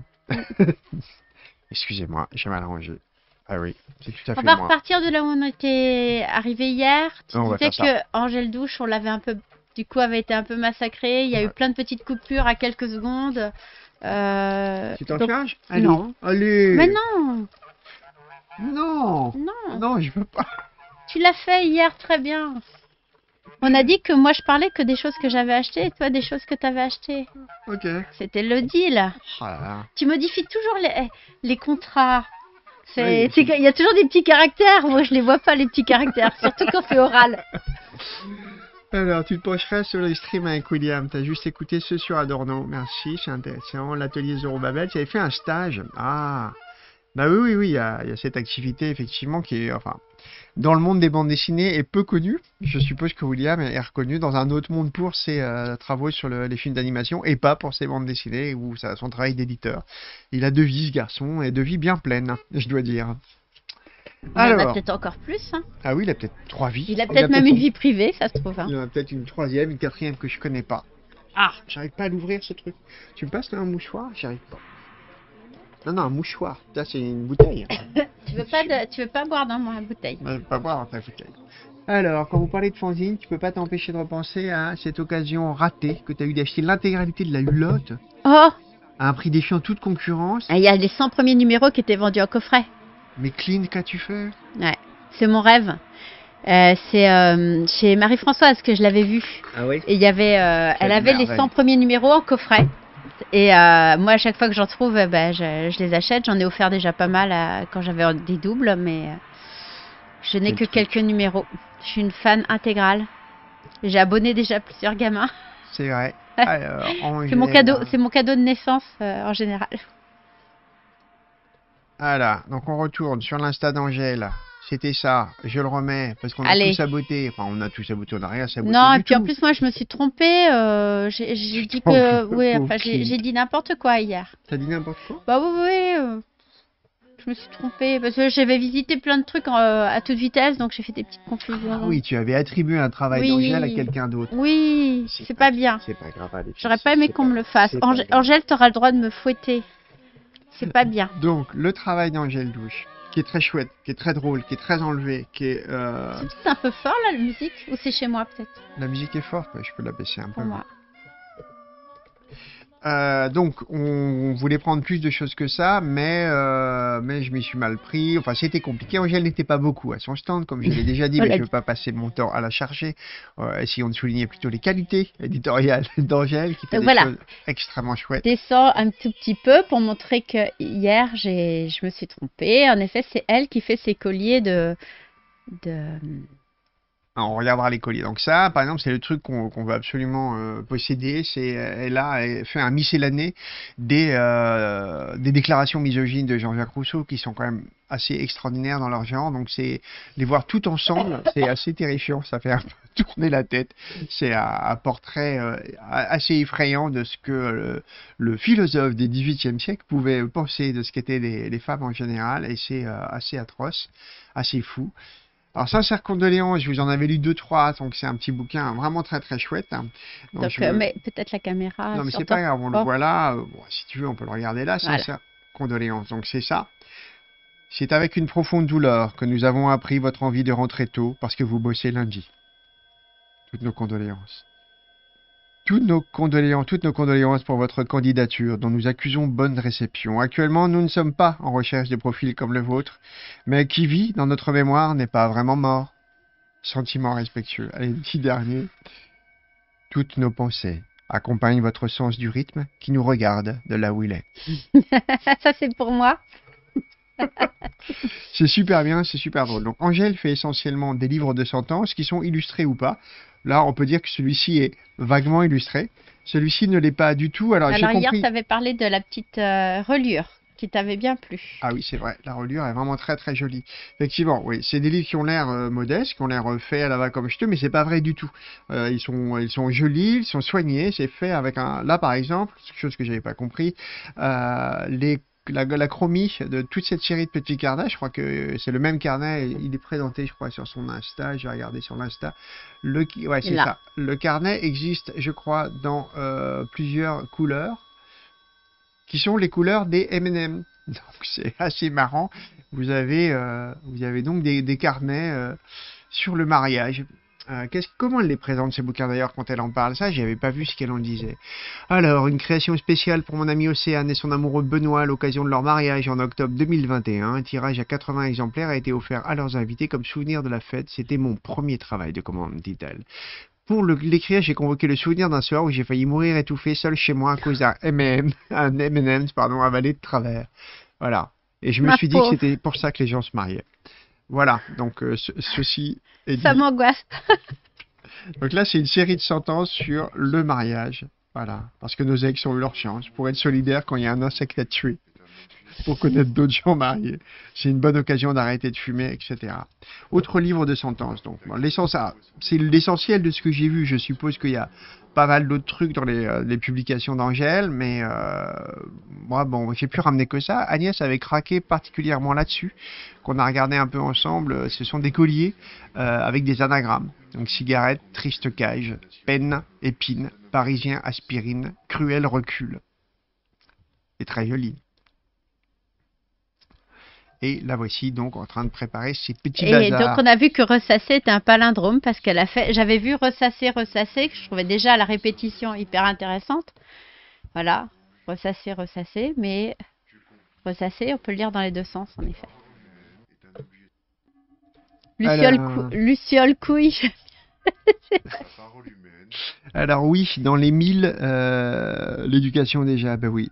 Comment ça on essaie de vous ruiner Mais bien sûr que c'est le but. On Ah, voit pas pourquoi oui. nous on se ruinerait et pas vous. C'est vrai Pourquoi on- euh, Nous, en fait, on, on est comme les gens qui se sont fait avoir euh, par euh, la vie et puis euh, on veut que les autres aussi. Voilà, on veut Voilà. pas être les seuls à, se- à être à sur la paille juste parce qu'on achète des petites cochonneries agrafées et cousues à la main. Vous aussi, vous allez souffrir financièrement.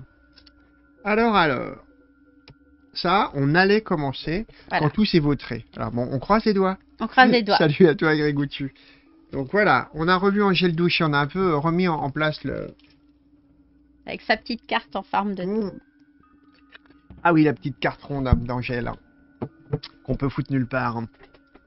Alors, on va vous parler de Swazik Cadio. Alors, Cadio est bibliothécaire et son boulot est étroitement lié à ça. Alors, pas celui-là. Il y a surtout deux aspects à son travail. J'allais dire pour l'instant, parce qu'on peut imaginer qu'il y aura beaucoup d'autres choses. Alors, dans les traits saillants de son boulot, euh, il y a la couture. Donc ça réunit tous ces livres euh, clairement, ils sont habités par la couture. Ça, je trouve pas celui avec du caviardage. Ah si, c'est peut-être celui-là. C'est ça. Ouais, et puis de la petite couture. Voilà, donc là, on peut voir ces jolies petites choses cousues. Il y avait un petit diamant que je trouvais adorable sur Ah bah un non, on peut tissu imprimé. Parce qu'il n'y a pas de mise au point. Donc, je vais vous faire la mise au point dessus. Hop. Sinon, c'est du travail de sagouin. Alors, contrôle de la caméra, mise au point, chibidi. Et Alors, voilà. C'est tout petit, hein. Allez, fais ta mise au point, couillon. Donc c'est un petit palmier. Ah, il veut pas Il veut pas, c'est saligo. Allez, fais ta mise au point, sois gentil. Moi. Tu veux que j'essaye sur la mienne? Ouais, vas-y. Elle est là. Oui, je sais où elle est. Hum, c'est pas pire. C'est... Enfin, si. Ça marche pas. Non, c'est tout flou. Ah, c'est complètement flou. hein. Et toi, est-ce que tu t'ai mis en mise au point automatique? Non plus. Ah, Bon, si ça marche un c'est peu mieux. Un je- petit peu mieux. Ouais. Bon, on s'en fout. On, on va faire comme si vous, vous imaginez ce que vous voyez pas comme détail.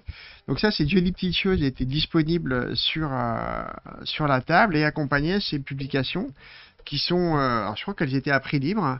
Euh, donc il y a un rapport, quand on évoquait le, rapport à la modestie de l'objet et, euh, d'un point de vue euh, économique, qui peut être accompagné d'un orgueil de l'objet d'un point de vue éditorial, je trouve que son travail correspond assez bien à, cette idée. Oui, c'est très. Il y, a, y a quelque chose qui, qui, qui, qui ressemble à des choses qu'on peut faire euh, au niveau de euh, choisir des papiers, euh, par exemple transparents, la couture sur le côté, c'est des choses qu'on fait aussi assez régulièrement, donc qui demandent un temps quand même. hein. Alors, donc, il y a trois aspects et non pas deux au travail.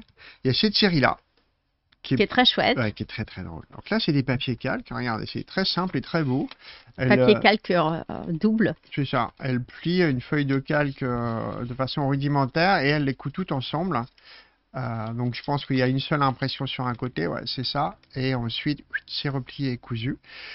Et c'est la série Entre deux verres. Donc là, il y en a trois.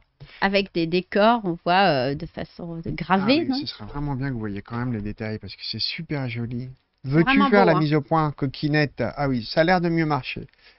Voilà, là on voit mieux la mise au point. Alors c'est à l'envers par contre. C'est parce que j'ai retourné ma caméra. Vous savez qu'à imaginer comment c'est. Ce petit palmier que vous pouvez retrouver donc euh, cousu euh, sur le, le bout de tissu qui est en quelque sorte son, son logo. Le Balbec. de. Balbec Book. Ouais, c'est ça. Book Balbec Club. Book. Donc la série Entre Book. deux verres, ce sont des sentences de pochetron qu'elle a cousues euh, et qu'ensuite elle a euh, photocopiées. Hop là. Il y avait une autre. qu'elle a cousu, qu'elle a brodé en quelque sorte, de façon un peu sauvage. Alors, genre, hein, sentence dans le coup, ce chat, plus jamais je lui parle. Le problème de la France, c'est qu'il n'y a pas de côte Est. Donc tout ça est brodé. Hein. Je te dis que ma sœur était sortie avec euh, Pascal Obispo. Et nous avons... J'ai vu Alain Souchon la- au concert de la, de la fête de l'UMA. Et le lendemain, j'avais des courbatures. Je fais des squats en mode sensuel. Il y a toujours une pistache qui va pas. Et après, on va se coucher parce que demain, il y a une journée. Voilà. Donc là, c'est des sentences de pochetron, voilà, qui sont euh, cousues, photocopiées et joliment imprimées. On a adoré. C'est une très jolie petite chose. Il y a Donc ça, c'est une partie du travail. Moi, j'avais pris un truc et euh, donc ça, c'est vraiment très gentil. J'avais pris ces trucs-là. T'en avais ramené un ou pas, toi, de ces trucs-là? Alors, on avait pris donc la série des pochetrons et j'avais chopé un de ceux-là parce que vous connaissez ma marotte pour le caviardage à cause de Michel Vachet et de ses travaux. Tu veux ça, Berdol Bah, il faut lui acheter. On va vous montrer le site, on va vous montrer où choper ça. Euh, donc j'ai, j'ai, je suis. euh, c'est à la fois joli et drôle. Oui, je suis très attaché qui- au travail. Là, il y a- euh, je peux quand même Oui, dire un truc. Euh, Il y a dans cet objet-là particulièrement, et c'est ce qui me plaît aussi, c'est euh, un- un- une espèce de paradoxe entre la, le soin mis à broder ces phrases, à les broder à les, les imprimer sur papier calque avec euh, euh, des fonds que vous voyez peut-être pas, mais de, fleurs, de gravures, etc. Euh, ce soin apporté pour des phrases de bref de comptoir. Et je trouve qu'il y, a- un paradoxe qui me plaît énormément, de rendre un petit peu, de rendre un petit peu précieux ces moments qui le sont vraiment, et d'en faire, euh, de les, de les, pas de les graver sur le marbre, mais de les broder. Je trouve ça intéressant, comme des, comme démarche. C'est vrai, Voilà, c'est ce que je voulais dire. C'est vrai. Alors tu disais le Ouais, caviardage. je disais ça, ouais. Donc, ceux et celles qui connaissent mon boulot sur Vachet euh, savent à quel point j'attache de l'importance euh, à la pratique du caviardage, d'un point de vue à la fois théorique et d'un point de vue euh, artistique. Et euh, quand j'ai acheté ce bouquin-là, après il y a toute une postérité du caviardage. euh, J'en ai pratiqué par la suite. euh, Stéphane Bassal l'a pratiqué. Lucien Suel a des trucs à la caviarder. Enfin, il y a, toute une génération après de, poètes lecteurs de, de Vachet qui ont réenclenché la pratique du caviardage en essayant de l'amener ailleurs, autrement. Donc ça, c'est typiquement, donc, si vous la connaissez pas assez, l'anthologie Vachet qui lui est consacrée. Et dans, euh, dans le travail de Michel, il y avait évidemment une part assez grande attachée au caviardage, au moins assez grande pour que j'ai décidé bah, d'en faire un, espace complet consacré que au caviardage et autour du texte euh, caviar de, de Vachet. Et il réutilisait les caviars pour en faire des formes qu'il réutilisait comme imprimant. Euh, On en a ici, mais il faudrait que j'aille les décrocher. Donc, donc euh, le caviardage qui servait après. Ah oui, je peux vous montrer À ça. d'autres C'est des choses. très rares. Vous ah, c'est des ça. choses très rares, oui. Je peux vous montrer ça. Tu le fais, toi? Tu vas. Donc, euh, il reprenait, euh, travaillait euh, d'ailleurs avec des photocopies euh, les unes sur les autres. Et euh, ces formes-là étaient réutilisées euh, et gravées pour euh, faire des imprimantes. Donc, il y en a euh, dans plusieurs matières. Voilà. Ça, c'est une empreinte de caviardage C'est ça. Qu'il C'est- euh, qu'il ancrait ensuite pour euh, réutiliser. Il l'a réifié, donc vous voyez, Mm. euh, sous la forme d'une espèce de gomme, et puis euh, contre-collé sur un bois. Voilà, ça s'appelle Oubli, euh, cuir express. Donc à la gomme en question, c'est du cuir, pardon. Ouais, il y en a, il y en a un en cuir, il y en a un dans, il y a d'autres matières, hein. J'en ai un en brique et métal. hein. C'est ça, brique et métal. Mm. Et il en existait de très très grandes, et des grandes découpes en bois qui se posaient euh, comme des sculptures. Donc voilà, le caviardage, donc du coup, c'est vraiment un- C'est un truc important chez Vachet. Donc il y, en a, il y a beaucoup de travaux qui sont dans cet esprit-là. Et euh, donc quand... même celui-ci qu'on a utilisé nous-mêmes pour la langue slave. Mm, C'est ça. Donc ce livre-là, dont je ne saurais que trop vous conseiller la lecture, Archipel plusieurs, de Michel Vachet, qui présente toute l'œuvre de ce poète de génie, chez Flammarion. Avec un texte de LL de Mars. Euh, ouais. Le, le grand spécialiste mondial de Michel Vachet. C'est vrai. On ne peut pas dire le On peut contraire. pas dire le contraire. On ne peut pas dire le contraire. Après, il y en a pas beaucoup. Elle a, réservé ce travail de caviardage, contrairement à Vachet qui aimait caviarder les textes des gens qu'il aimait beaucoup. Il, est, il caviardait euh, ce qui lui semblait être des grands textes. Il a fini aussi par caviarder beaucoup ses propres textes. Mais il a caviardé euh, Descartes, euh, dont il adorait le discours de la méthode. Il a, caviardé ses potes aussi. Il a caviardé Deleuze. Et euh, il a découpé, cutérisé aussi ces œuvres-là. Et donc j'ai causé à Swazik Cadio de Vachet, et en fait elle ne le connaissait pas, elle connaissait pas la pratique euh, quasiment instituée du caviardage dans la poésie contemporaine française depuis Vachet.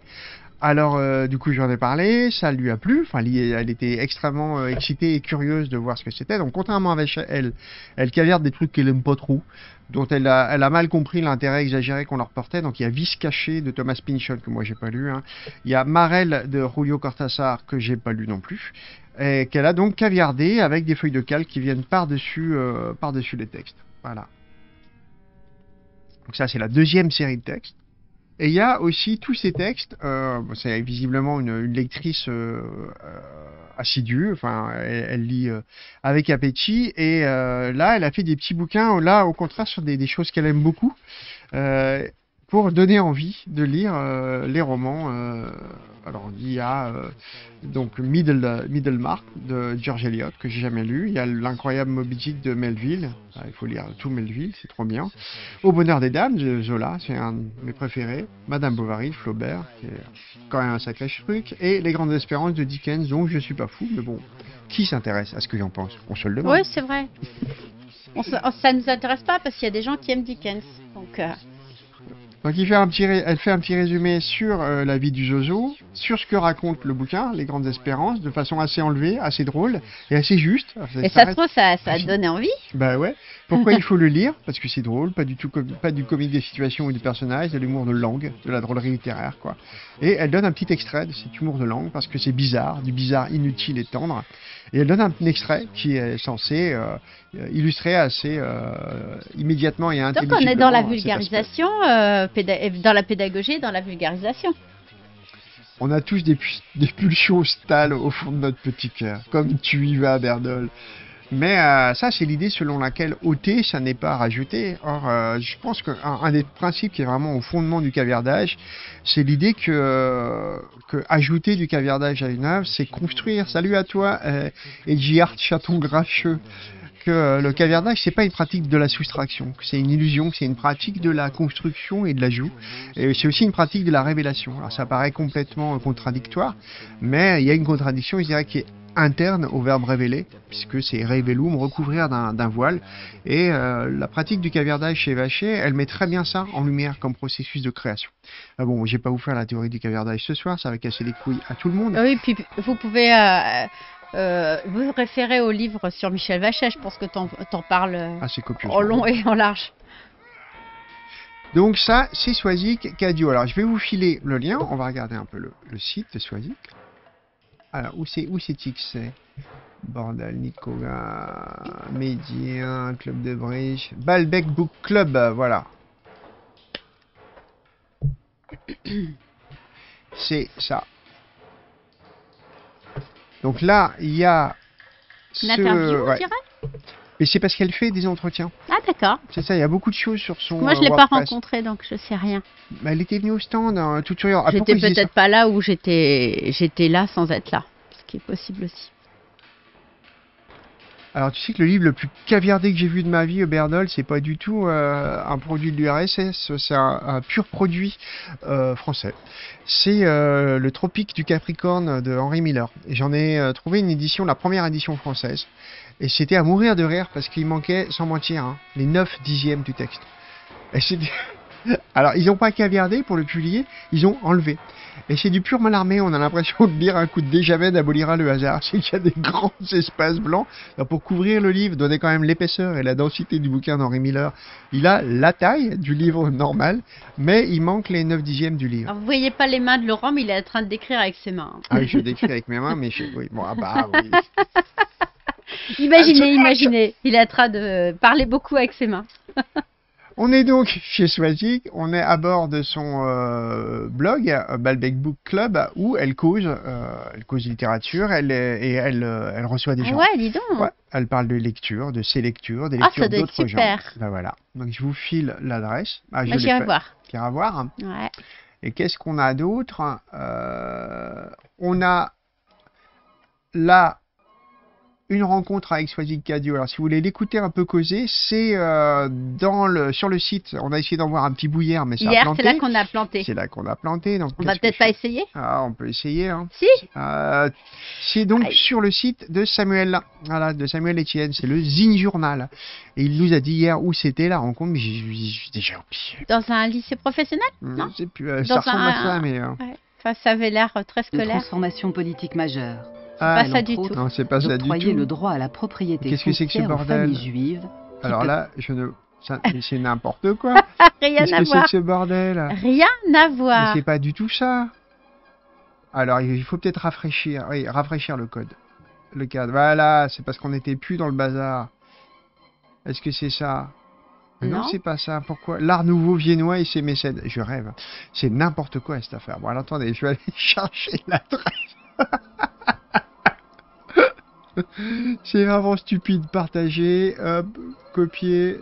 C'est bon, on va faire ça là. Je ne sais pas comment ça arrive ici, des trucs pareils, mais sachez-le, ça arrive. Alors, est-ce que ça va daigner fonctionner cette merde? Oui, je crois qu'on on entend, mais on entend très peu à cause de la musique. Les Efrussi, les les Liechtenstein. Mais arrête ça. Je ne comprends pas. Je, je comprends pas ce qui se passe. Alors, tu es sur le lieu quand même qu'il existe une convention sur le fanzine. Ça se passe comment? Euh, Tu parles de l'endroit où on a où on était? Bah, ça se passait à la fanzinothèque de Poitiers. Donc j'ai. Alors le truc, c'est que tu vas pouvoir voir en, en podcast sur la chaîne les euh, les premières parties parce qu'on a commencé hier soir. Donc on raconte un peu comment ça s'est Et Laurent a déroulé. fait un petit film, donc on voit tout. euh. Donc c'était, c'est une fois par an. Là, c'était la deuxième année, si je me Ouais, trompe pas. C'est ça. c'est la deuxième année. Et donc c'était du 18 au 21 août. euh, Donc les fanzinothèques, euh, donc les, les endroits où on peut trouver les fanzines se réunissaient et il y avait des, des stands euh, où des gens vendaient des fanzines. Il y avait des rencontres, des films, des concerts et, et on faisait aussi des, des ateliers. Voilà. Et nous on faisait une expo aussi. Donc c'était très très riche. hein. Alors la rencontre avec euh, Swazik Cadio, ça commence à 52 minutes sur le YouTube, donc je vous file le lien, parce que là vous avez bien compris qu'on le verra pas, que ça ne marche Non, pas. hier on n'a pas pas pu, aujourd'hui on n'a pas pu. Euh, Vas-y, essaye de l'envoyer, même le lien. Tu n'arrives Euh, même pas à Si, envoyer si, le, le lien, il est là, il est dans le, C'est bon, dans le ok. chat, donc ça c'est bon. Vous allez voir ça sans nous, et je suis vraiment désolé. Ça ne veut pas fonctionner. Cette vidéo est maudite, mais comme ça vous en saurez un peu plus sur le travail de, de Swazik Cadio, puisqu'elle en parle, et elle en parle bien. Euh, il faut que tu y ailles. Mais oui, il faut aller à la Fanzinothèque de Poitiers. Alors tu peux y aller à n'importe quel moment, hein, c'est ouvert. Et il y a combien déjà? Il y a 60 000 titres. 60 000 Est-ce que tu la carte euh, Dans quelle région de France tu es, euh, Egiard Parce que si c'est trop loin de chez toi, Poitiers, il y a d'autres fanzinothèques Ah oui. en France. Et donc, euh, on peut te donner les adresses des autres fanzinothèques. Encore perdu le truc. Enfin, je l'ai en- Non, mais c'est toi qui l'avais. Enfin, Comment ça, c'est moi tu veux dire ça là Ah, Là, ça, là, c'est les cartes des autres euh. Voilà. Donc, sache-le, il y en a Donc une. Poitiers, c'est la plus grande. voilà, et la plus euh, ancienne. et la plus ancienne, mais à Paris, euh, il y a le Fanzinarium et donc on a dit la C'est sur Rennes. Alors, Ah, la euh, plus la plus Rennes. proche de Rennes, euh, il n'y a pas. Bordeaux. Bordeaux, elle disparate à Bordeaux. Bon, tu sais, Bordeaux-Poitiers, hein, c'est pareil. hein. Vraiment en termes Ouais. de distance. hein. Et je me demande si tu vas pas plus facilement en Poitiers, caisse à Poitiers qu'à Bordeaux. c'est- ouais. Ouais, ouais, ouais, à choisir. C'est sur la route d'Angoulême. Ouais. Bon. Ah bah autrefois, à Art, il y avait euh, évidemment l'incroyable, l'incroyable librairie des Alphagraphe. Alphagraphe. Ouais. Ah oui, Alphagraphe. Mais c'était pas une fanzinothèque, mais c'était. Bah, Il y avait des fanzines tout le temps, il y avait- plein de fanzines. Ouais, puis il y avait un, euh, il y avait plusieurs fanzines locaux à Rennes. euh, il y avait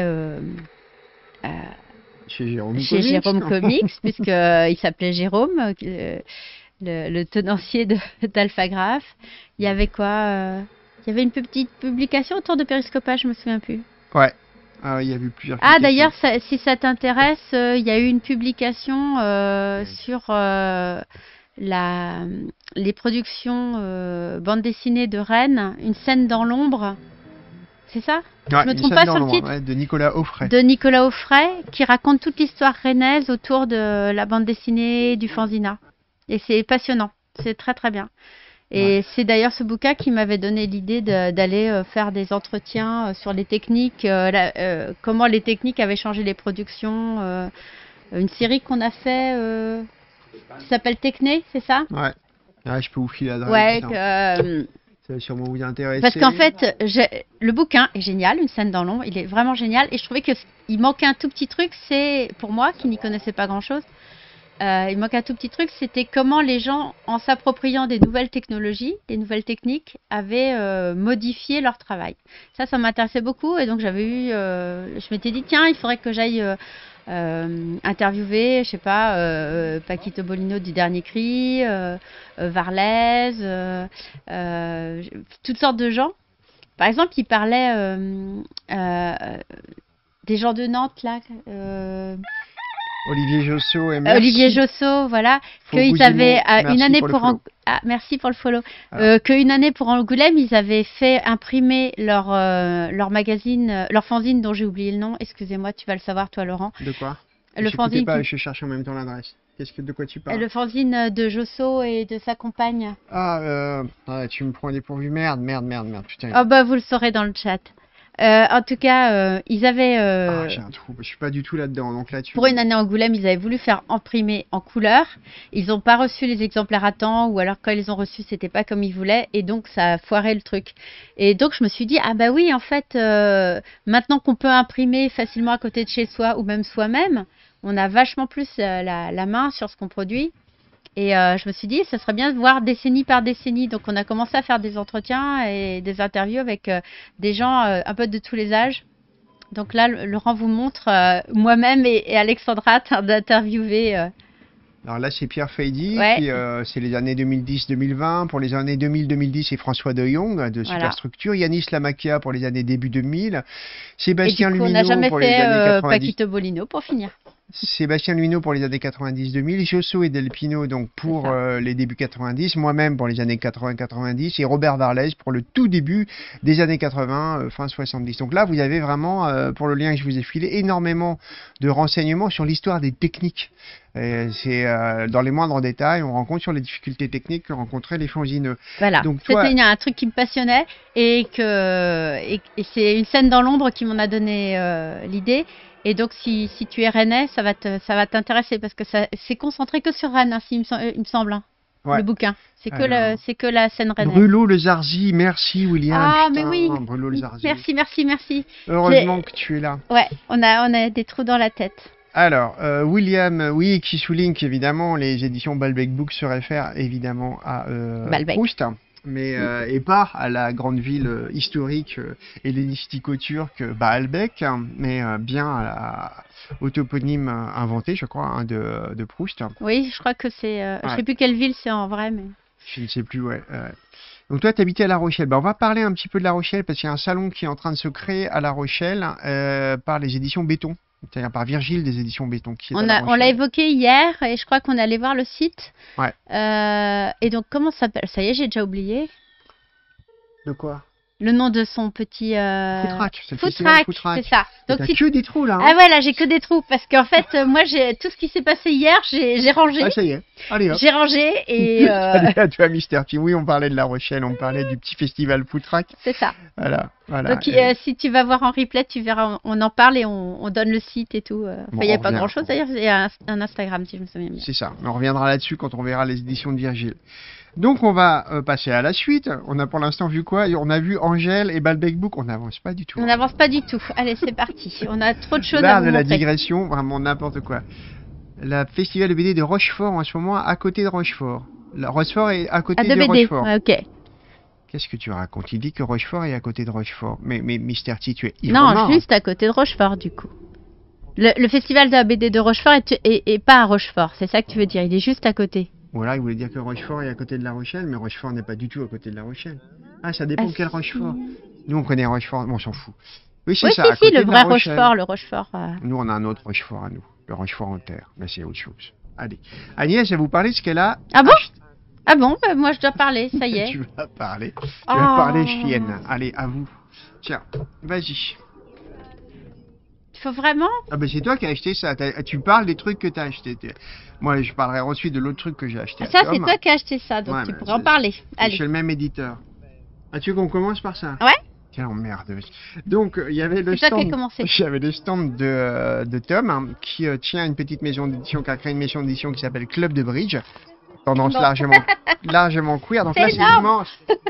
Voilà, c'est une grande affiche. Je, je peux pas vous montrer ça. Ah Je fais des bruits de micro. Ah, Ce que je peux faire, c'est C'est très essayer- drôle. Je vais essayer de, dé, euh, de dézoomer un peu pour que vous voyez ça.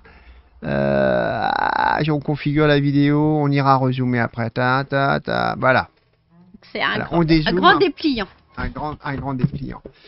Avec des. des euh, On va essayer de Voilà. vous montrer un petit peu. Et à, à chaque fois, donc c'est des- l'idée, c'était de faire une parodie de ces pop-up publicitaires que vous, qui vous sautent à la gueule sur les films porno et de faire des variations euh, complètement autres euh, sur euh, sur le, le modèle de ces trucs-là. Voilà. Donc, vous avez Enlarge Your Mind, par exemple, sur le modèle de Enlarge Your Penis, évidemment. Euh, Meet Hot Antifa in your neighborhood. On a rencontré une Antifa chaude à côté de chez vous. Il y a Foucault HD Livecom pour faire euh, une cam avec, avec Foucault. Resistance is never outside of power. Etc. etc. Donc il y avait euh, cette immense affiche assez poilante sur laquelle j'ai craqué. Euh, donc ça, c'était réalisé. Euh, Want to be woke. Je crois que c'est quoi? C'est la crème qui rend woke, c'est ça? Voilà, donc ça, c'est les éditions euh, de Tom. Club de Bridge, on ira voir les sites, mais après Voilà. Agnès vous ai montré. Et donc, euh, moi, j'ai pris. Vas-y, tu zoomes un peu. Mais oui, je zoome un peu, j'arrive. Et voilà, c'est zoomé. Voilà, une petite, euh, une petite publication. Bah là, on est dans quelque chose de simple, mais avec un papier euh, très joli, mais avec toujours ce système qu'on vous a montré euh, l'autre fois qui rentre dans un, dans un A4. Donc, d'un côté, on a donc un. Là, faut que je monte dans le bon sens. Voilà, club de bridge avec donc un, un dessin. Peut-être à plusieurs mains d'ailleurs, je ne sais pas. Non, non. Non, on dirait que c'est une main unique. Et donc, ici, donc, ce, principe pour euh, le pliage que j'aime bien, qui, est très simple hein, pour faire un petit, euh, un petit fanzine euh, rapide. Donc, genre de points fluides, l'errance comme identité et police aux frontières du genre. Donc, c'est un texte, hein, tout simplement, avec des dessins qui sont très jolis. C'est un texte consacré à la notion de pronom. Et c'est un ça. questionnement sur la fonction du pronom et le caractère euh, finalement implicitement normatif de la construction euh, territoriale des différents pronoms. Et il propose le, la- le on, on, ouais. l'indéfinition, pour, être, euh, pour produire euh, le maximum de pluriel dans le voilà. singulier. Voilà. Voilà, logique territoriale et donc s'indéfinir pour finir. Voilà, donc j'ai pris cette petite, euh, cette petite production et euh, comme j'avais du mal à, à choisir, j'ai pris aussi ça qui est une espèce de carte. Je crois que c'est né d'un- atelier C'est ça.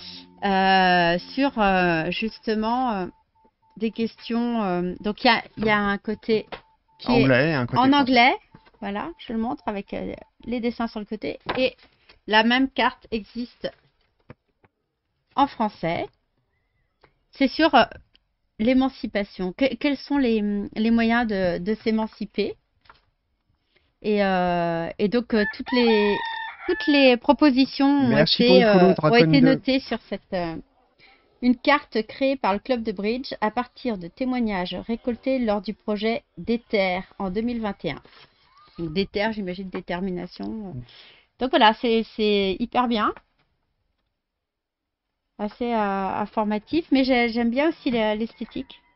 que Je trouvais vraiment jolie. Voilà. Donc c'est vraiment le, le- typiquement le- une espèce de Dazibao, c'est-à-dire où ça. chacun prend en note ce qui lui vient à l'esprit. Euh, non, non, là c'était à partir de témoignages, donc je pense qu'ils ont pris les témoignages. c'était né d'une conversation, d'un atelier, moi. C'est un atelier, oui, oui. mais Bah donc ouais. c'est à partir des témoignages qu'ils ont fait la carte. Je pense pas que les gens ont écrit directement dessus. Je pense que ça a été fait dans un deuxième temps. Ok. Faudrait demander. Ouais, on Donc voilà, donc une petite euh, production avec. euh, Hop, là ça ressemble plus à une petite lettre, un petit pli euh, qu'on pourrait recevoir euh, par la poste. C'est un joli petit objet euh, quand même.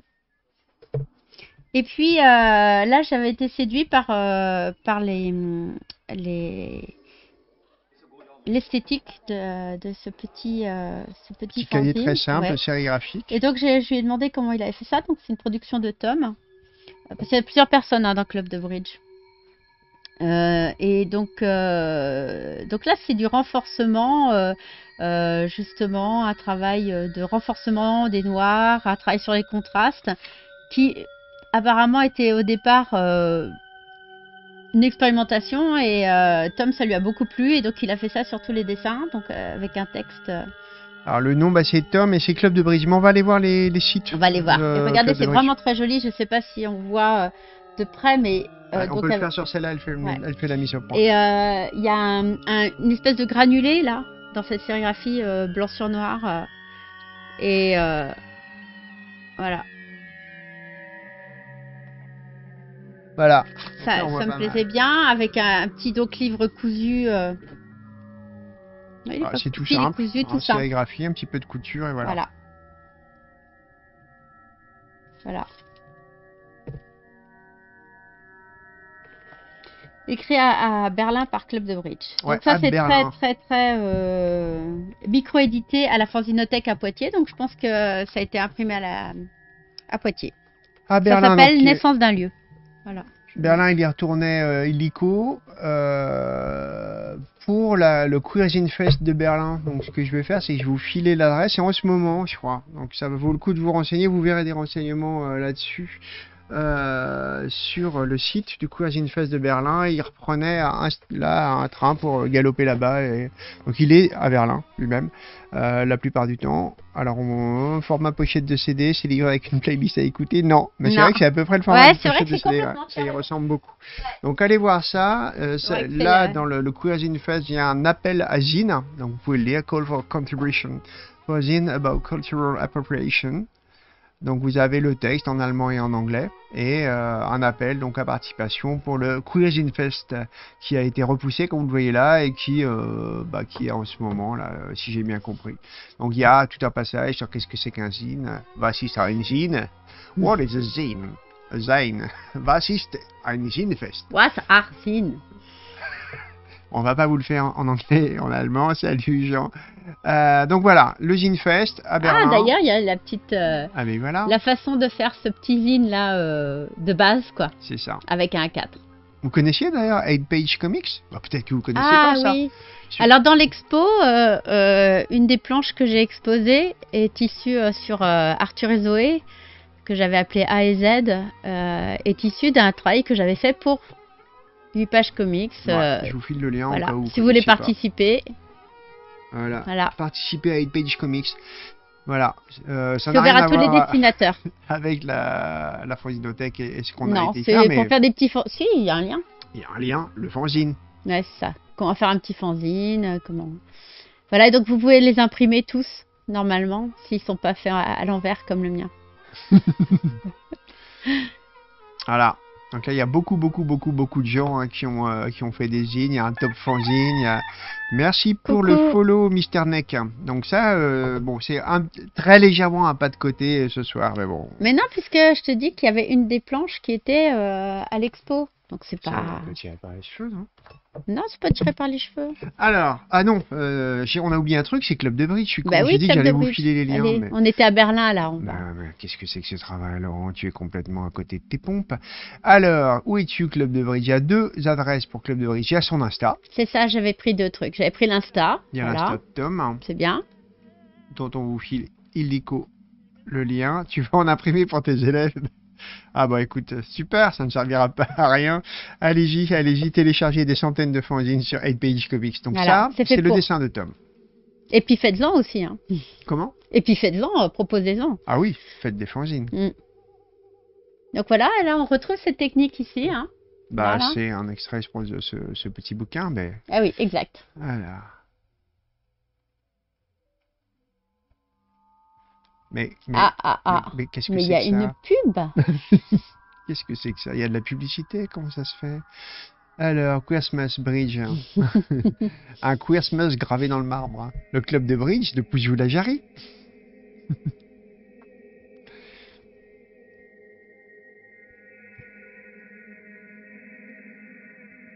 Et on a aussi donc le site de club de bridge qui est là. Où es-tu? Voilà, je pense que c'est plus euh, ce que fait Tom, là, ce qu'on vient de voir sur le... Voilà, j'avais... Ah, c'est joli, hein Ça, c'est le site de club de bridge.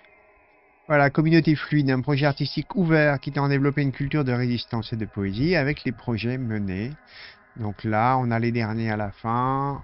Conférence à l'espace de la France, recherche et écriture. Il y a beaucoup de trucs. hein. Ouais, ça fait pas longtemps qu'ils existent, mais bon, il y a un Ça, vrai, un désir d'activité. ouais. Ouais. Des contacts. La boutique pour ceux et celles qui disaient on veut acheter des trucs. C'est voilà. marqué journal aussi, je sais pas. Ah, si la boutique est fermée. Philosophie, poésie, journal. ouais. Le journal Club de Bridge.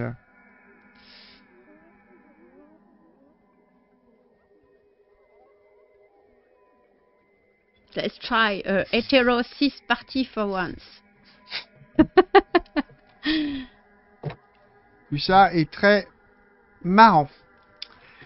Alors, on va poursuivre avec la SARL. C'est l'endroit où on s'est ruiné. On a ramené tout ce qu'on pouvait Attends, de ça, il y a du béton. Ah non Non, non, Ah, non, tout ça c'est Gauthier. Ah oui. Avec quel t'as acheté toi?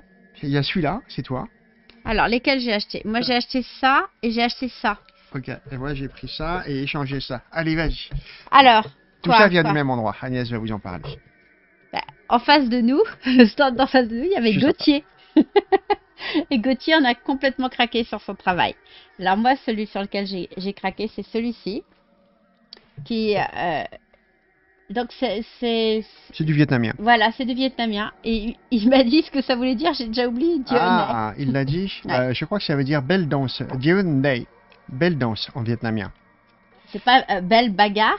Ah, euh, moi Il n'y a je pas un truc parce que ça parle beaucoup. Alors là, c'est de la sérigraphie. euh, c'est absolument magnifique. Mais là, si je lis ça, c'est l'âme. J'ai essayé de le traduire et ça donne je vais faire éclater les crabes. À mon avis, Les c'est. crânes, peut-être. Non, c'était les gars, je suis tombé sur crabe. ah oui, d'accord.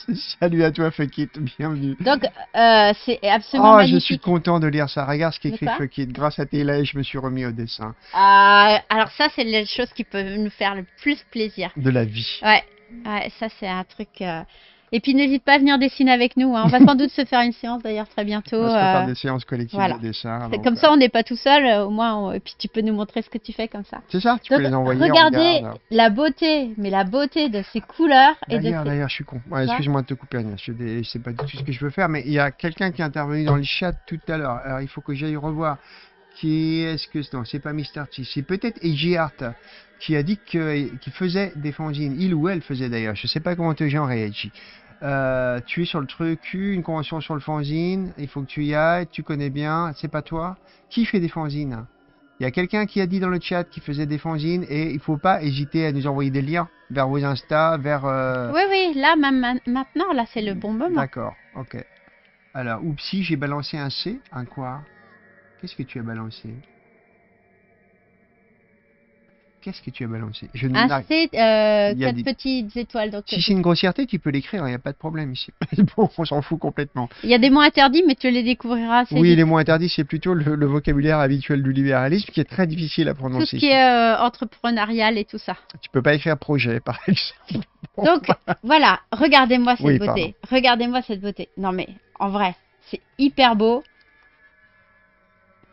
Je euh, j'ai pas d'autres mots, quoi. Je trouve ça extraordinaire. Et alors, ce qui était étonnant avec Gauthier, c'est qu'il a, il a pas commencé il y a longtemps et il a fait euh, déjà plein de trucs. Donc, il y a un bouquin avec une certaine Marie, on verra sur l'Instagram tout à l'heure, et euh, un autre bouquin que tu as présenté. euh, donc avec il y a Igor euh, 1630. On regardera ça tout à l'heure. Voilà. En tout cas, il, il, est- il a travaillé au dernier cri. On sait qu'il a, il a, Il a fait un bouquin avec le dernier il a- cri. C'est quand même incroyable parce qu'il est, il est assez jeune. hein. Il est très jeune, ouais, je dirais qu'il a 25 ans, ce garçon, quelque chose comme bon, ça. ouais. Je, je me.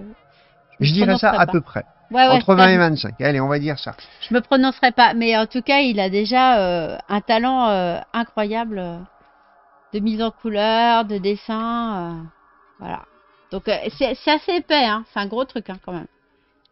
Les prix étaient absolument raisonnables. Pour une fois, les prix étaient raisonnables. Vraiment. Les couleurs sont hyper belles. Il y a vraiment un travail de mise en couleur. euh, Enfin, vraiment, c'est le genre de travail. euh, Moi, j'ai carrément craqué. hein. Je crois que les prix sont pas pour rien. C'est-à-dire qu'il y a, comment dire, il y a une approche du fanzina qui me semble assez essentielle, c'est de comprendre qu'on on, on fait pas des livres d'art. On emmerde la cote, on emmerde la notion de valeur bourgeoise, on emmerde toutes ces conneries. On fait pas des bouquins pour créer de la valeur artificiellement. Donc quand un bouquin de sérigraphie coûte un prix, c'est parce qu'il y a un prix réel à l'encre, au travail qui est fait dessus, ça prend un temps fou et il y a beaucoup de déchets. Mais euh, on ne dit pas, regardez, on est des artistes parce que cette chose est unique et bien faite, elle vaut 6 milliards. Ça, on ne fait pas ça. Et ça, hélas, depuis quelques années, il y a pas mal d'étudiants qui viennent des écoles d'art avec une conception de la, de la valeur qui est vraiment la valeur bourgeoise pour les vieilles dames, les, les gens qui ont une vision de l'art absolument ridicule et grotesque, et celle des gravures numérotées comme au 19e, qui vous amènent leur petit fanzine de 4 pages, et parce qu'il est sérigraphié, vous le foutent à 15 balles. C'est non, c'est pas possible. C'est pas ça le fanzine du tout. On a l'orgueil de faire des choses bien plus belles Que toutes les merdes qu'on peut trouver ailleurs, mais on ne les surcote pas. On ne fait pas ça. Voilà. On fait en sorte que c'est les gens apparu assez brutalement il y a quelques années au off de Angoulême, qui étaient souvent des étudiants ou des très jeunes gens qui étaient, qui pouvaient pas, euh, enfin qui n'allaient pas dans le, dans les bulles parce que déjà c'est très cher euh, d'avoir un stand et, euh, et euh, qui n'étaient pas forcément acceptés parce qu'il faut une structure ou des choses comme ça et euh, ou avoir publié déjà. Et euh, ils allaient au off et, et bon bah c'était des petites choses et parfois des choses mais merveilleuses. Nous, Mets-le dans le chat, euh, Gilles, ton Insta. euh, Il y a par exemple Bande 2, dont on vous a souvent parlé, qui faisait des livres avec euh, des, des fils entre les pages et des, et des euh, confettis. euh, Enfin, euh, des- on trouvait des choses extraordinaires tous les ans euh, là-bas, faits par des, des étudiants ou des élèves, de jeunes gens euh, qui s'étaient associés pour faire des trucs incroyables. Et un jour, euh, je comprends pas pourquoi les je sais pas, est-ce que c'est l'enseignement qui a changé? Est-ce que c'est les profs qui leur ont mis ça en tête? Mais euh, c'est la moindre petite chose qui faisait. euh, Enfin, ça s'est généralisé cette idée de. on fait vraiment de l'art et du coup, les prix ont commencé à grimper complètement. pour des choses qui parfois étaient certes belles, mais parfois anecdotiques, et, et tout devenait cotable, quoi. Enfin, il y avait de la cote, et, et tout le, ça, ils se sont entraînés les uns les autres, je pense, et on, on s'est retrouvé avec des certaines années au off où on pouvait rien acheter. Des fanzineux qui se la pètent. Il faut Ouais. bien comprendre qu'il y a un gros problème, parce que le fait qu'on fasse de l'art ne fait aucun doute. Faire de l'art, euh, c'est pas une question qui est une question d'économie euh, marchande. C'est une question d'objectif, de vision, de compréhension des spécificités, de la singularité de cette discipline, de cette relation au monde, de cette construction transhistorique. Euh, c'est pas un petit numérotage sur un fascicule de mes deux qui fait de vous un artiste. Ce qui fait de vous un artiste, c'est d'être un artiste. Et peu importe la, la forme matérielle que ça va prendre, ça peut être une relation humaine, ça peut être une concrétion euh, matérielle et solide, ça peut être plein de choses, mais clairement, ce qui va vous définir, qui va vous déterminer comme artiste, c'est vraiment des enjeux et euh, une vision. Et pas, pas cette espèce de, de, ridicule rapport marchand à, à la valeur. C'est tellement euh, tragicomique que ça me Parce désole. que là, ça devenait, euh, comme il y avait peu d'exemplaires, c'était du livre d'artiste, quoi. Voilà. Le fanzina, c'est pas ça. C'est pas ça, Clairement. le fanzina. Ça n'a rien à C'est l'anti-fanzina, on pourrait dire. Exactement. Et euh, je pense que ça s'est un peu amélioré au off cette année, puisqu'on a acheté beaucoup plus de choses à des petits jeunes gens qui commençaient, qui faisaient bah, parfois des. Moi, j'ai acheté un livre unique, par exemple, cette année. Et euh, que je vous ai présenté d'ailleurs, hein, cette espèce de journal euh, du, euh, du confinement, imprimé, donc blanc sur noir. Je suis navrée parce que je sais plus du tout comment s'appelle le jeune homme qui a fait ça. De quoi tu parles? Je Tu t'écoutais sais, pas le, le- la Bible.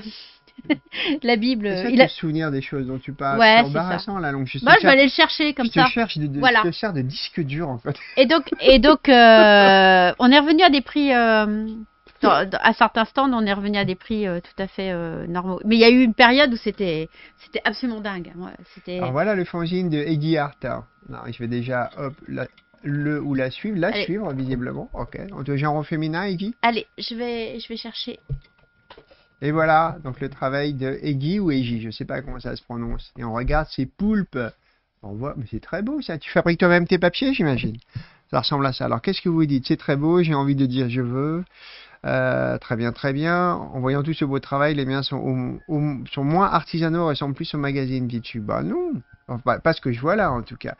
Alors Berdol nous dit ma tête est trop pleine de vide pour faire un zine, mais on peut faire un des plein de rien.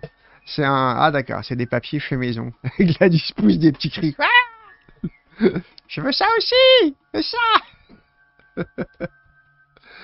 Bon, c'est quoi cette fenêtre? C'est la foutue fenêtre. Ah, elles sont chiantes celles-là. Je, je déteste ça. Euh, comment euh, C'est la merde. Ah putain, c'est. C'est euh, comment. OBS qui utilise ses propres fenêtres et ça m'embarrasse. Bon, c'est pas grave. hein, je vais- il faut que j'arrive à virer cette fenêtre de merde, ça me casse les pieds. C'est très mal foutu euh, voilà. l'ouverture de lien sur OBS. Qu'est-ce que tu voulais? Ah oui, ah ça, bah oui, parce que tu m'as fait remarquer avec raison que je citais euh, des choses, euh, mais je crois que je vous l'ai déjà montré dans un on déballe. Oui. Donc voilà, je vous le remontre. Donc c'est quand même extrêmement épais. Il en a fait presque pas parce que c'était un, un cauchemar d'impression. Donc c'est le journal, un journal tenu pendant le confinement. Donc euh, il y, a, énormément de textes, mais il y a aussi beaucoup de dessins. Euh, Il y a tout un travail sur les dégradés, euh, c'est absolument merveilleux. Voilà. Et alors, on va chercher son nom.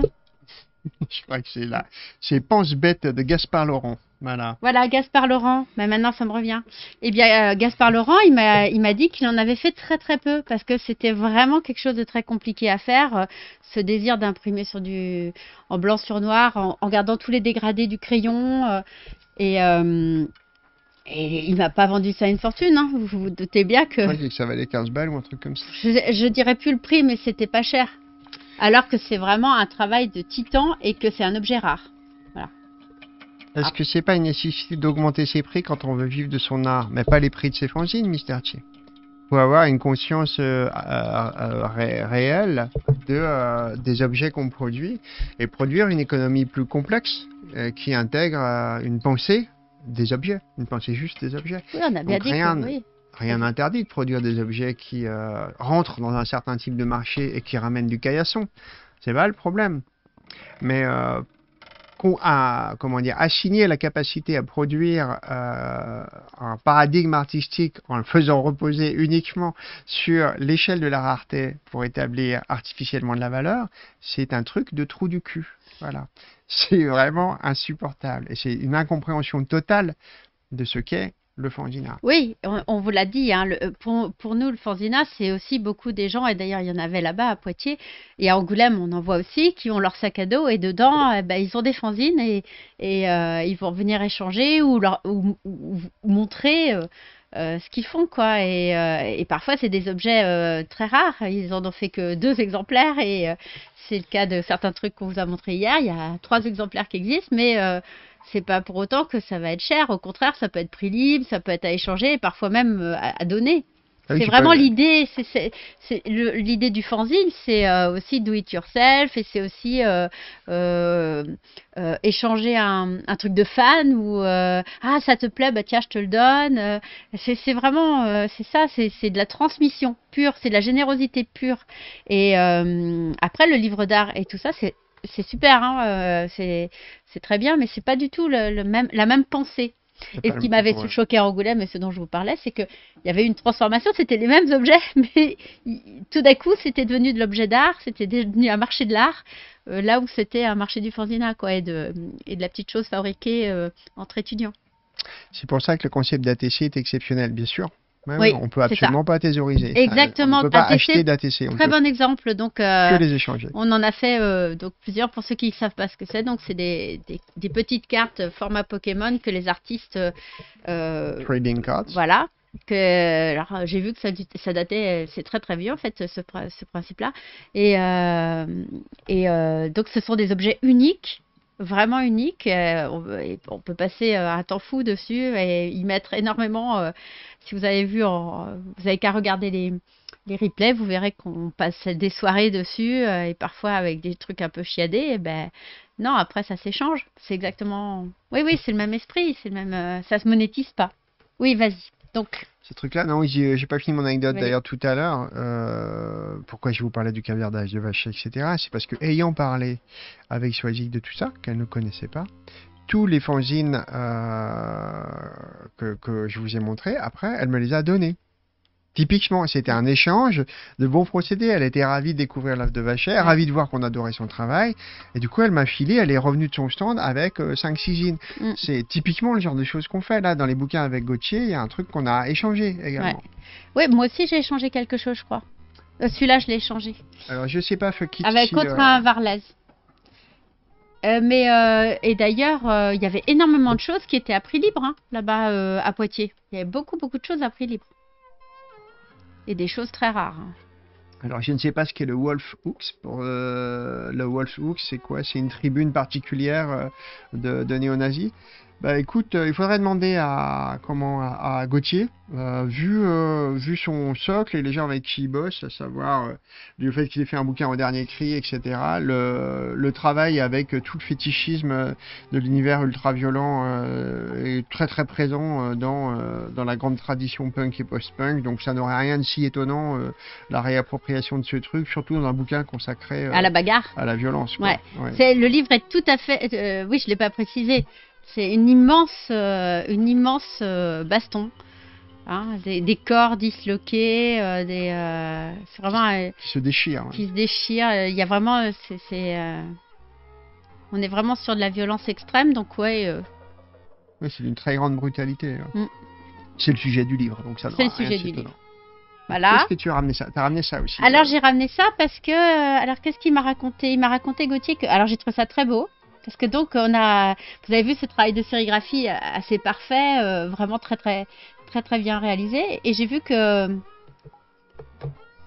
euh, Gauthier faisait aussi euh, bah, du dessin euh, co- colorié quoi et c'est très très beau aussi, magnifique. Et je lui dis ah bah tiens tu, fais ça aussi. Il me dit bah ouais j'avais une expo à faire et puis j'étais à la bourre et je savais pas trop quoi faire et du coup je me suis mis à faire ça. Bon bah voilà, il a tous les talents ce garçon. Parce que c'est vraiment euh, un coloriste euh, incroyable quoi. hein. Voilà, petit bouquin donc qui coûtait vraiment très peu cher, 4 euros je crois. Et donc que j'ai euh, échangé avec, euh, comme on n'avait plus de sous, avec un Robert Varlez qui était au même prix sur notre stand. Alors, c'est un Voilà. peu comme du trading de tapes. Bah, euh, effectivement, dans les années euh, 80, pour nous, on s'échangeait des, euh, des cassettes audio aussi. Bah, c'est des trucs qui se faisaient beaucoup. C'était le support de prédilection euh, des groupes euh, industriels, surtout. Enfin, c'était le milieu dans lequel je rodais, donc c'est ce que je connais de cette époque. Et clairement, on s'échangeait régulièrement des cassettes. Ah c'est beau ça. Alors sur la couverture, il est à l'envers par rapport à l'original. D'accord. Eh ben écoute, euh, c'est possible. Mais dans ce cas-là, je lui demanderai. Moi, j'ai ramené. Donc son, le nom de sa petite boîte, c'est la Société Anonyme à Responsabilité Limitée. Limitée, Donc, euh, la SARL. la SARL, hein. Donc ça, c'est un autre bouquin avec des couleurs plus flashy Mmh, également. c'est magnifique. Alors, ouais, vous, vous voyez pas parce que bon là, Ouais. c'est- du rose fluo. Salut à toi, Brandberg. Mais euh, ça passe pas Orange du tout. fluo, jaune fluo. Ouais, c'est que du fluo là et ça passe pas. Alors là, on voit un goût pour l'objet qui se déplie. C'est très Voilà. élégant. Donc ça, ça, ça, ça doit demander de la manipulation, euh, du travail de... Ça s'ouvre des deux côtés. euh. Il y a un goût pour les coutures un peu Donc complexes. ça, ça devrait valoir une fortune si on, on reste sur la base euh, logique de certaines personnes. cette espèce de délire. Il y a beaucoup de couches de sérigraphie et c'est un livre que Gauthier vendait 15 euros, je crois, ou 12 euros. Enfin, c'était vraiment très peu. Il y a un authentique travail. C'est un mélange assez intéressant parce qu'à la fois, c'est un travail euh, assez précis et c'est aussi un travail de sagouin. C'est les deux à la fois. Il y a un grand laisser-aller sur euh, la superposition et la justesse. Il y a des impressions qui sont vraiment pas nettes et à la fois, c'est un objet qui est très soigné euh, dont on voit que il Donc a- il déplie à chaque fois, hein, vous avez vu. Il prend tout son temps pour aller euh, vraiment droit au but et il sait exactement ce qu'il fait. euh. J'ai- J'aime bien cette espèce de capacité à, aborder euh, dans le, même espace un monde d'une grande précision, d'une grande rigueur et de garder aussi le côté à l'arrache, bordéleux, euh, mal coupé, mal fagoté. Enfin, tout ça cohabite de façon assez étonnante chez lui.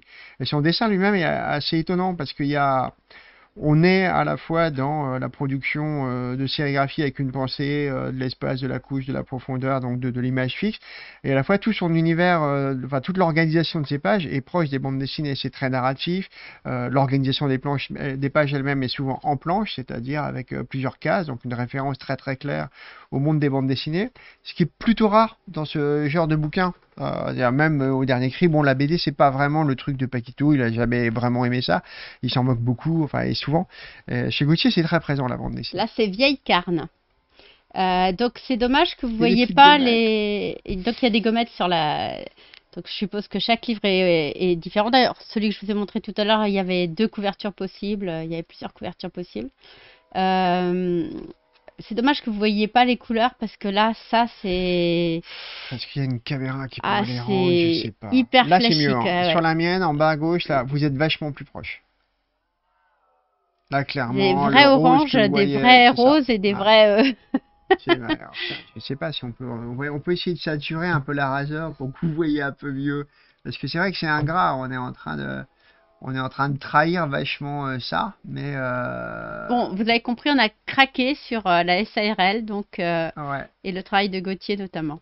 Et quand il est pas tout seul, le coco, Ouais, il, fait, des, chouettes choses trucs avec aussi, des gens, voilà. et c'est très bien aussi. Donc il a fait des choses avec une certaine Marie, mais je sais pas si c'est. Non, c'est pas là. Là, c'est avec Martin Lopez Lam. hein. Martin Lopez Lam qui a fait un bouquin à la cinquième couche dont on vous a beaucoup, beaucoup, beaucoup a parlé. adoré. Voilà. Et euh, on- qu'on retrouve ici avec Gauthier. Donc ce livre a des expérimentations. Je sais pas comment ils ont bossé. Donc c'est il y a essentiellement le comment Gauthier m'a dit qu'il avait craqué sur le, le travail de euh, Martin Lopez Lam. Ça s'est fait visiblement à distance. Le livre est fagoté de façon ahurissante. Alors là, là, la, la, la reliure, elle est incroyable. Elle est vraiment C'est un incroyable. truc de sauvage. C'est à la fois sauvage, mais, mais quand même euh, symétrique, donc il y a une certaine grâce. ça n'existe pas cette reliure-là. Non, c'est interdit par la loi, ça. On fait pas des choses comme ça. Euh, c'est très chouette parce que, comme on revient exactement à ce que je disais tout à l'heure, c'est assez soigné pour être pensé hors des clous en termes de, reliure. Ça tient debout, ça marche, et, euh, ça a l'air d'être fait euh, par un, cochon. Enfin, ça mélange les deux, quoi. Et tout ça est vraiment fascinant.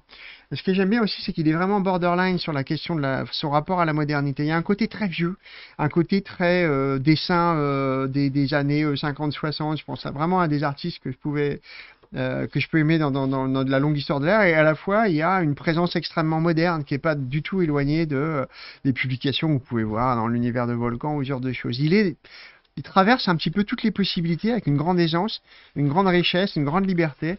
Et ça veut dire aussi qu'il se, enfin, il se moque complètement euh, de, de, de l'idée d'être- assignable à telle ou telle position. Et mieux encore, euh, aussi bizarre que ça paraisse, c'est homogène. Enfin, ça marche. Il y a une, quelque chose qui, euh, Mm. qui fonctionne dans le travail, que ce soit de Gauthier tout seul ou quand il invite quelqu'un. Enfin, il y a, il y a vraiment des trucs. euh, Oui, tu disais, euh, faut que j'y aille l'année prochaine, mais n'hésite pas entre-temps à aller à la, à la Fanzinothèque euh, Ah oui. Euh, de Poitiers, par exemple, où il y a vraiment, c'est fou le, le fond, et puis ils sont vraiment accueillants, donc tu pourras manipuler plein de fanzines, toutes sortes de choses. Celui-là aussi, hein, il se déplie dans tous les sens. Alors celui-là est plus rigoureux et plus précis hein, en termes de réalisation. C'est un des derniers ou quoi? Ou est-ce qu'au contraire, il était plus précis avant et il est devenu un vrai sagouin Bah, De toute façon, ça fait pas longtemps qu'il fait ça. Alors, il y avait un nombre de productions, c'est aussi Non, ça qui nous a. très précis dans. C'était incroyable parce que je crois que ça fait que deux ans qu'il a commencé, c'est ça? Bah, je dirais ça, là, j'ai que des choses de 20 à 22. Et euh, et il y avait un nombre de productions incroyable. Enfin, il avait, il avait un, un stand très plein.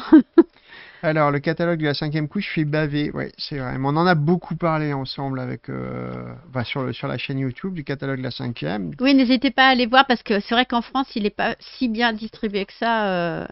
Oui, Guy, tu peux aller euh, à la Fanzino toute l'année, c'est ouvert tout le temps. Oui, oui, c'est ouvert tout le temps. Et puis, euh, je suppose qu'ils font, des- ils organisent même des Ouais, ateliers. ils ont un site bien foutu, c'est Oui, la le- fanzinothèque.org. Attends, je peux te filer le lien euh, rapido. On l'a donné du- tout à l'heure, mais on peut le redonner. Ouais, ouais, ouais, la fanzinothèque de Poitiers, hop, la voilà, hop, copier. Et donc là, tu as accès libre à- pour la lecture et la manipulation de plein Voilà. d'objets et plein de fanzines. C'est incroyable, quoi. C'est.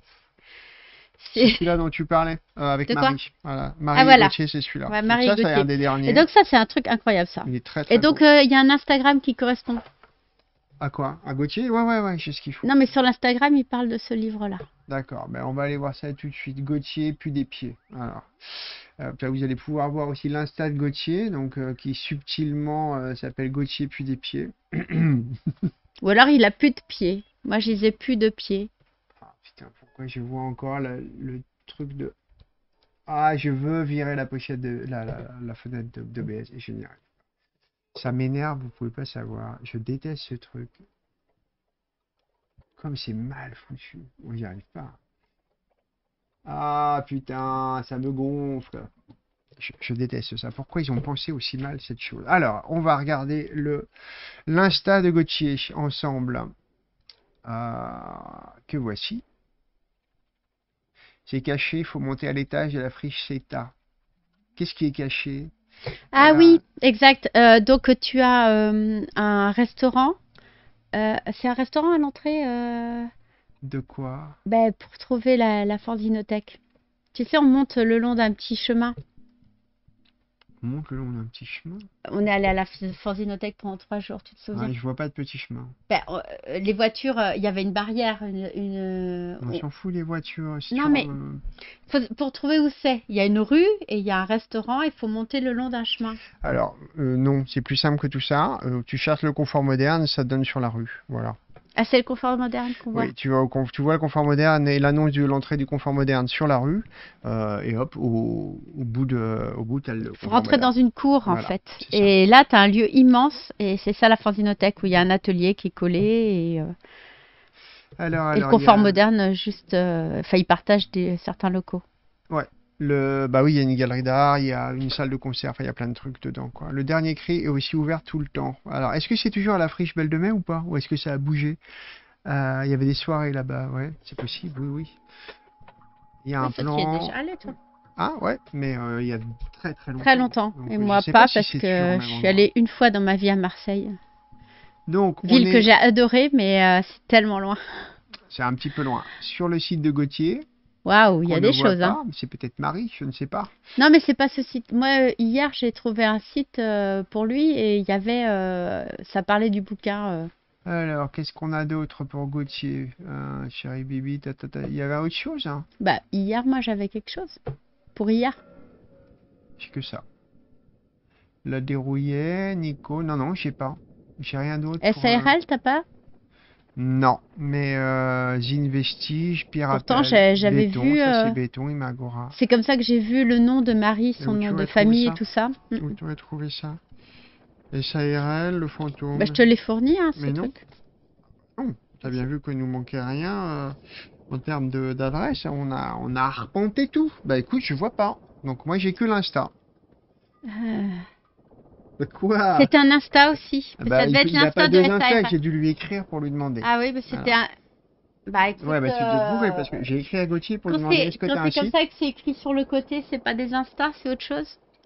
Alors, j'ai dû écrire à Gauthier pour lui demander. Oui, oui, j'ai bien compris, Donc, mais, il y a euh, a pas autre chose. Euh, Dans la présentation, quand tu as des images et que sur le côté ça parle, c'est bien Insta ça. C'est ce que tu vois à l'écran là, Insta. Ouais. Et quand tu cliques, j'ai le droit de cliquer? Quand tu cliques sur un truc et que ça se présente comme ça, ouais, c'est ça. Donc c'était bien sur un Insta hier que euh, j'étais. On sent un grand, grand usage d'Agnès de notre Instagram. On voit bien qui remplit notre Instagram. Ah non, mais moi les réseaux sociaux, euh, j'y connais rien du tout. euh, J'ai jamais été sur Facebook de ma vie. D'accord. Alors, oui, ben moi, je- il m'a filé que ça, Gauthier. D'accord, ok. C'est- Bon, c'est pas grave. Ça vous conduira au bon endroit. Ça n'a pas, ça n'a pas d'importance. J'en avais, j'avais trouvé une adresse et ça- c'était peut-être celle-là d'ailleurs. Bah, Enfin.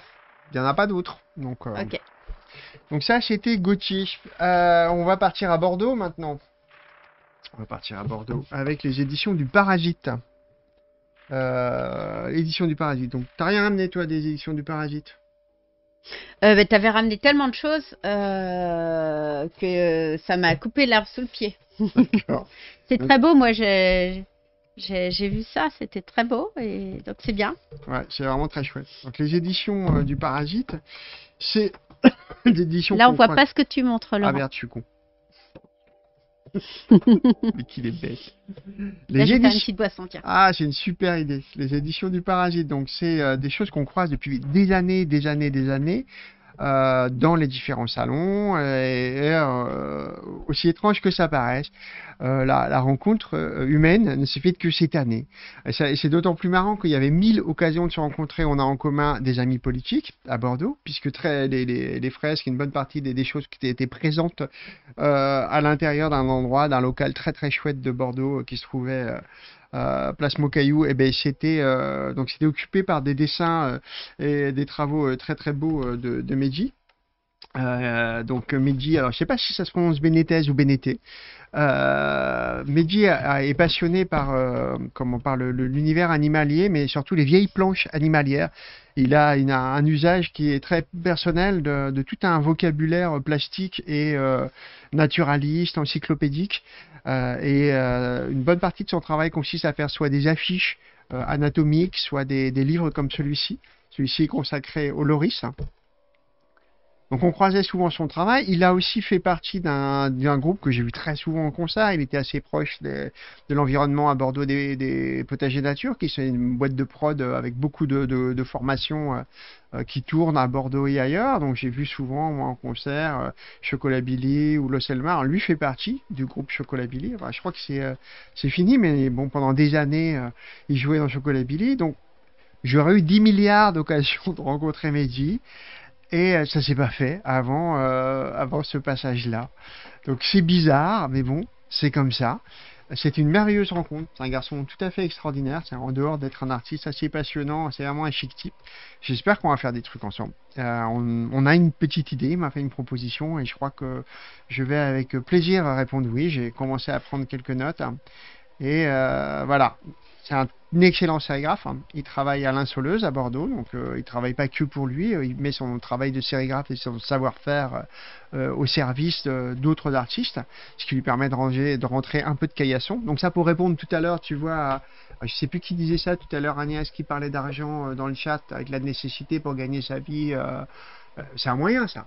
Quand tu as un savoir-faire comme ça, un savoir-faire technique assez pointu, alors, regarde, les sérigraphies de Mehdi, c'est quelque chose. hein, là, on peut s'aligner. On a beau mettre tout le soin du monde, on en est encore loin avec Agnès. de- Ouais, il a fait des posters incroyables. Nous, on n'est pas fan de posters, mais c'était magnifique. hein. C'est vrai, il a dit, se dit ça, ses affiches étaient tellement belles. Et nous, les affiches, c'est vrai que c'est un univers qui n'est pas du tout le nôtre. hein. Mais euh, oui, c'est de très belles choses.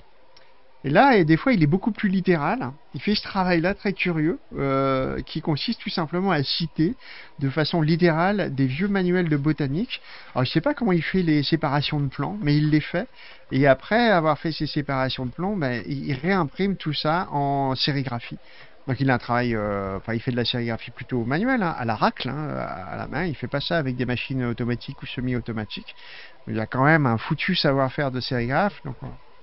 Ça c'est vraiment des choses dont, dont je vous conseille de vous en comprer. Il y a beaucoup de livres dans cette collection-là. Là, moi j'ai pris Flore d'Amérique, mais il y en avait une dizaine. Mais bon, euh, je ne pouvais pas tout acheter, même si j'avoue que j'étais un petit peu tenté par tout. Que dis-tu? On peut parler de ce que fait votre compagne. Ah, j'ai pas vu moi. Elle fait des choses en faïence. Ah oui, euh, c'est d'accord, c'est sa compagne, tu es sûr. Ah, ben, on croit, oui. Ah d'accord, j'avais pas compris ça. Euh, oui, c'est vrai, il y avait euh, une jeune femme qui faisait d'autres trucs à côté, mais euh, je me suis laissé avec euh, joie accaparer par la rencontre avec Mehdi, donc euh, c'est vrai que le premier contact avait été avec elle, mais après bah, j'ai consacré tout mon temps à bah, cette rencontre qui était exceptionnelle, donc du coup j'ai zappé. Alors, il y a bah, peut-être qu'Agnès va vous en parler. Elle faisait un boulot en céramique, ouais, effectivement. Alors, pourquoi le message du chaton Ça te tente bien pour un futur projet? Je t'ai dit, chaton. Je te l'ai dit, euh, Eggy. Le- on ne peut pas dire projet sur cette chaîne. Il y a des mots interdits. Euh, C'était des séries graphiques manuelles. Oui, tout ça est manuel. Et ça, c'est le dernier bouquin que j'ai acheté. Il y en a trois numéros et c'est à mourir de rire. Feuille de route, puisque comme je vous l'ai dit, euh, Mehdi faisait partie de comment de Chocolat Billy. Euh, il a, il, a, il a aussi donc connu des dizaines et des dizaines de, de tournées, de concerts merdiques et foireux, et ça lui a donné une idée hyper marrante. Il a décidé de faire cette chose que, qui est commune, de réunir cette chose qui est commune à toutes les vies euh, des, des musiciens euh, qui font de la musique XP, mais au fond tous les musiciens qui font des tournées, c'est de rassembler des cahiers de la loose absolue, des pires plans de concert que vous pouvez imaginer. Et donc il y a plein de gens qui racontent euh, leur euh, plan. Donc on a TG, hein, donc TG, je crois que c'est lui que j'ai vu qui faisait de la comment de la musique électronique, mais euh, oh putain, j'ai un trou de mémoire. mon vocabulaire commence à me manquer. Ça fait pourtant pas si longtemps euh, qu'on est, euh, mais vous voyez, en acoustique, en grattant des circuits, etc. Il y a Pascal Godjikian. Bah, Pascal Godjikian, c'est le chanteur de la STPO, la Société timide à la parade des oiseaux. Il y a Solène Robert, Guillaume Légevin, Johan Mazet. Johan Mazet, c'est France Sauvage. Eric Camara, je connais pas. Tony, Lucas, Émilie Rouget, Solène Robert. Donc, tous ces gens racontent leur, leur plan loose épouvantable euh, en, concert. Et là, voilà euh, la dernière, je- juste pour vous mettiez dans le bain, c'est très drôle. Tout le monde raconte plutôt bien, j'ai été surpris de, des capacités d'écriture de tous ces gens. Bah, je ne m'attendais pas à ce que ce soit globalement aussi bien fichu. L'écriture, c'est quand même une pratique euh, difficile, exigeante, rigoureuse, et tout le monde se sort très très bien dans ce bordel. Pour finir, j'aborderai une variante de cette situation beaucoup plus fréquente et que j'ai ici dessus à peine esquissée. C'était G qui parle. hein. Euh, donc il fait de la, musique électronique mais analogique, c'est-à-dire en gratouillant des circuits, en faisant des courts-circuits, etc. Le 17 décembre 2011 avait lieu à Tournai, c'est en Belgique, hein, la dernière date d'une des nombreuses tournées communes The Dreams, TG Gondard. Bien échauffé par la succession des dates, en pleine possession de mes moyens techniques et dans l'ensemble très confiant par rapport à un set que j'estime alors maîtrisé et pertinent, je m'installe sereinement sur scène devant un auditoire composé d'une cinquantaine de personnes. Extrêmement concentré sur ma performance, je ne relève pas la tête de tout le concert. Et le nez dans les machines, j'effectue une prestation qui sur le coup m'a semblé globalement plutôt réussie, exemple de toute erreur technique plutôt inspirée. Cependant, à l'issue du concert, je suis surpris de n'entendre absolument aucun applaudissement. Relevant la tête, je me rends alors compte que la salle est complètement, entièrement vide. Et oui, même si vous n'avez encore jamais ressenti le discret frisson de jouer alors qu'aucun spectateur ne s'est déplacé, vous pourrez peut-être avoir l'humble joie de vivre la situation où la salle se désemplit durant le concert et ne se retrouve vide qu'à la fin de celui-ci. Ouais, c'est super drôle. L'enchaînement des plans loose dans Feuille de route est drôle. Dès que je peux, je me procure les deux autres volumes parce que j'ai énormément rigolé en lisant cette chose. Donc, sur le- la table de l'encyclopédie relative et des éditions Le Parasite, vous pouvez aussi trouver Feuille de route et franchement, euh, si vous voulez vous payer une bonne dose de rire, il faut, il faut lire ça. C'est drôlement bien. Alors, alors, alors. On a déjà vu ça, hein, des, des, des salles qui se vident. Oh oui, on a vu ça, des salles qui se vident ou des salles où personne n'est venu. Alors, qu'est-ce que j'ai pas fait? Je vous ai pas montré les sites. On va quand même regarder quelques petits trucs parce que si vous n'avez pas de lien, alors. Twitch Fanzine, ta ta ta ta ta ta, Gauthier c'est bon, Chéri Bibi non non non non non non, Béton pas tout de suite, Belle Belle. Midi, voilà, bah là il y a la musique du Chocolat Billy, Ouais, bien sûr. voilà, donc euh, les albums, euh, si vous connaissez pas la musique du Chocolat Billy, alors c'est pas forcément de la musique que j'écoute, enfin c'est- pas de la musique que j'écoute chez moi, clairement, mais en concert, le Chocolat Billy, c'est du feu de Dieu. C'est très très dynamique, extrêmement sec, euh, arrogant, comme euh, c'est une forme légèrement dégénérée de rock'n'roll, mais avec, euh, je sais pas si vous connaissez le côté extrêmement aride et brutal de- de- des Sonics, qui était euh, de la musique euh, rock, des années 70, je dirais, avec une batterie très sèche. Là, il y a une atmosphère complètement dingue sur euh, scène. Et si vous avez, enfin, sais pas si ça existe encore, mais il y avait vraiment une joie excitante, enfin fiévreuse à écouter Billy. Ça, Là, je vous le dis, je ne m'assierai pas chez moi dans un fauteuil pour écouter ça, mais en concert, c'était quand même drôlement cool. Garage, je sais pas, c'est garage. Garage pour moi c'est les Ramones, donc j'ai peut-être une image très réductrice de ce qu'est la musique garage. Donc euh, je veux pas dire de conneries. J'ai aucune sorte de compétence pour vous parler de rock'n'roll et de, succès- de, de, de, la suite du rock'n'roll puisque j'en écoute pas et euh, je n'y connais pas grand chose. T'en aurais quelques-unes à raconter sur les concerts où tu as joué? Ben, je pense que tous ceux qui font de la musique euh, à un degré un peu amateur, non pas au niveau de l'investissement charnel, mais au niveau des conditions de travail, savent ce que c'est que la loose et les plans vraiment compliqués. Agnès pourrait vous en raconter aussi. euh, elle a da- des anecdotes dont elle ne s'est jamais remise. Alors, l'autre site où vous pouvez voir ça, c'est les éditions du Parasite, évidemment. Je vous donne l'adresse. Oui, un jour, je vous raconterai des trucs. des trucs incroyables qui, qui me sont arrivés. Donc, nous avons là le travail des éditions du Parasite. Là, c'est juste la partie Mehdi. Donc, c'est les bouquins que, et les affiches que fait Mehdi. Là, vous êtes sur les affiches. C'était magnifique. Là, on voit comment il travaille couche par couche. Voilà. bleu, rouge, C'est une pré- une- d'une précision Jaune. démoniaque. Hein. noir. Donc il fait de la sérigraphie à l'aracle en quadrille. Euh, c'est pas rien, mais je vous le dis tout net, c'est vraiment pas rien. C'est très très beau. Il y a les bouquins publiés par les éditions du Paradis, donc il n'y a pas que Mehdi. hein, il y ça a- c'est super beau. Ah mince. Il y a d'autres gens, là, vous montrer. avez Thibaut Glaise, par exemple, Brave Bête. Donc Oh, tout ça reste animalier. C'est vraiment le principe, c'est un travail sur le dessin animalier. Je montre euh, juste avant, j'ai vu un truc super bien. Bien sûr. Ça là, c'est ça, beau. bah, ça. ça, ça a l'air d'être euh, d'être euh, Ah parmi oui. la série des petits livres. Ah oui, c'est ça. C'est ça. Vous, il en a fait sur la hyène. vous allez devoir braquer mémé, et oui. Ouais. Vous êtes foutus. Vous allez encore Je sais pas comment c'était par rapport au prix parce que tu en as pas Ça parlé. allait. Vraiment, ça va. C'est très honnête. Pour un boulot pareil, franchement. euh, Ah bah voilà. Bah là, les- nous, on sait ce que c'est comme boulot, donc. euh, C'est ça. Et franchement, je peux vous dire qu'ils se foutent pas de la gueule du monde. Voilà. Vraiment. Donc, des fois, c'est, ça peut vous sembler cher, mais c'est cher à l'achat. Mais clairement, euh, ce travail, euh, c'est, c'est ce que ça coûte comme temps, comme le papier, les soins. Enfin, il y a un- une vraie raison matérielle pour que ces livres euh, coûtent ce prix-là. Et quand ça doit coûter rien, comme euh, le zine euh, sur la, la route, là, bah, ça, ça vaut 5 balles. Voilà, il y a vraiment une adéquation. Alors qu'il y a une, euh, une sérigraphie sur la Oui, c'est vrai qu'il y couverture. a une hein. couverture sérigraphie. Ouais, ouais, elle est belle. Non, Euh, il vrai. est beau le livre. Je sais pas si vous avez vu, mais il est vrai. Va te faire mettre, ah ouais. 2016, il y en a pas 2022. Qu'est-ce que c'est, janvier? Ah, mais j'adore tu veux, va te faire mettre. C'est vrai que c'est beau. Ah, mais C'est j'adore très drôle. J'avoue que c'est très bien. De Sylvain avec. Donc c'est un 16 pages, euh, impression numérique sur papier Rembrandt.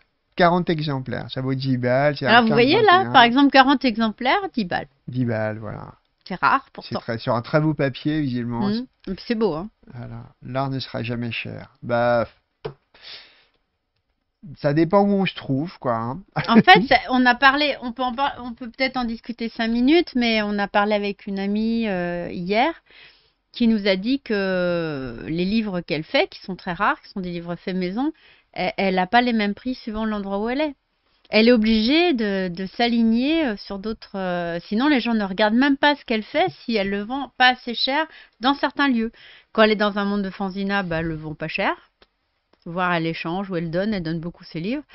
Et, euh, quand elle est dans un milieu plus, plus bourgeois. hein. bah oui, c'est euh, c'est entendu que ça doit être un peu cher, sinon c'est pas intéressant. ben, elle, monte ses prix. Elle, elle pas le. Elle nous disait que j'ai pas le choix. Si si je ne le fais pas, les gens ne regardent même pas.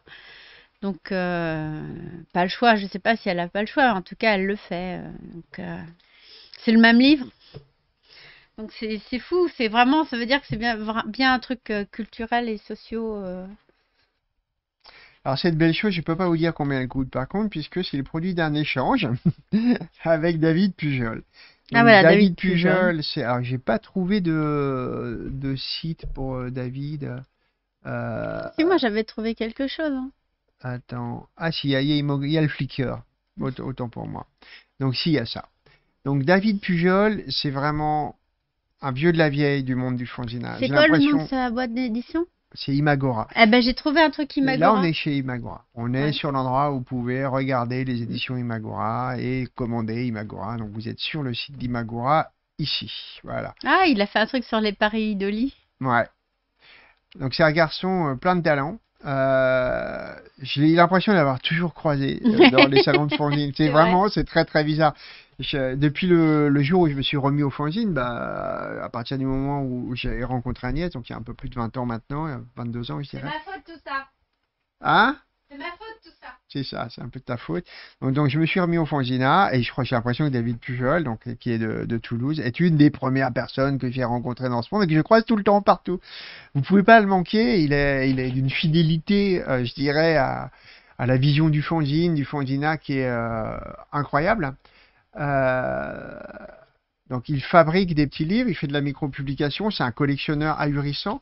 On a d'autres trucs en commun, un certain goût pour des formes de promenade particulières. euh. Donc je vais vous filer l'adresse de, euh, de son Flickr et euh, il y a moyen là de, bah, je pense, de le, con- de le contacter, de- d'acheter des trucs. Parce Ouais. qu'il est amateur de peinture, euh, enfin il, il a des, des goûts communs avec nous. Tiens, Ta boisson Je te mets par là merci, ouais. Alors, dans le sens où si c'est des beaux objets artisanaux, des artistes que tu adores, peu importe le prix. Bah euh, ouais, mais malgré tout, on a tous des limites dans ce qu'on peut mettre dans quelque chose, tu vois. C'est vraiment le truc de...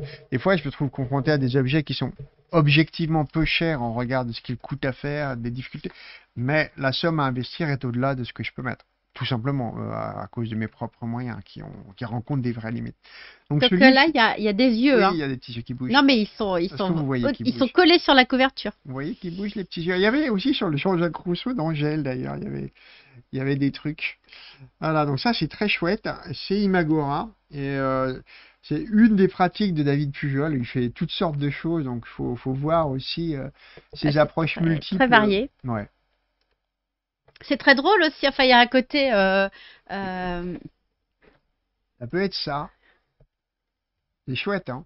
Voilà, il avait pratiquement rien amené. Il était visiblement là, essentiellement plutôt euh, comme collectionneur fou pour voir des gens, parce qu'il il est, il appartient à, ce monde, clairement.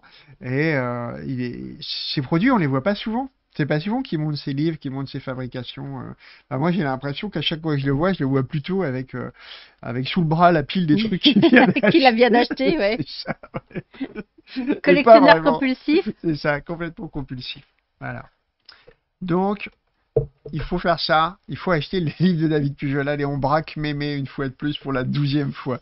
C'est très amusant. Et donc, on qu'il connaît fait. pas le prix puisqu'il nous l'a donné, c'est ça? Ouais, c'est ça, c'est un échange. Il Voilà. a échangé contre un petit Échange. truc. Donc, vous voyez.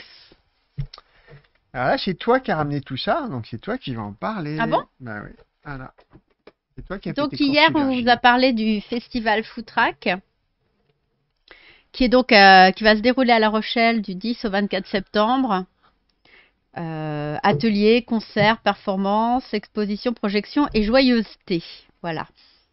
Donc où est-ce que c'est? Euh, on, a, on avait donné le lien hier, mais Alors, si tu arrives à me lire. la euh, vous voulez, ouais, je peux Ouais. vous choper le, le lien. Attends. Et donc euh, je crois que c'est un jeune festival. Hein.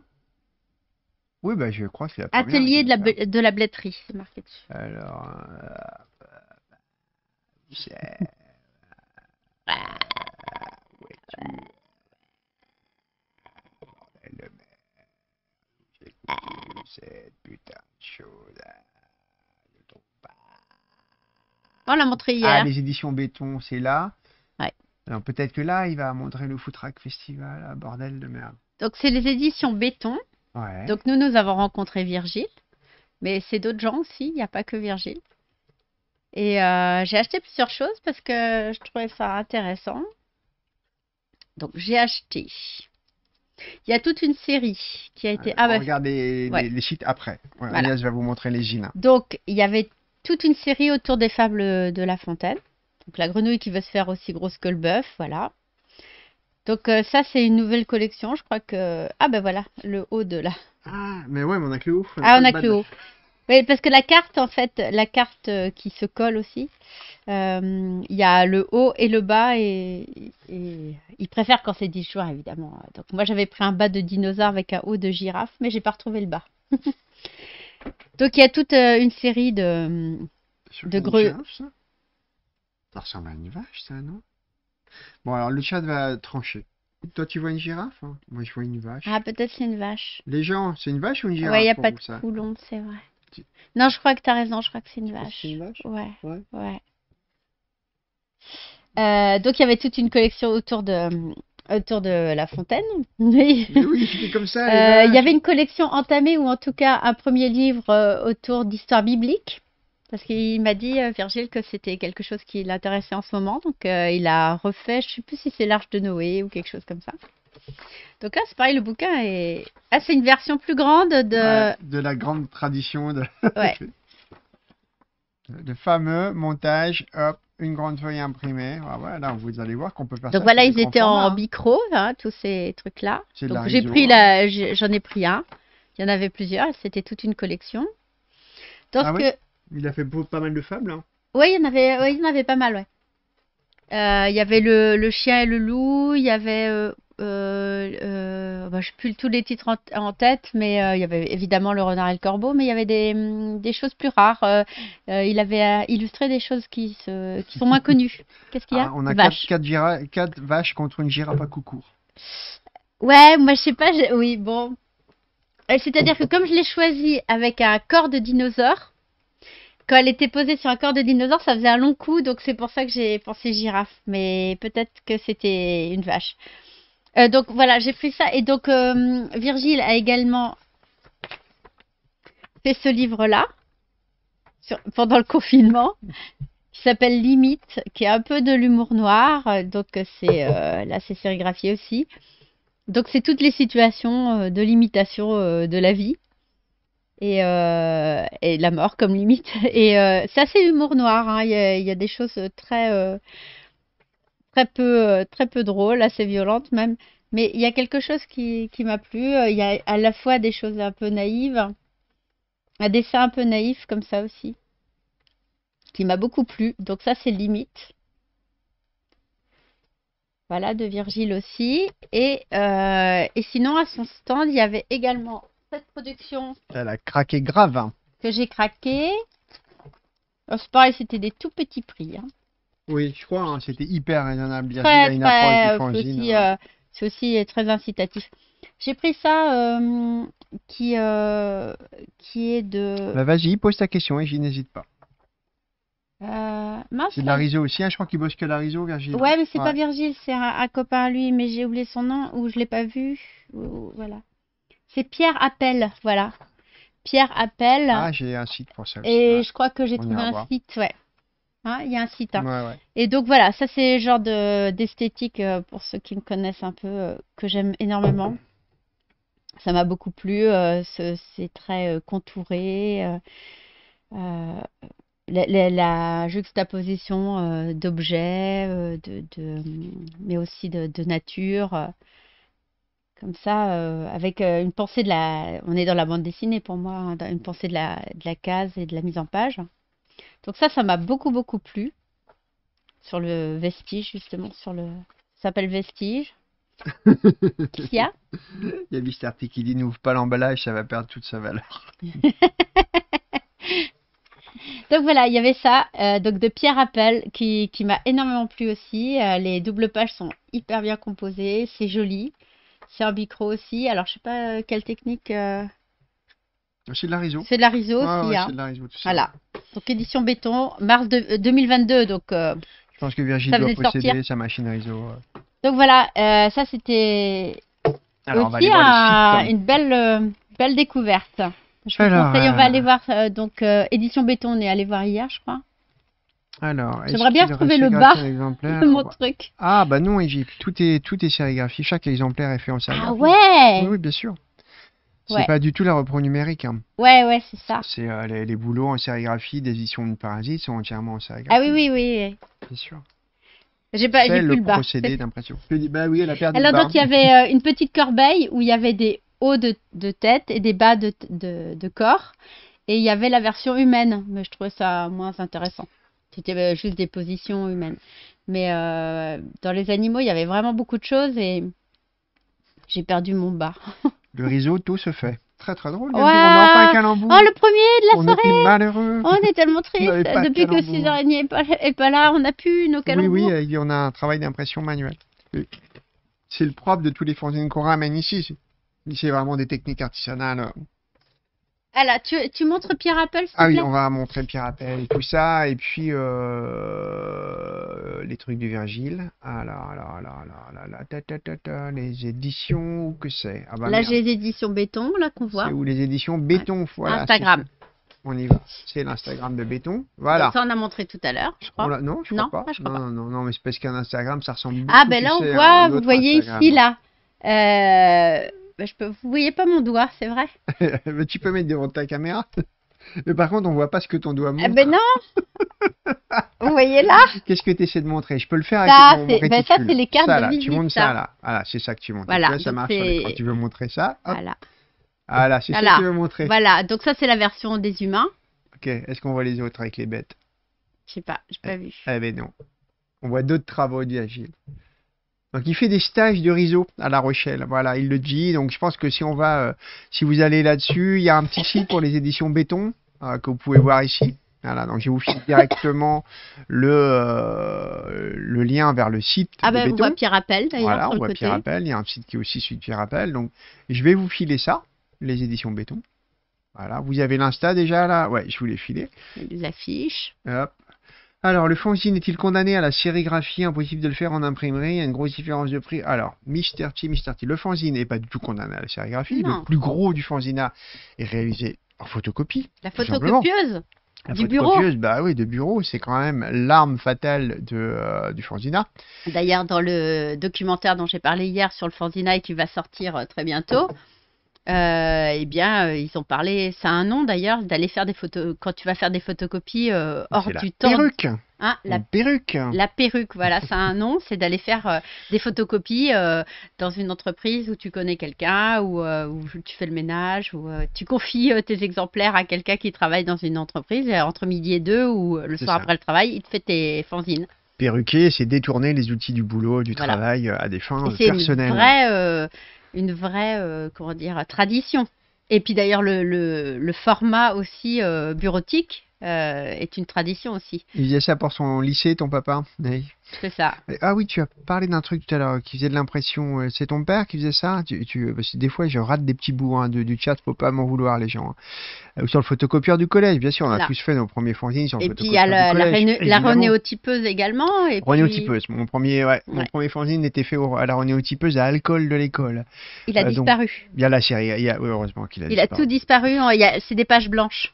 oui, ça n'a pas tenu. Donc avec le ne, fait- ne faites pas. euh, D'ailleurs, euh, notre ami Thierry Bourgalet, euh, quand il faisait Scalp, notre couverture était en Renéo. Et elle va Ah non. Si, c'est la. Ouais, On en a un exemplaire là pour Ah montrer. ouais, je ne sais plus. Je On peux, là des petits, des petits. je peux vous montrer ouais, ça. Donc trois couleurs, trois passages couleurs en Renéo. Exactement, il y a la Renéo. Donc, comme on vient de le dire, il y a évidemment la risographie. Donc, la riso, c'est quoi? Ben, C'est un copieur couleur qui a été inventé à un mauvais moment de l'histoire. Il a été inventé à un moment où on essayait de pallier euh, le manque de couleurs dans la documentation de bureau. On a inventé donc des copieurs couleurs qui permettaient de changer les tambours avec une espèce d'encre sur laquelle on fabrique une matrice, une encre un peu molle qui met du temps à sécher. Ça fait des très beaux effets veloutés. Mais le problème, c'est que très peu de temps avant, eh, après, pardon, on a inventé le photocopieur couleur. Donc ça servait plus à Ah, ça c'est comme le thérémine juste avant le synthé ou euh, les ondes Marteneau juste avant le synthé. Donc les artistes en sont ré- enfin, euh, on- se, on- se sont réappropriés euh, la risographie euh, dans les années 2000, mais pendant, euh, enfin, la, la machine semblait condamnée à la disparition. Elle a intéressé les artistes essentiellement parce que du coup, elle coûtait très peu cher. tout le monde s'en débarrassait à très bas prix. Elle est, il faut l'entretenir, il faut la réparer, ça demande du soin. Mais Alors, la c'est facile à faire tourner. Alors la rodéotypeuse, C'était à l'école. À l'école, on avait ça avant les photocopies. Ah, tuto Ronéo, je sais pas. Faudrait demander euh, à l'imprimé populaire. Ouais, c'est ça. Je serais très étonné qu'il n'y ait rien. Donc Claire, retrouve euh, là dans le dans le, le live, euh, si t'étais pas là, on a filé euh, plusieurs fois les, les liens de l'imprimé populaire. Les, amis de l'imprimerie populaire, tu peux le taper directement, je pense que tu vas tomber chez eux et eux, ils fournissent des, des, tutos, vidéos ou papier, PDF à télécharger sur plein de... Là, c'est. Les- Alors la les Renéo, c'était quoi? hein. C'était euh, à, à l'école quand la maîtresse d'école voulait te faire euh, dessiner ou euh, te faire tes exercices. Hein? Je pense que sa question est technique. Comment ça marche? Ah, pas- il y a pas quelqu'un, il y a quelqu'un qui a dit c'est quoi Ron- Renéo Mais je pense que la question est technique. C'est comment marche la Renéo Puisqu'on est en train de parler des un tube de métal où tu mets de l'alcool dessus et tu as des, euh, des papiers carbone C'est ça. qui peuvent être de différentes couleurs. Je vais vous en montrer un ou deux puisque euh, Thierry Bourgalet, dont je vous rebats tout le temps les oreilles, qui a fait cette, euh, ce fanzine qui s'appelait Scalp, euh, chaque couverture était faite par une des quatre personnes. Donc c'était deux couples, moi et Laurent et Noémie Lotte et Aurélien Leff. Et, donc on, faisait la couverture à chaque fois à partir de la couverture de- précédente, comme une espèce de pas de cadavre exquis, mais Il faut du euh, papier carbone, c'est ça. voilà, c'est du- avec du papier carbone. ouais. Et donc, euh, alcool et papier carbone. Donc, on devait euh, faire chaque couche sur papier carbone. on les envoyait à Thierry par la poste, vraiment old school quoi. On avait une, une feuille de vert, une feuille de, de noir ou bleu et une feuille de rouge. Alors le vert passe beaucoup moins, mais on le voit presque pas.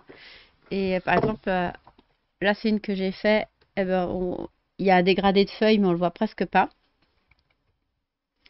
Et donc dans, je peux le montrer là, voilà, voilà. Donc c'était scalp, donc. euh, Alors, ça, Voilà. c'est de la Renéo. Et donc ça c'est de la Renéo. Alors, voilà, ça alors, donne ça. euh, quoi d'autre euh, Qu'est-ce qu'on a comme technique voulais- possible Bon, pour, pour les, les sérigraphies, comme tu as vu, il y a, il y a différents euh, niveaux d'exigence euh, technique euh, et aussi d'investissement financier. Nous, on est dans une sorte d'entre-deux. C'est à la fois complètement artisanal, tout, est fabriqué, la, soleuse est fabriquée, la table aspirante est fabriquée, mais on utilise les, produits pour sérigraphie qui ont un coût.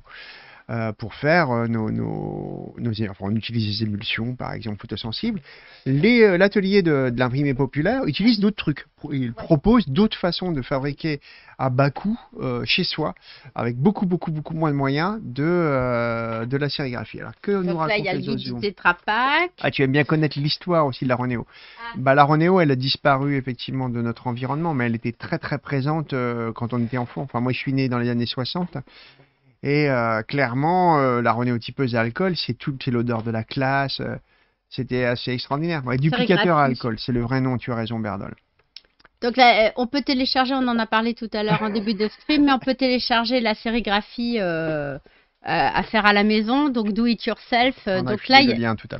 Là, il y a des, des choses plus faciles pour faire. euh, Alors, c'est vrai que maintenant, on en colle nos propres cadres. Tu peux faire un cadre euh, en, en bois, euh, tout simple, et puis euh, coller du tissu dessus. Euh, euh, je vous parlais tout à l'heure de Thierry Bourgalet, euh, qui fait ça, la Vati euh, ou Factotum. Euh, il fait un fanzine euh, assez incroyable qui s'appelle Prurit, où il y a plein de papiers, plein de techniques, plein de découpages, et j'en parle souvent parce que c'est très beau et assez rare à, à voir, parce qu'il les vend pas, ou presque pas. Et euh, lui, il fait tout au tissu. Il achète juste du tissu qu'il tend sur des cadres. Il fait ça dans sa salle de bain et il nettoie ses cadres euh, à, hum, au lavomatique. euh, Au car wash. au- au- comment? Au car wash. Au car wash d'à côté, euh, là où on lave les, les voitures, quoi. Donc il a, il a pas du tout de matériel. Il a même pas de comment ça s'appelle ce truc à haute puissance euh, avec de l'eau. là. Karcher. Karcher, voilà.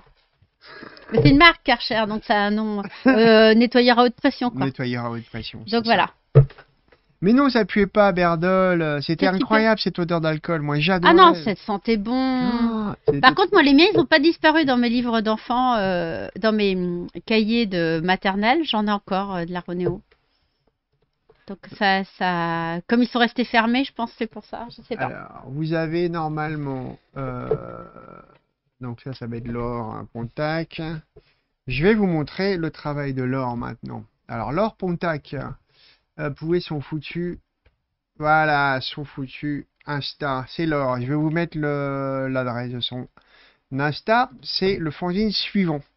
Alors, c'est une super rencontre. Elle était venue, bah, quand on parlait du fait que le fanzine, c'est un truc qui se vit à l'arrache, Laure est venue euh, pas- comme ça, en touriste. Elle avait quelques jeans dans son sac, pas de table à proprement pour les poser. Elle a demandé un espace pour poser ses jeans, et puis roule, ça se fait. Salut Sombe Alors, tout le monde sait que les artistes font ce métier pour le plaisir de sniffer leurs produits délicieusement odorants. C'est vrai. Si tu savais, Sombe, si, Si tu savais comme c'est vrai. Il faut savoir que moi j'ai travaillé pendant euh, 15 ou 20 ans avec du trichloréthylène pour faire euh, des impressions au triclo. Donc c'est un produit extrêmement dangereux qui est interdit aujourd'hui, avec lequel évidemment euh, tous les utilisateurs se défonçaient. Et j'ai fait mes premiers travaux au pochoir euh, au tout début des années 80 dans mon atelier, qui était également ma piole. Ça veut dire que je dormais dans des nuages de bombes aérosols. Donc l'idée de se tuer à petit feu avec euh, les produits qu'on utilise pour travailler, je connais. Bah là, depuis que Laurent a repris la peinture, euh, ça sent dans toute la maison euh, la térébenthine, euh. Wild Spirit, euh, les odeurs de peinture. C'est vrai que on se shoot et puis on, on nettoie ça dans le dans, dans le l'évier, donc la vaisselle. Il y a toujours des coupelles de, de, de- des collines ou de peinture dans la avec la vaisselle, quoi. Donc on doit en bouffer euh, des tonnes, je pense, de peinture, de toutes sortes de produits. Alors, le boulot de Laure Pontac. Je Allez, on y va. le lien. Euh, hop, on y va. Ici, c'est parti. Donc Laure euh, a déboulé euh, complètement touriste avec euh, ses touristes dans son sac à dos et c'est une très bonne idée, ça nous a permis de la rencontrer. Elle a une activité, comme vous le voyez, assez intensive de Fonzina. Alors, comme elle n'avait pas grand-chose, on n'a pas vu grand-chose. En plus, on a tellement passé de temps à papoter d'autres trucs qu'elle s'était déjà, elle avait déjà fait son sac au moment où je voulais choper ses autres fanzines. Résultat, je n'en ai qu'un, mais je vais quand même essayer d'en avoir d'autres. J'espère choper ça rapidement. Euh, elle a une pratique du, du tatouage ou faux tatouage euh, à base de grosses tubs tout à fait scandaleuse. Elle a une façon de dessiner d'énormes bites repoussantes. Euh, elle a un, un goût euh, frelaté pour l'humour euh, volontiers bas de gamme et ultra cru. Là voilà, là en train de faire le zozo à l'arrière-plan. Donc elle a une pratique picturale visiblement euh, De rue aussi. bah, on est entre, euh, en- entre l'objet peinture et euh, l'héritage plastique du graphe. hein. Donc j'aimerais bien voir tous ces autres fanzines, mais elle n'avait pas grand-chose, grand-chose. Je serais curieux de voir évidemment les peintures. Elle ne peut pas faire autrement que de faire des grimaces sur une photographie. Donc ça, c'est le fanzine que j'ai chopé. C'est euh, Roule ou crève. C'est euh, la première fois, me dit-elle, euh, qu'elle abordait de façon frontale des questions handy dans son boulot. C'est pas son kiff jusque-là de, enfin c'est pas l'objet dont elle parle a priori, mais là, elle a décidé de faire un manuel qui est euh, plutôt bien foutu. Enfin, c'est bien écrit, il y a une belle écriture, très enlevée, très précise, très juste. C'est assez, euh, assez brillant. C'est vrai que c'est un bouquin plutôt intelligent. Pour je dis ça, j'ai lu que la moitié pour l'instant. J'ai commencé, c'est dense. euh, N'oubliez pas qu'on revient de Poitiers, hein, donc on a dû se, on a lu nos fanzines à, à la course. Et, Mais, euh, non seulement on les a lus, mais il a fallu trouver tous ces, tous ces sites, tous ces. Bah oui. Ouais. Il fallait essayer de documenter ce bordel. hein. Donc ça, c'est plutôt très chouette. Euh, voilà comment elle le décrit. Donc c'est tips de lutte antivalidiste, mais surtout pour mieux vivre sa vie en vie. Donc c'est des choses dont on a causé, mais euh, entre autres, ah, elle est euh, son rapport à, la militance est, hors militance en quelque sorte. C'est il y a un caractère juste vital et affirmé, mais c'est une pratique qui est pas au cœur de sa construction personnelle. C'est avant tout une artiste. Euh, dans son travail, c'est ce qu'elle fait valoir, ses qualités artistiques. Là, elle en, a, elle en fait son objet, ça devient son questionnement, et voilà ce que ça donne. J'écris ce zine afin que celles ayant du mal à accepter leur situation puissent réfléchir, faire leur deuil et finalement accepter leur situation nouvelle ou pas, vivre mieux, s'unir, militer pour l'égalité des droits, pour plus de reconnaissance, plus de respect, plus de visibilité. Il est aussi destiné à tous ceux, à toutes, à tous ceux et toutes celles qui sont désireux ou désireuses de s'informer, d'aider la cause, peu importe leur raison. Il vise à développer, acquérir plus de compréhension, d'empathie pour tous ceux et toutes celles qui ne vivent pas directement le handicap, la maladie, le validisme, dans le but de mieux vivre ensemble et lutter à nos côtés contre le monstre validisme. Je passe ma vie à tenter euh, d'éduquer le monde en tant que racisé, en tant que queer, féministe, en tant qu'handicapé, en tant qu'adopté. Je réponds du mieux que je peux aux questions, je fais de la pédagogie en me convaincant moi-même qu'ainsi je participe à faire du monde un lieu un peu moins pourri pour l'humanité. C'est prétentieux, mais c'est ce qui me permet d'avoir l'énergie et la foi pour écrire ce texte, en tout cas. Je m'appuie en grande partie sur le livre Les Invalidés, nouvelles réflexions philosophiques sur le handicap de Bertrand Cantin, qui a été une vraie bible libératrice pour moi. Voilà. Donc il y a plein de choses, il y a euh, plein de questionnements, enfin il y a une façon assez frontale de poser des questions. Elle parle euh, de toutes sortes de choses dont bah, les gens valides comme moi ne parlent pas, parce que juste euh, on se pose pas forcément, enfin on se pose pas du tout de questions sur euh, notre mobilité dans le monde, puisque nous sommes mobiles dans le monde et que ce monde est construit pour nous. Donc forcément, voilà, s'il y a bien un truc clairement euh, qui n'est pas intégré dans euh, nos modes de construction personnelle euh, quand on est valide, c'est tout ce qui fait obstacle à la construction matérielle de ces déplacements, de son organisation territoriale ou la construction du, du quotidien euh, quand on est en 10. C'est une chose qui ne vient Il y pas avait des questions hyper intéressantes dont on a parlé, on a beaucoup parlé pendant ces, ces jours-là. Une des questions euh, qui était hyper intéressante, c'est que euh, l'or est, est- peut se tenir debout et se déplacer. Euh, euh, donc marcher, de- vu de notre monde de valide, mais euh, ça, ça lui coûte un effort énorme, beaucoup de souffrance, et c'est terrible.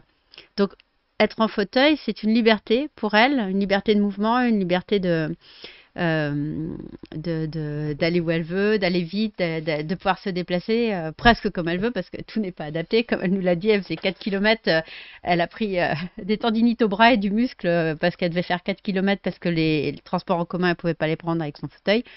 Mais euh, ce qui est intéressant dans, ce qu'elle en disait et une des choses auxquelles on ne pense pas du tout, c'est que euh, debout, elle euh, passait pas pour handicapée ou c'était pas, elle était debout. Donc euh, quand tu es debout, bah, tu es perçu différemment par les, autres, les autres personnes, les personnes valides. Et quand tu es dans un fauteuil, tu es perçu euh, donc infantilisé, euh, euh, voire touché, euh, manipulé, on parle sur toi, etc. Le statut change complètement euh, de, de niveau, alors que pour elle, c'était un- une façon d'être moins handicapée d'une certaine façon d'avoir son fauteuil. Enfin, voilà. Alors, Il y a plein de questions comme ça intéressantes. Sam nous dit qu'elle fait un très beau travail de gravure à la cuillère sur ses premiers jeans. Bah ça, on n'a pas vu tout ça. Berdol nous dit le validisme dépasse largement la mobilité. 80% des handicapés sont invisibles. Ouais. Euh, bah, euh, ça dépend de quoi on parle. C'est-à-dire que le- nous, on a complètement intégré dans notre vie quotidienne la question du, du validisme psy. Mais bon, c'est un autre terrain où effectivement la question de, la- de ce qui est visible, invisible, de la, la perception de la difficulté à vivre, euh, là, à titre individuel, on est confronté à ces questions au quotidien dans la vie. Il y a, y a énormément de handicaps qui sont invisibles. On en a beaucoup parlé justement avec Laure. C'est que moi, je connais mieux les handicaps invisibles. C'est par exemple les, personnes qui souffrent, euh, comme j'en ai souffert pendant des années, de douleurs euh, chroniques qui ne se voient pas euh, et pour lesquelles il n'y a pas de traitement. Ou, comme je, lui parlais par exemple d'une étude que j'avais lue sur les, les bègues. Et en fait, il y a, des bègues invisibles, c'est-à-dire des gens qui ont corrigé, euh, qui ont corrigé euh, euh, très tôt, vers un ou deux ans, au moment où ils ont commencé à parler, ils ont corrigé, trouvé toutes sortes de stratégies pour qu'on ne découvre pas, enfin qu'on ne- n'entende pas euh, le fait qu'ils sont bègues et ils ne sont, euh, ils ne sont euh, diagnostiqués que eux, soit pas du tout, soit très tard, parce que eux-mêmes ne savent pas forcément qu'ils se répètent en boucle les phrases avant de les dire, qu'ils choisissent les mots de façon à ce que ça passe, que et donc c'est une pression sociale et une souffrance interne, comme des personnes qui ont des syndromes autistiques et qui font des efforts énormes pour aller acheter leur pain et que d'autres jours, euh, bah, donc on ne voit pas euh, le degré de souffrance qu'ils ont. euh, dans certaines situations où euh, des gens qui supportent pas qu'on les touche et euh, qui qui vont euh, absorber un, taux de stress euh, dans certaines situations. Euh, donc euh, oui, le, handicap invisible, il est, incroyablement varié finalement. Et, mais là, avec Laure, on a parlé du coup de ce que c'était d'être... euh, euh, parce que on discutait du fait de dire ou pas qu'on est handicapé. Dans quelle situation dire ou pas qu'on est handicapé euh, Une question qu'a bien traité euh, Une si belle folie. Si vous êtes curieux de ça, euh, allez voir le site Une si belle folie euh, de Sarah qui, euh, a un travail formidable sur euh, toute son expérience psychiatrique et comment elle, euh, vit ça. Et elle fait des magnifiques collages en plus. Et, euh, et ces textes sont très très beaux. Et euh, elle, elle se posait la question de est-ce que, euh, comment se- ça a ôté, euh, dire, par exemple, quand tu es dans un travail, dire est-ce que je suis handicapée, est-ce que je suis pas handicapée, où le dire, quand le dire, à quel moment le dire, euh, devant qui le dire, parce qu'on sait que par exemple euh, la psychose ou quand on dit qu'on est schizo, ben, ça fait très peur aux gens. Ils pensent tout de suite à des tueurs en série. Ils, pensent qu'on va être violent ou euh, et le dire ou pas. Et Laure m'a répondu, ben oui, les gens comme ça, ben, ils ont le choix, ils peuvent le dire ou pas. Moi, j'ai pas le choix. Ça se voit. Donc, c'est toutes ces questions-là. C'est pas du tout les mêmes, la, la même perception du monde, hein, du coup.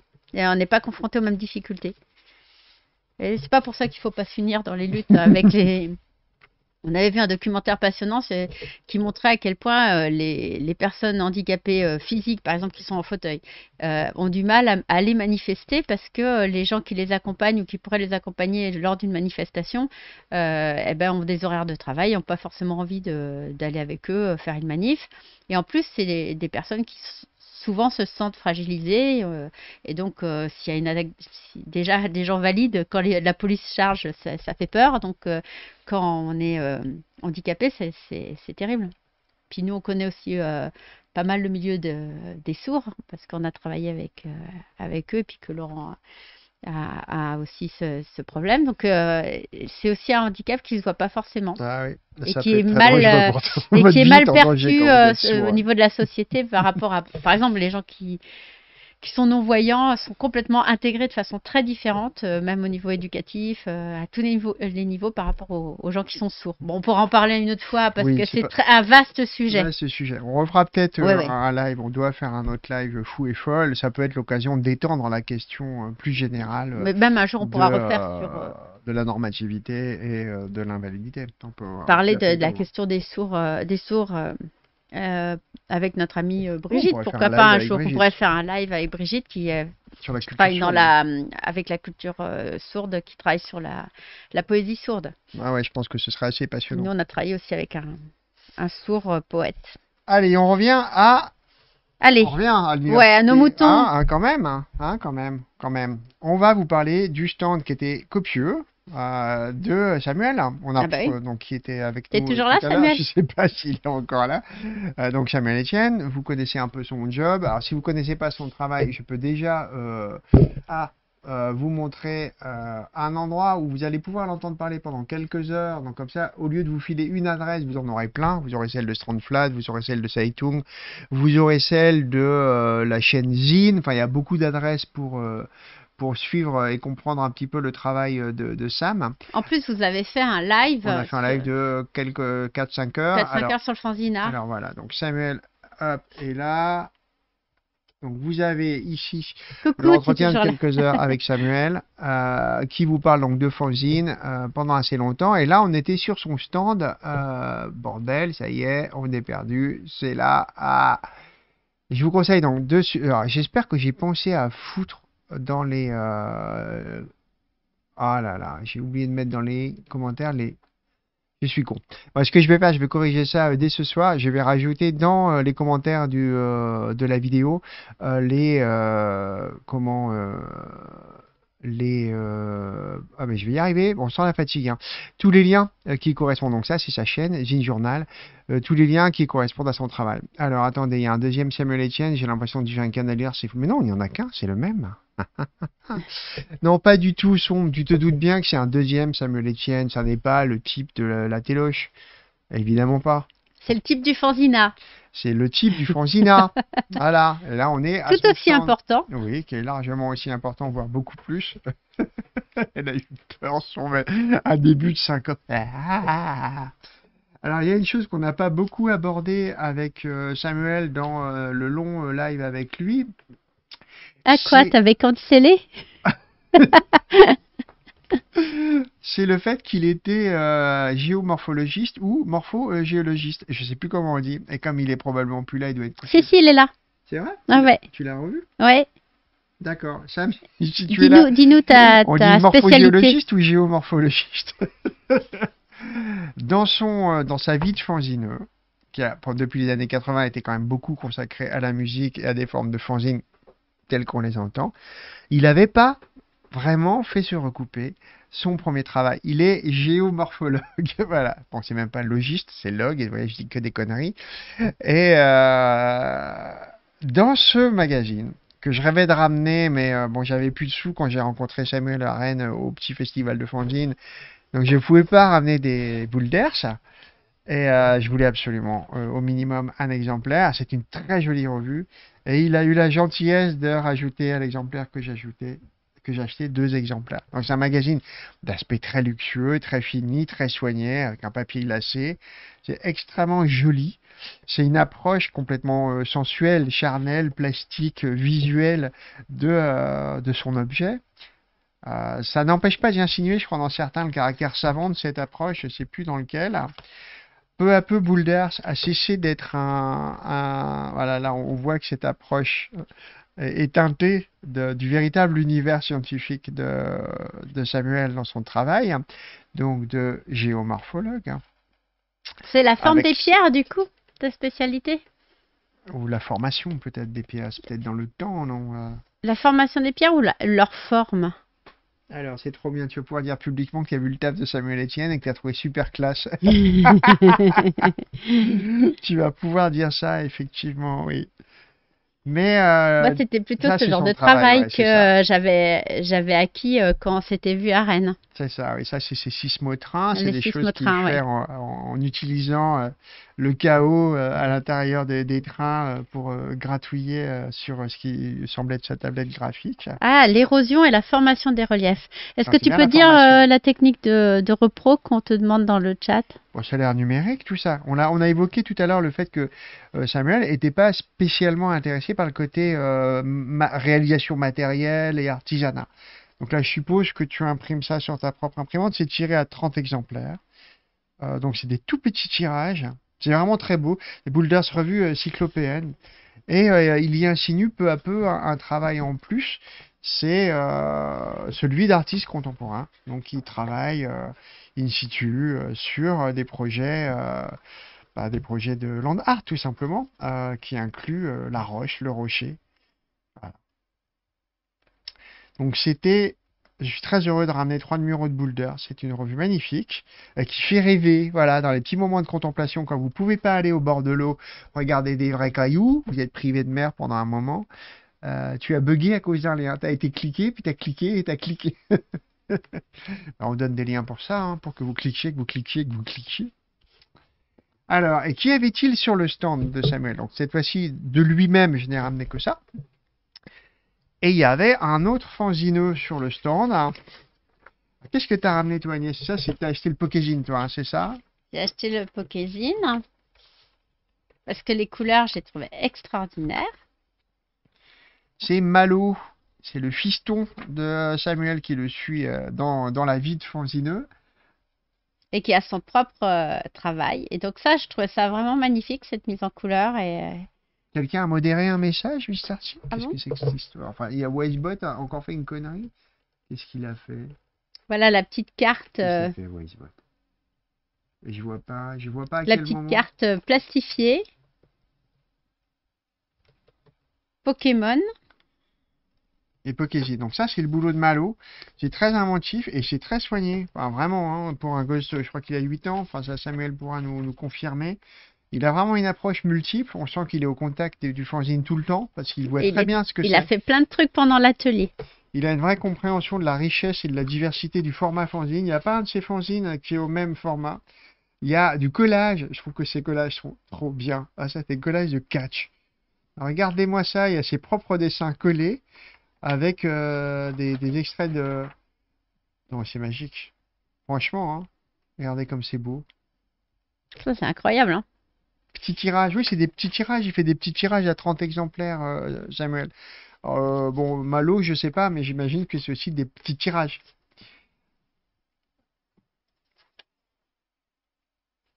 Et en fait, là, c'est vraiment son travail de collage qui me fascine complètement, quoi. Il a un art de la, mise en bordel de la page, mais, euh, mais c'est le Schwitters du fanzine, ce garçon. il a 8 ans, il est quand même très très bon, franchement. hein. Donc il réintègre des vieux dessins, il les, il les réassemble avec des trucs plus récents. euh.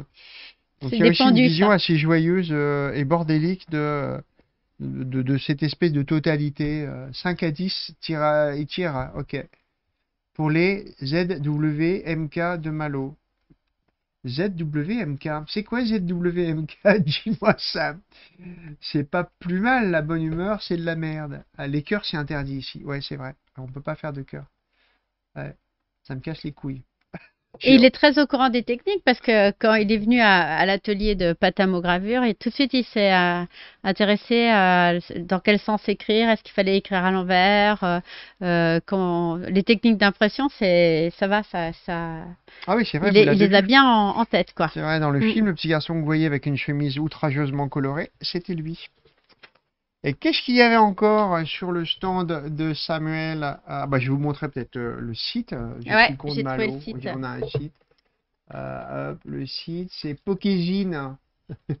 Il a un YouTube. Alors là, c'est vraiment concentré non pas sur. euh, Mais on va le suivre, on va s'abonner. Il aura un abonné de plus. Hop, ça va l'encourager à faire des vidéos. Bon, évidemment, son objet n'est pas tout à fait le mien, c'est très clairement Pokémon. Je n'ai pas la moindre idée de ce que c'est. Comme tous les êtres humains sur cette planète, je sais que ça existe. Je sais qu'il en existe un jaune qui s'appelle Pikachu et c'est tout ce que je sais. Et je dois vous avouer que je m'en bats un tout petit peu les couilles. Mais quand même, le travail de ce garçon m'intéressant, c'est difficile de ne pas m'intéresser d'un seul coup à ce qu'il fout avec euh, ses Pokézines. Donc euh, voilà l'adresse de sa chaîne et je vous la file. Hop. C'est le nom de sa série et c'est son pseudo Pokézine. Alors, c'est son pseudo carrément. C'est son univers total. On peut dire que clairement, si on voit ses fanzines, ça excède vraiment le cadre qu'on pourrait imaginer. C'est pas du tout strictement limitatif pour lui. On voit bien que c'est euh, c'est ouvert à une infinie variété des possibles. Même si euh, la petite carte. euh, Même sa petite carte, voilà, plastifiée, il ne se refuse rien. Euh, et donc euh, là, il y a un site aussi. Là, il y a un site aussi. J'ai pris une des cartes proposées par, euh, par Patrice. Alors, Patrice Latron, c'est le pote de Samuel, avec qui ils font des trucs. Il est photographe. hein. C'est le Robert Heiler du. Oui, c'est exactement ça. C'est exactement ça, oui. Ouais, l'art du radis. Donc j'ai craqué sur cette série. Il en existe plusieurs versions. Donc c'est un tout petit portfolio tout mignon qu'il a tiré à 15 exemplaires. C'est vraiment des petits tirages. hein. Donc c'est des tirages tout jolis. Tirages numériques, certes, mais des beaux tirages photographiques. C'est magnifique, hein. De Radis Zarbi. Euh, je crois qu'il y a une petite présentation. Euh, ces photos de radis cultivés dans mon jardin ont servi pour des ateliers d'écriture avec des élèves à Rouen. Voilà. Il utilise des radis comme matériel pédagogique. C'est pas banal, ça, quand même. Ah, c'est assez luxueux, hein, le truc en plus. Oui, oui, c'est vraiment très élégant. Mais je crois qu'on les voit tous sur le site. Hein. C'est vrai? Oui, oui. Donc voilà les très belles photographies de Patrice. J'ai euh, j'ai pas eu le temps de tout regarder. Il a une, un- tout un aspect de sa photographie qui est très, euh, euh, comment on pourrait dire ça, gonzo. Enfin, c'est du, du- de la photographie de rue, de ville, Ouais. assez. De manif aussi, beaucoup. C'est ça, très vif. hein. Ah bah, il n'a pas arrêté de prendre des photos pendant le, le festival. hein. Je pense qu'il fera une série. euh. Ouais, il m'a même, Samuel m'a envoyé une photo qu'il a pris euh, Ah bon? au stand. Ah, mon d'accord. Lui, il nous a beaucoup pris, euh, mais il, a- il prenait beaucoup de photos, je voyais. Euh, et donc, euh, dans sa production, il y a beaucoup de photos euh, aussi de, de manifs syndicales, de choses comme ça. Il y a des choses politiques, il y a des choses euh, euh, bord de mer, euh, il y a toutes sortes de choses, euh, mais tu vas voir. Alors, où est son site Euh, On va voir ça. Euh, J'ai trouvé son site, voilà. Hop, ah bah oui. Donc, je, je suis allée directement sur les radis, mais il y a plein d'autres choses. hein. Voilà. Et voilà, nous Bah, voici chez Patrice. Hop, bah oui, je vais vous montrer, je suis con. Hop, Voilà, mais donc il y a plein d'autres choses. hein. Il y a des séries, il y a des euh, euh, les expos, tout ça. Bon, voilà. Vous avez les, les radis, mais voilà, il y a voilà des photos de Bretagne par exemple.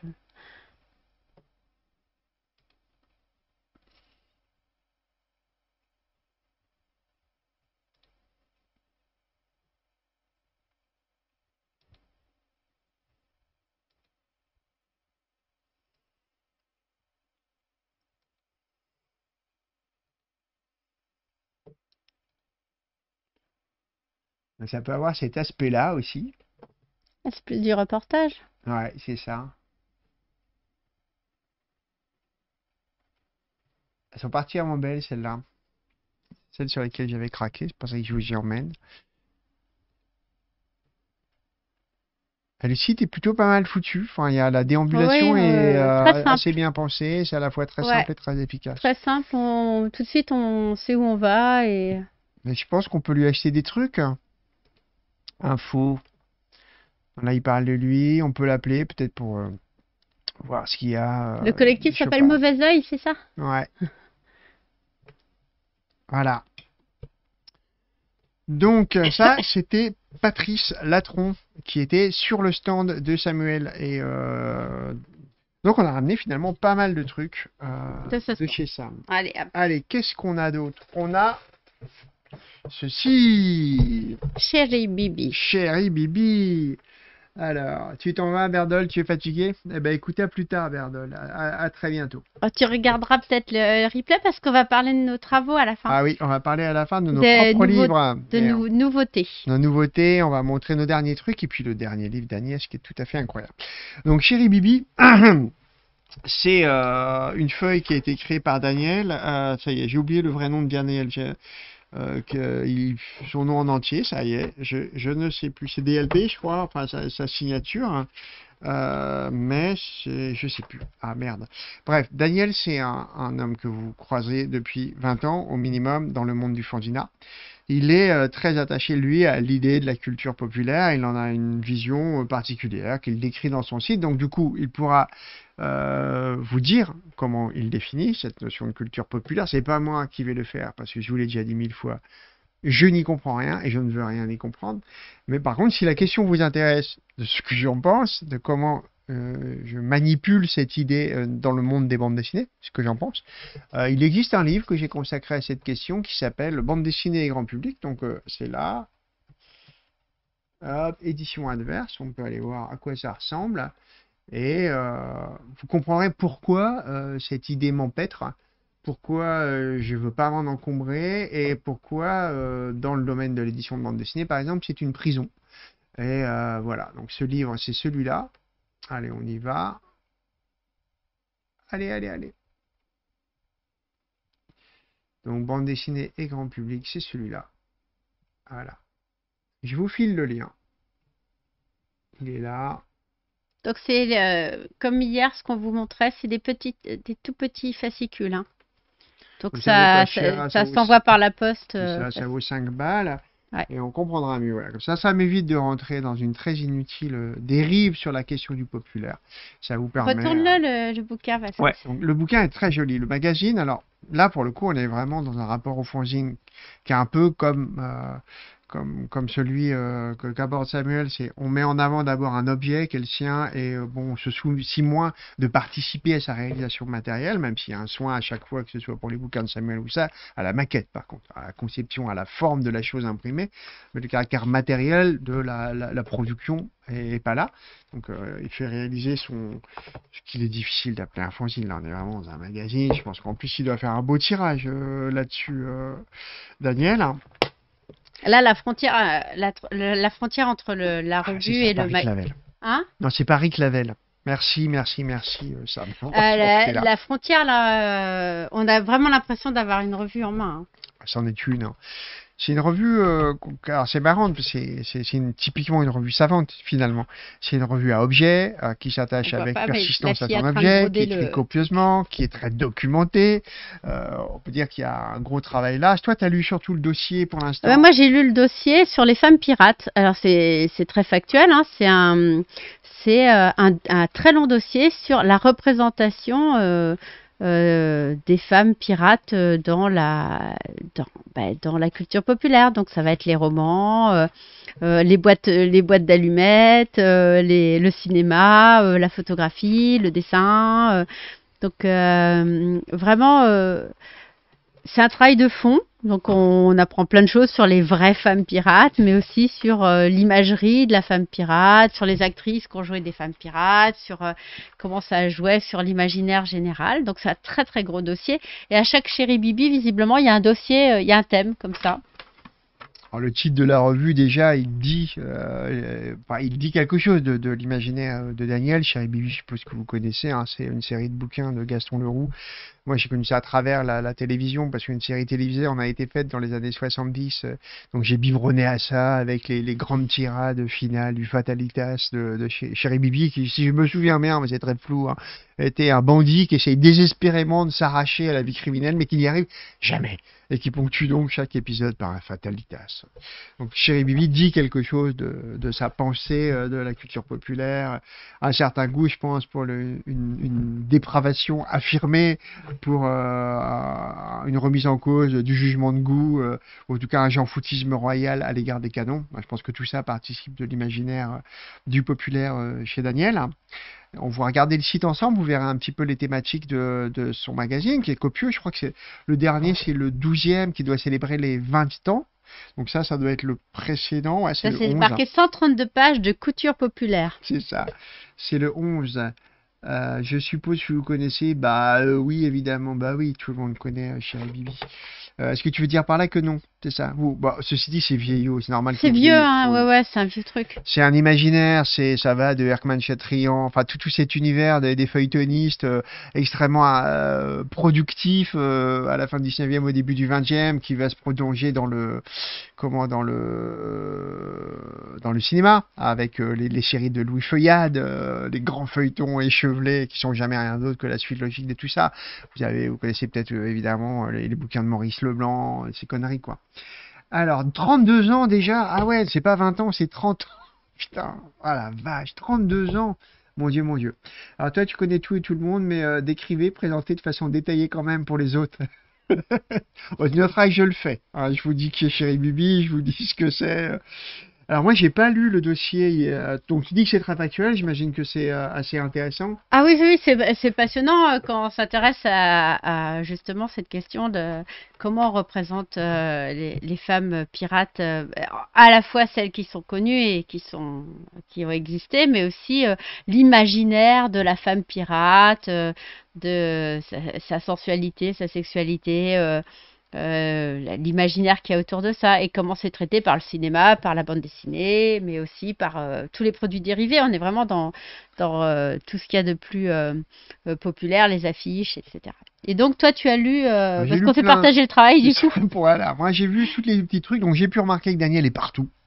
Que il n'y a pas un article, il n'y a pas un entretien où il se voit pas. En fait, c'est clairement le travail d'un homme. C'est euh, bon, c'est un annuel, mais on comprend pourquoi. Parce que il a des collaborateurs et collaboratrices. hein, Il y en a qui sont nommés au sommaire, mais en fait, quand vous regardez un entretien, la plupart du temps, c'est lui qui le contient. Quand il y a des petits articles, hop, euh, dans un coin, eh ben, c'est quand même lui qui les a faits. Et euh, la maquette, il est très largement derrière. Il y a une vraie pensée derrière tout ça. Il y a une pensée de la contestation qui est très présente. Là, donc d'où l'importance, par par exemple, là, de la boxe chez les racisés, comme elle a été euh, une arme d'émancipation chez dans les populations juives aussi aux États-Unis au début du XXe siècle. Donc là, il y a des, il y a un questionnement sur euh, sur la boxe, la position de la boxe là, Euh, et, et ça, il y a un rapport, il y a un- beaucoup de choses sur la musique. Voilà, là aussi, Beaucoup de choses sur la musique, ouais. c'est pas du tout ma tasse de thé. Bon, là, vous avez des pages sur euh, le two-tone. hein. le two-tone, c'est vraiment une, une branche de l'histoire euh, bah, du ska, quoi. Euh, donc ça, je m'en fous euh, complètement. Mais c'est toujours riche, c'est très enlevé, c'est très bien documenté. Donc, pour amateurs et amatrices de musique que j'appelle musique battue, donc musique au tempo discernable, que je n'écoute pas parce que ça me pète les couilles, bah, les amateurs, euh, ils trouveront vraiment leur content. Il y a, ça peut être des choses très marrantes sur un tout petit détail.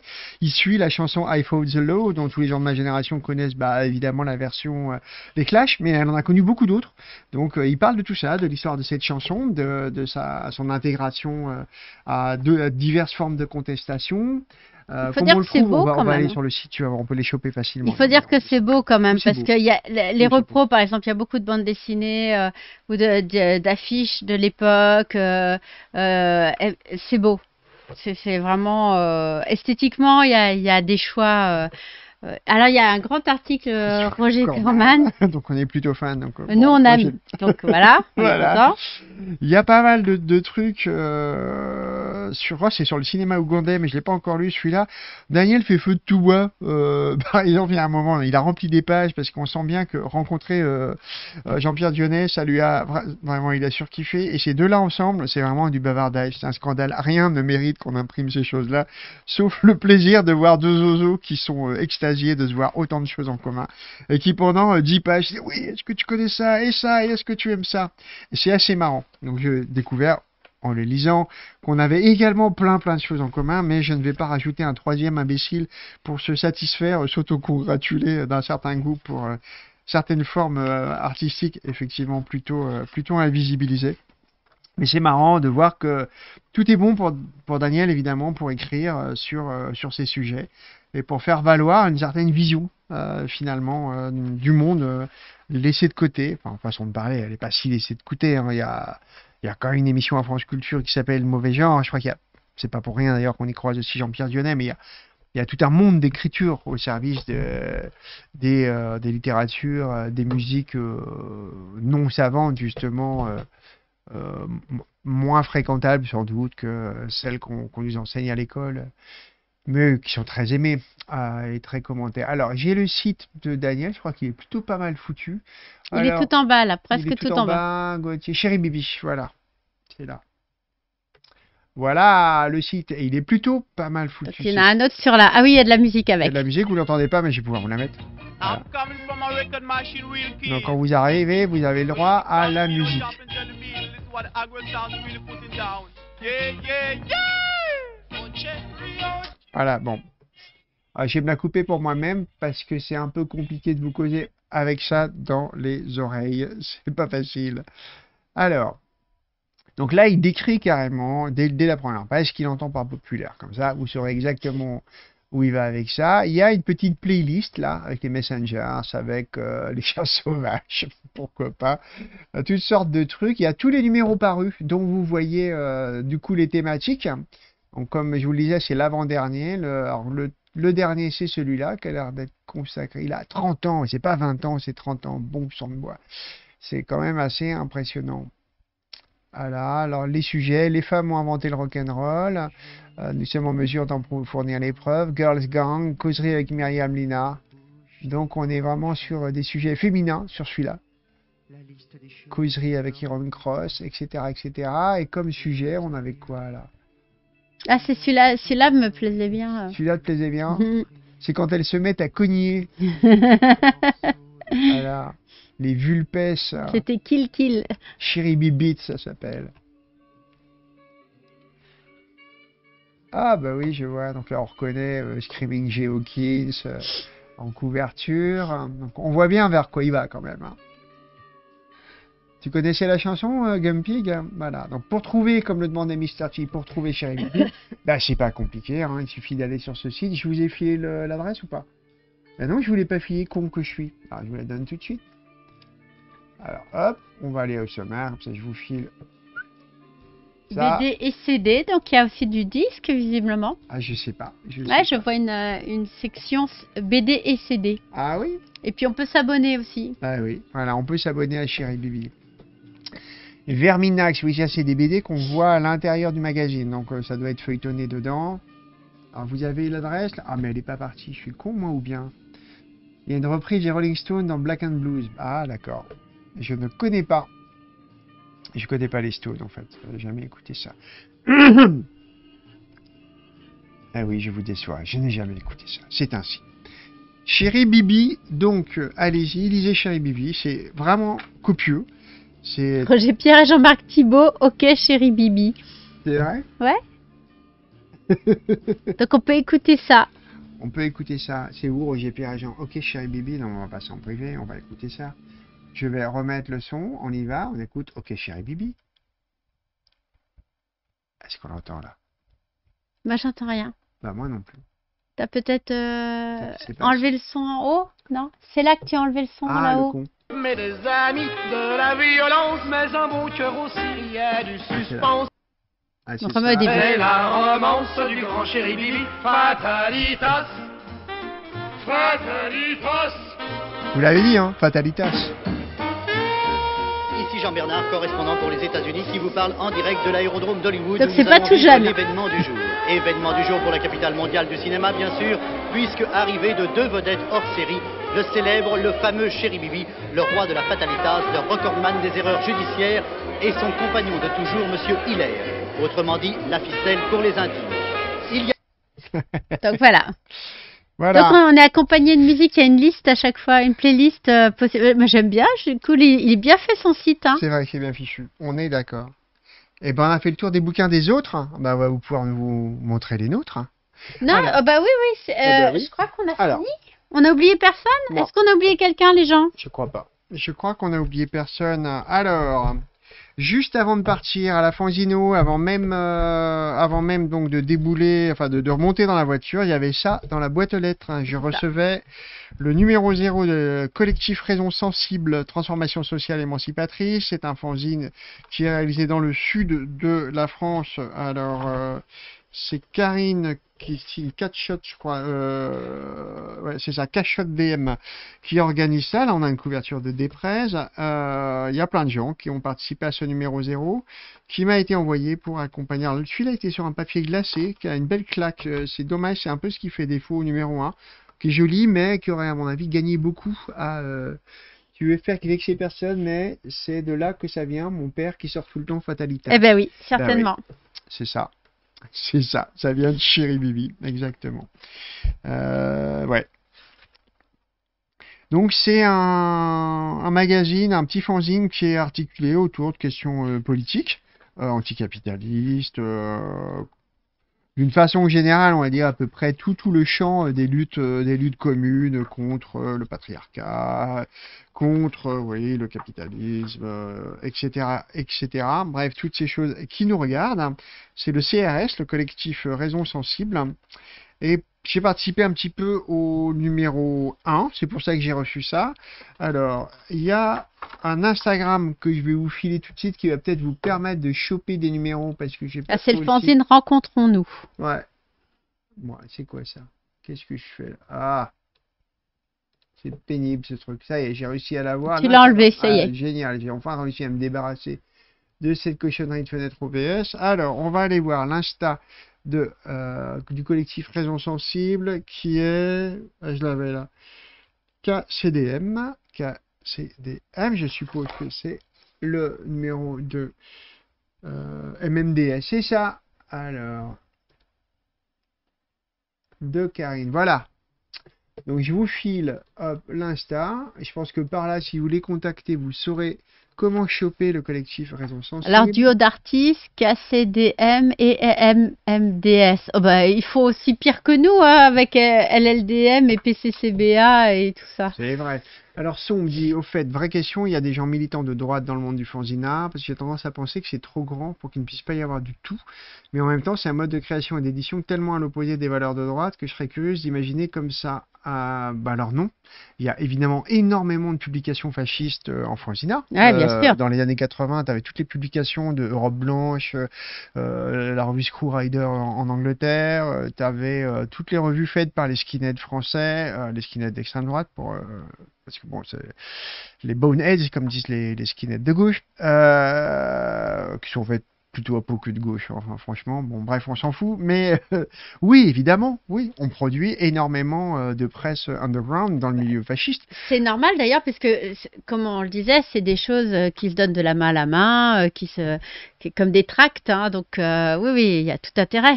Il y a tout intérêt. Complètement. Euh, le côté militant, euh, d'ailleurs, vous avez vu, il y a certaines imprimeries qui disent euh, artistes ou militants.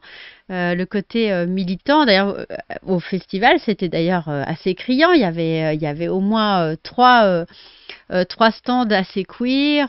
il y a, enfin, le côté, il y avait un stand féministe, gangrène. Il y en a même plusieurs, mais en tout cas, on a sympathisé avec Nathalie de Gangrène. Je, pense que c'est politique et fanzine, ça va bien. Ouais, toute forme politique. Alors tu dis plus la droite capitaliste que la droite fasciste. Il y a de tout. Euh, par exemple, dans euh, la nouvelle droite, qui serait pas de la droite fasciste, mais qui est clairement une droite bourgeoise euh, avec vision culturelle de la suprématie des valeurs de droite, donc les revues conservatrices. Tu as toutes les publications qui entourent la nouvelle Acropole et cette conception-là du monde dans les années 80, 90. Euh, sinon, tu as des revues euh, littéraires euh, qui donc n'avancent pas armées euh, du drapeau conservateur, mais qui sont extrêmement conservatrices. Donc tu peux trouver euh, au Salon de la Revue des vraies valeurs de droite euh, dans euh, des, canards a priori littéraires, mais dont tout l'univers mental et toute la représentation du monde est clairement euh, carrément de la droite conservatrice. Alors consacré au capitalisme comme objet et comme projet, j'en sais rien, mais il n'y a pas de raison qu'il n'en existe pas. Parce que c'est pas parce qu'on imagine que les modes de production capitalistes sont associés à une force de frappe de la valeur argent pour fabriquer euh, des magazines, donc au-delà de euh, la forme artisanale du fanzine. Euh, mais en fait, tout ça prend corps dans la jeunesse. Donc ça veut dire que chez les jeunes capitalistes, euh, le fanzina, ça existe aussi. Euh, on peut tout à fait imaginer, j'en suis absolument persuadé, je- j'en possède pas parce que j'ai pas de raison de posséder ça, mais euh, je ne doute pas une seule seconde qu'il y ait des Oui, euh, dans, euh, dans les écoles de droit, euh, qu'il y ait des fanzineux euh, dans euh, les, les sections historiennes de Lyon 3. avec peut-être pas fascistoïde, mais autre chose. Euh, Moi, j'ai connu des fanzines royalistes. hein. Euh, Quand j'étais à Rennes, hein, il y avait, comment il s'appelle ce couillon Euh, Chauvin, il portait bien son nom celui-là, qui faisait des fanzines euh, maurassiens. Donc là, on est plus dans, la droite fascistoïde, hein, effectivement. Salut à toi Emma Opaline. Mais oui, il existe une tradition potentielle de toutes sortes de choses dans le fanzina. Il n'y a pas de raison qu'il n'y en ait pas. Donc ça peut être tout et n'importe Ça quoi. touche tout. Bah, par exemple, dans le documentaire euh, sur le fanzina, moi, il y a un moment donné, j'ai tiqué parce que j'ai vu euh, euh, des, des supporters qui s'appellent les Ultras et je me suis vraiment posé la question. Je me suis dit, ah bon, ces supporters-là, ils ont leur fanzine. je ne sais pas du tout quelle tendance politique ils ont, mais c'est, ça pouvait tout à fait être de, l'ultra-droite, enfin, finalement. Rien, ne, rien ne le disait le contraire. Euh, je les connais Bonsoir. pas, les ultras, donc je sais pas. Merci pour ton follow, c'est cool. Mais quelqu'un les connaît peut-être Je sais pas. Les, Les- ultras, bah, euh, Samuel, on doit en savoir plus long que nous. Il s'intéresse à tout, Samuel, euh, dans le fanzina. Et nous, bon, on est complètement Et donc, du coup, euh, c'est vrai que sur le coup, j'étais un petit peu interloquée. Je me suis dit, c'est qui ces gens euh, bah, C'est pas parce qu'ils font du fanzine qu'ils sont des amis, hein. Et encore moins des, des amis politiques, on peut pas savoir. Alors, le Donc collectif oui, euh, ça Raison c'est donc Sensible, la raison sensible. C'est ça. Si je ne m'abuse, il est euh, dans le coin de Montpellier. Ben, ça mérite euh, d'être éclairé. Mais moi, Karine, je l'avais rencontré euh, au festival organisé Ça, par il y a peut-être un. au festival organisé Je vais par Six regarder Pieds sous terre euh, autour du euh, autour du roman noir des bandes dessinées. Et c'était Prix de oh, pardon, vente 5 euros. Excuse-moi. Euh, oui, oui, c'est bon marché, etc. Euh, donc moi j'ai publié là-dedans euh, un récit euh, consacré aux trois vifs et aux trois morts. C'est un récit qui reprend le texte original du XIIIe siècle de Baudouin de Condé, qui est un texte absolument magnifique que j'ai pas du tout voulu traduire, enfin translittérer, parce que ça n'a aucun intérêt. Le texte est complexe, mais pas si tant que ça. On se fait très très vite au français du XIIIe. Je veux dire, avec le français du XIIIe siècle, en tout cas celui de Baudouin de Condé, est nettement moins compliqué que celui euh, du XVIe. Du euh, 16e, ouais. Mm. Ouais, clairement. Donc c'est plus simple de lire ça. Et euh, surtout, c'était pour faire la nique à tous ces abrutis qui font de la bande dessinée médiévalisante en faisant une, espèce de français vaguement moyenâgeux. Euh, je trouve ça tellement hautement grotesque que ça m'amusait de dire vous aimez le Moyen-Âge Allons-y, vraiment. Euh, Donc là, c'est une traversée de cet incroyable poème de Baudouin de Condé sur le motif des euh, trois vifs et des trois morts. Sujet pour moi éminemment politique. C'est pour ça que c'est par ce sujet que j'avais euh, également composé une fois une couverture du magazine CQFD. Les ultras sont des hooligans qui ne se battent pas ou rarement. Fin de citation. D'accord. Quand même, Quand même. ça dégage une sale petite odeur. Bah, en tout cas, euh, dans le documentaire, euh, j'ai été troublée, on va dire. Ouais. Donc voilà, ça c'est le truc chopé juste Petit avant de fanzine. partir, reçu dans ma boîte aux lettres, c'est Ouais. le fanzine. euh, Donc je vous ai filé l'adresse euh, du. euh, Merci pour ton follow. Ils ont un fanzine, ils ont bienvenue à bord. Ouais. Alors, On continue avec bah, les trucs qu'on avait fait pour l'occasion. alors, les deux trucs, euh, plusieurs trucs qu'on avait fait pour l'occasion, mais c'est vrai qu'il faut en parler. Bah Allez, allons-y. Tu commences? Oh non, vas-y, vas-y, vas-y. J'ai un petit coup de fatigue, moi. Ah, un petit coup de fatigue, mais Ouais. pourquoi? Ouais, Ça fait que 3h28. quoi. Oui, bah tu sais. Ultra de gauche, ça existe en tout cas, oui. Il y a des ultras de gauche, tu parles du football là? Je ne sais pas. Ah, L'ultra gauche, oui. Ah oui. C'est ça, tu veux dire hein Bah là, c'était pas des ultras de gauche. Donc ça, c'est un truc un peu particulier. C'est un bouquin fait à deux mains avec Benjamin Pinguin, qui est venu ici. D'ailleurs, je euh, peux faire une parenthèse juste. Euh, il y avait euh, une table ronde fanzine et politique Oui. pendant le pendant le, le festival. Voilà, non, c'était ça. Euh, Ça m'est revenu. D'accord. Oui, c'est vrai. Il y avait une table ronde fanzine politique. Ouais. Et notamment des skinheads étaient invités. Donc, euh, c'était mené par un sociologue dont j'ai oublié le nom d'ailleurs, qui est sa spéciale. La commande ne marche pas, quelle commande? UHT, c'est quoi comme commande, Mr. T? Je connais pas. Euh, donc, ça, c'est fait avec Benjamin, Benjamin Binguin, qui est venu à la maison bosser avec nous. Il devait faire des stages, euh, et parmi les stages qu'il devait faire, il y avait une formation dans euh, la micropublication. Il en fait dans plusieurs domaines, et là, il doit repasser un de ces quatre pour se faire une formation dans l'écriture des bandes dessinées. J'ai décidé, nous quand on prend des stagiaires, on, euh, refuse d'en faire euh, des éléments extérieurs à la création, donc on, bosse avec eux. On invente des choses et avec Benjamin, on a réalisé cette chose, on l'a pensé ensemble. Il y avait une petite idée de ce que je voulais faire, mais à chaque étape de la création, je lui demandais réellement euh, d'avancer avec moi sur le questionnement de cet objet. Donc c'est un Leporello en trois passages sérigraphiques couleur plus un passage de bruine. Donc le passage de bruine, vous pouvez le voir peut-être délicatement ici. Alors, je sais pas si on voit bien dans la caméra en bas à gauche. Vous voyez, il y a des espaces plus clairs et, euh, et un fond qui est euh, légèrement grisé.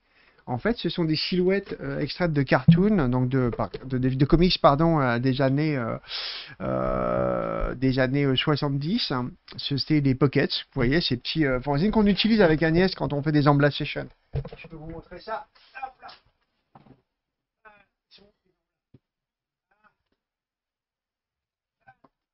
Quand on fait des sessions, on utilise des pockets comme ça. Et là, on a utilisé des silhouettes euh, qui ont été découpées dans des feuilles de plastique. Donc les grandes feuilles ont été posées au sol. Donc c'est des feuilles qui font bah, 10 fois ça. On peut faire 10 les pour les dedans. Euh, et euh, il y a eu une projection faite au-dessus du sol avec des silhouettes posées dessus, des silhouettes de plastique découpées. Ensuite, trois passages couleurs ont été faits, mais avec un effet de dégradé. Donc c'est du matériel graphique qui simule euh, la construction des bandes dessinées, des émanatas, etc. Mais sans représentation précise. C'est plutôt une, une sensation générale qui passe d'un passage rouge, un passage orange, un passage orange clair. Ensuite de quoi tout ça a été découpé. Et après la découpe, on a contrecollé dessus un papier jaune, un papier de soie d'un beau jaune safran. Alors là, on voit pas sur la caméra centrale, mais je crois que celle-là est plus juste euh, sur les couleurs. Voilà, en bas à gauche, c'est plutôt ça la vraie couleur. Ok?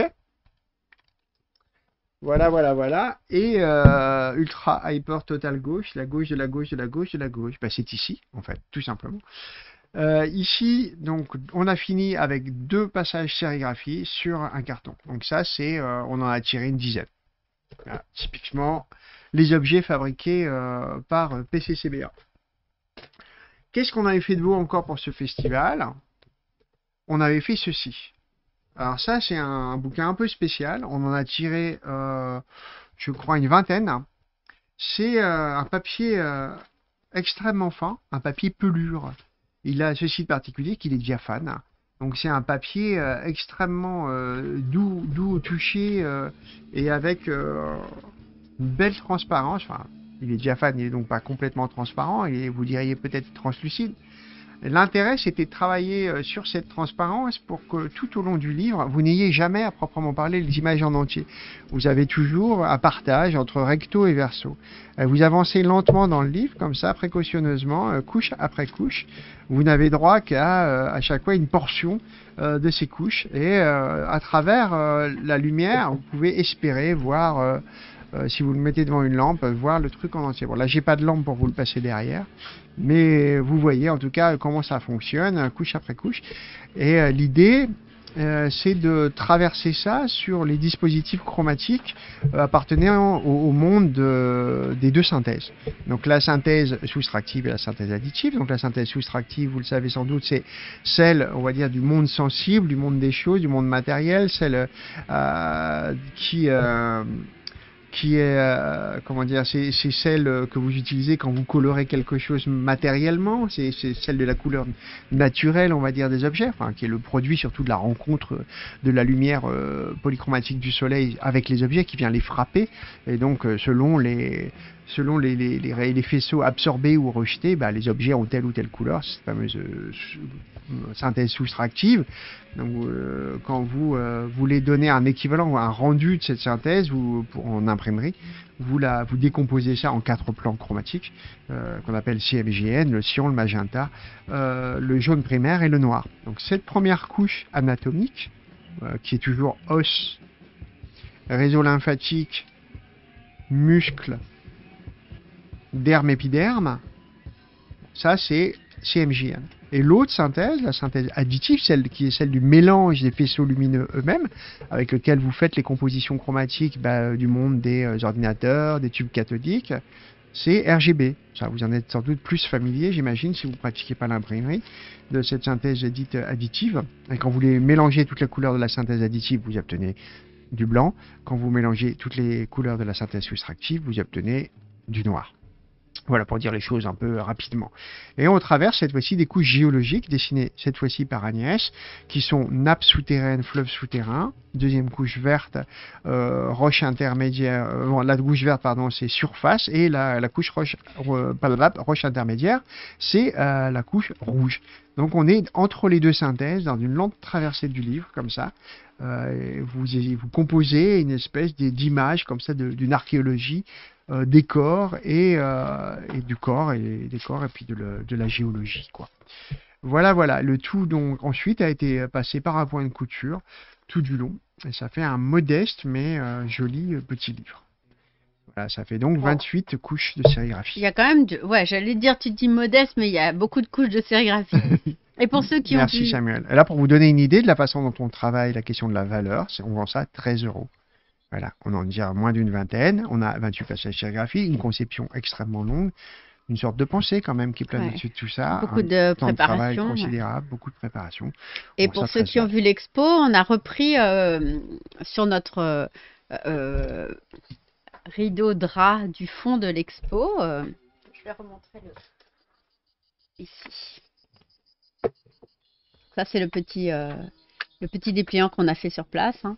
Donc sur ce rideau qui est au, fond là, euh, il y avait des cases, etc. On a repris euh, des, motifs euh, de ce livre, notamment l'homme feuille.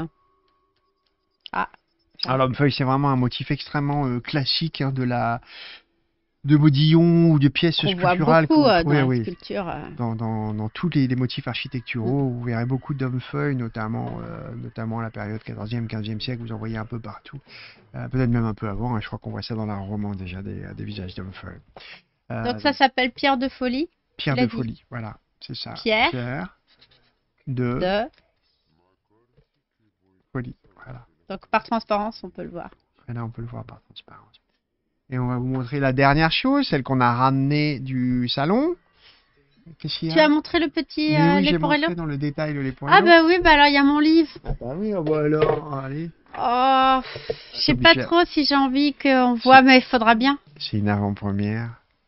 Regardez-moi cette merveille. Oui, euh, Alexandre Balkan de Éditions Adverse est venu, il m'en a fait un exprès pour, euh, pour que j'ai un exemplaire en repartant du, du festival. Voilà, regardez-moi ça. Donc c'est Fausse Maîtresse. hein. C'est pas moi qui vous en parlais, hein, c'est la fille qui est à côté, c'est son bouquin. On était heureux de recevoir ça, on a pu voir enfin ce travail Ouais. colossal, voir à quoi il ressemble. Voilà, enfin. Ouais.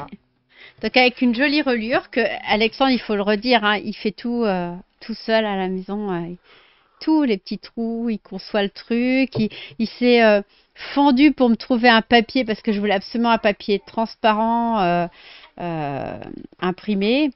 Et euh, il a dû trouver un papier spécial euh, antistatique, sinon il y avait plein de cochonneries dessus qui se collaient. euh, et euh, il, il a fait de- tous mes caprices, il a cédé quasiment. c'est ça. Ouais.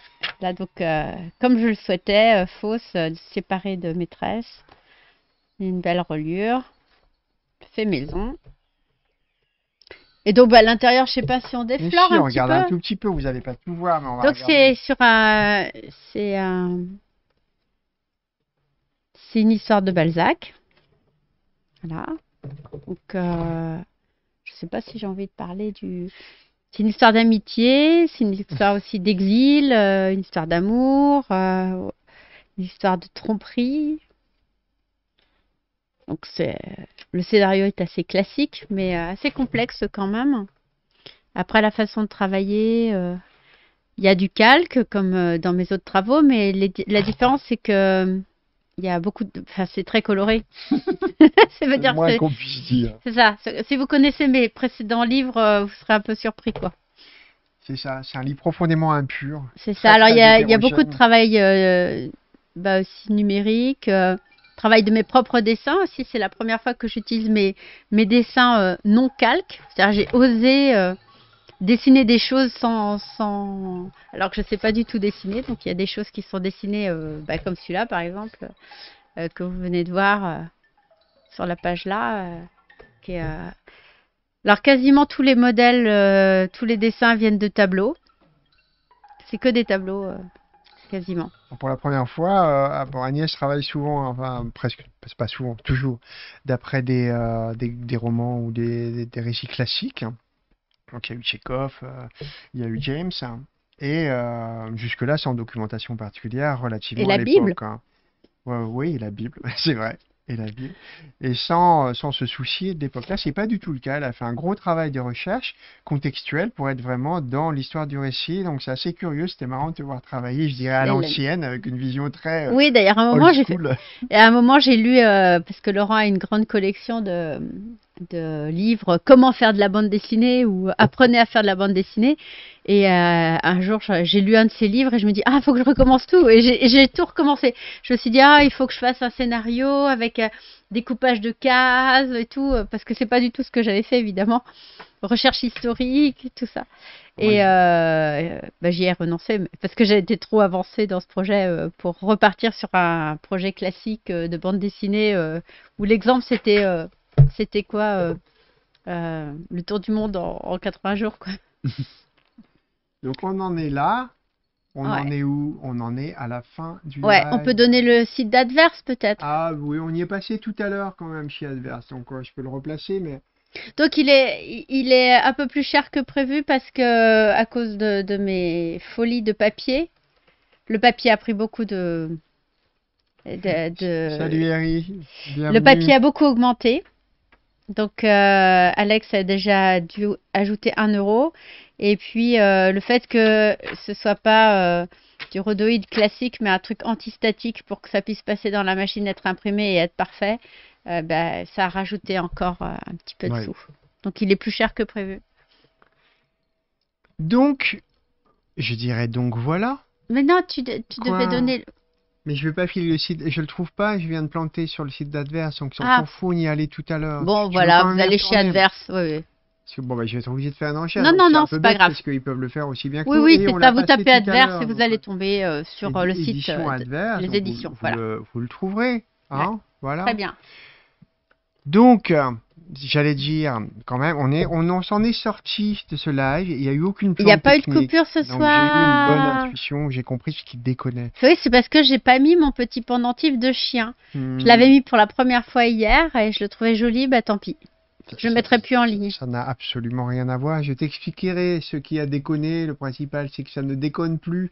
Mais de rien, Sombre, c'était chouette de vous avoir à bord. Ce qu'on va faire, si ça vous va, on va se faire un petit raid quand même. On va essayer Bah de, oui. de dire. euh, On a parlé de tout, on n'a rien oublié. on n'a hein. rien oublié. T'avais peur qu'on ait oublié un petit truc? Bah oui, parce que euh, quand on a fait en deux fois comme ça, c'est Ah, compliqué. C'est toujours un peu compliqué. Mais je pense que c'est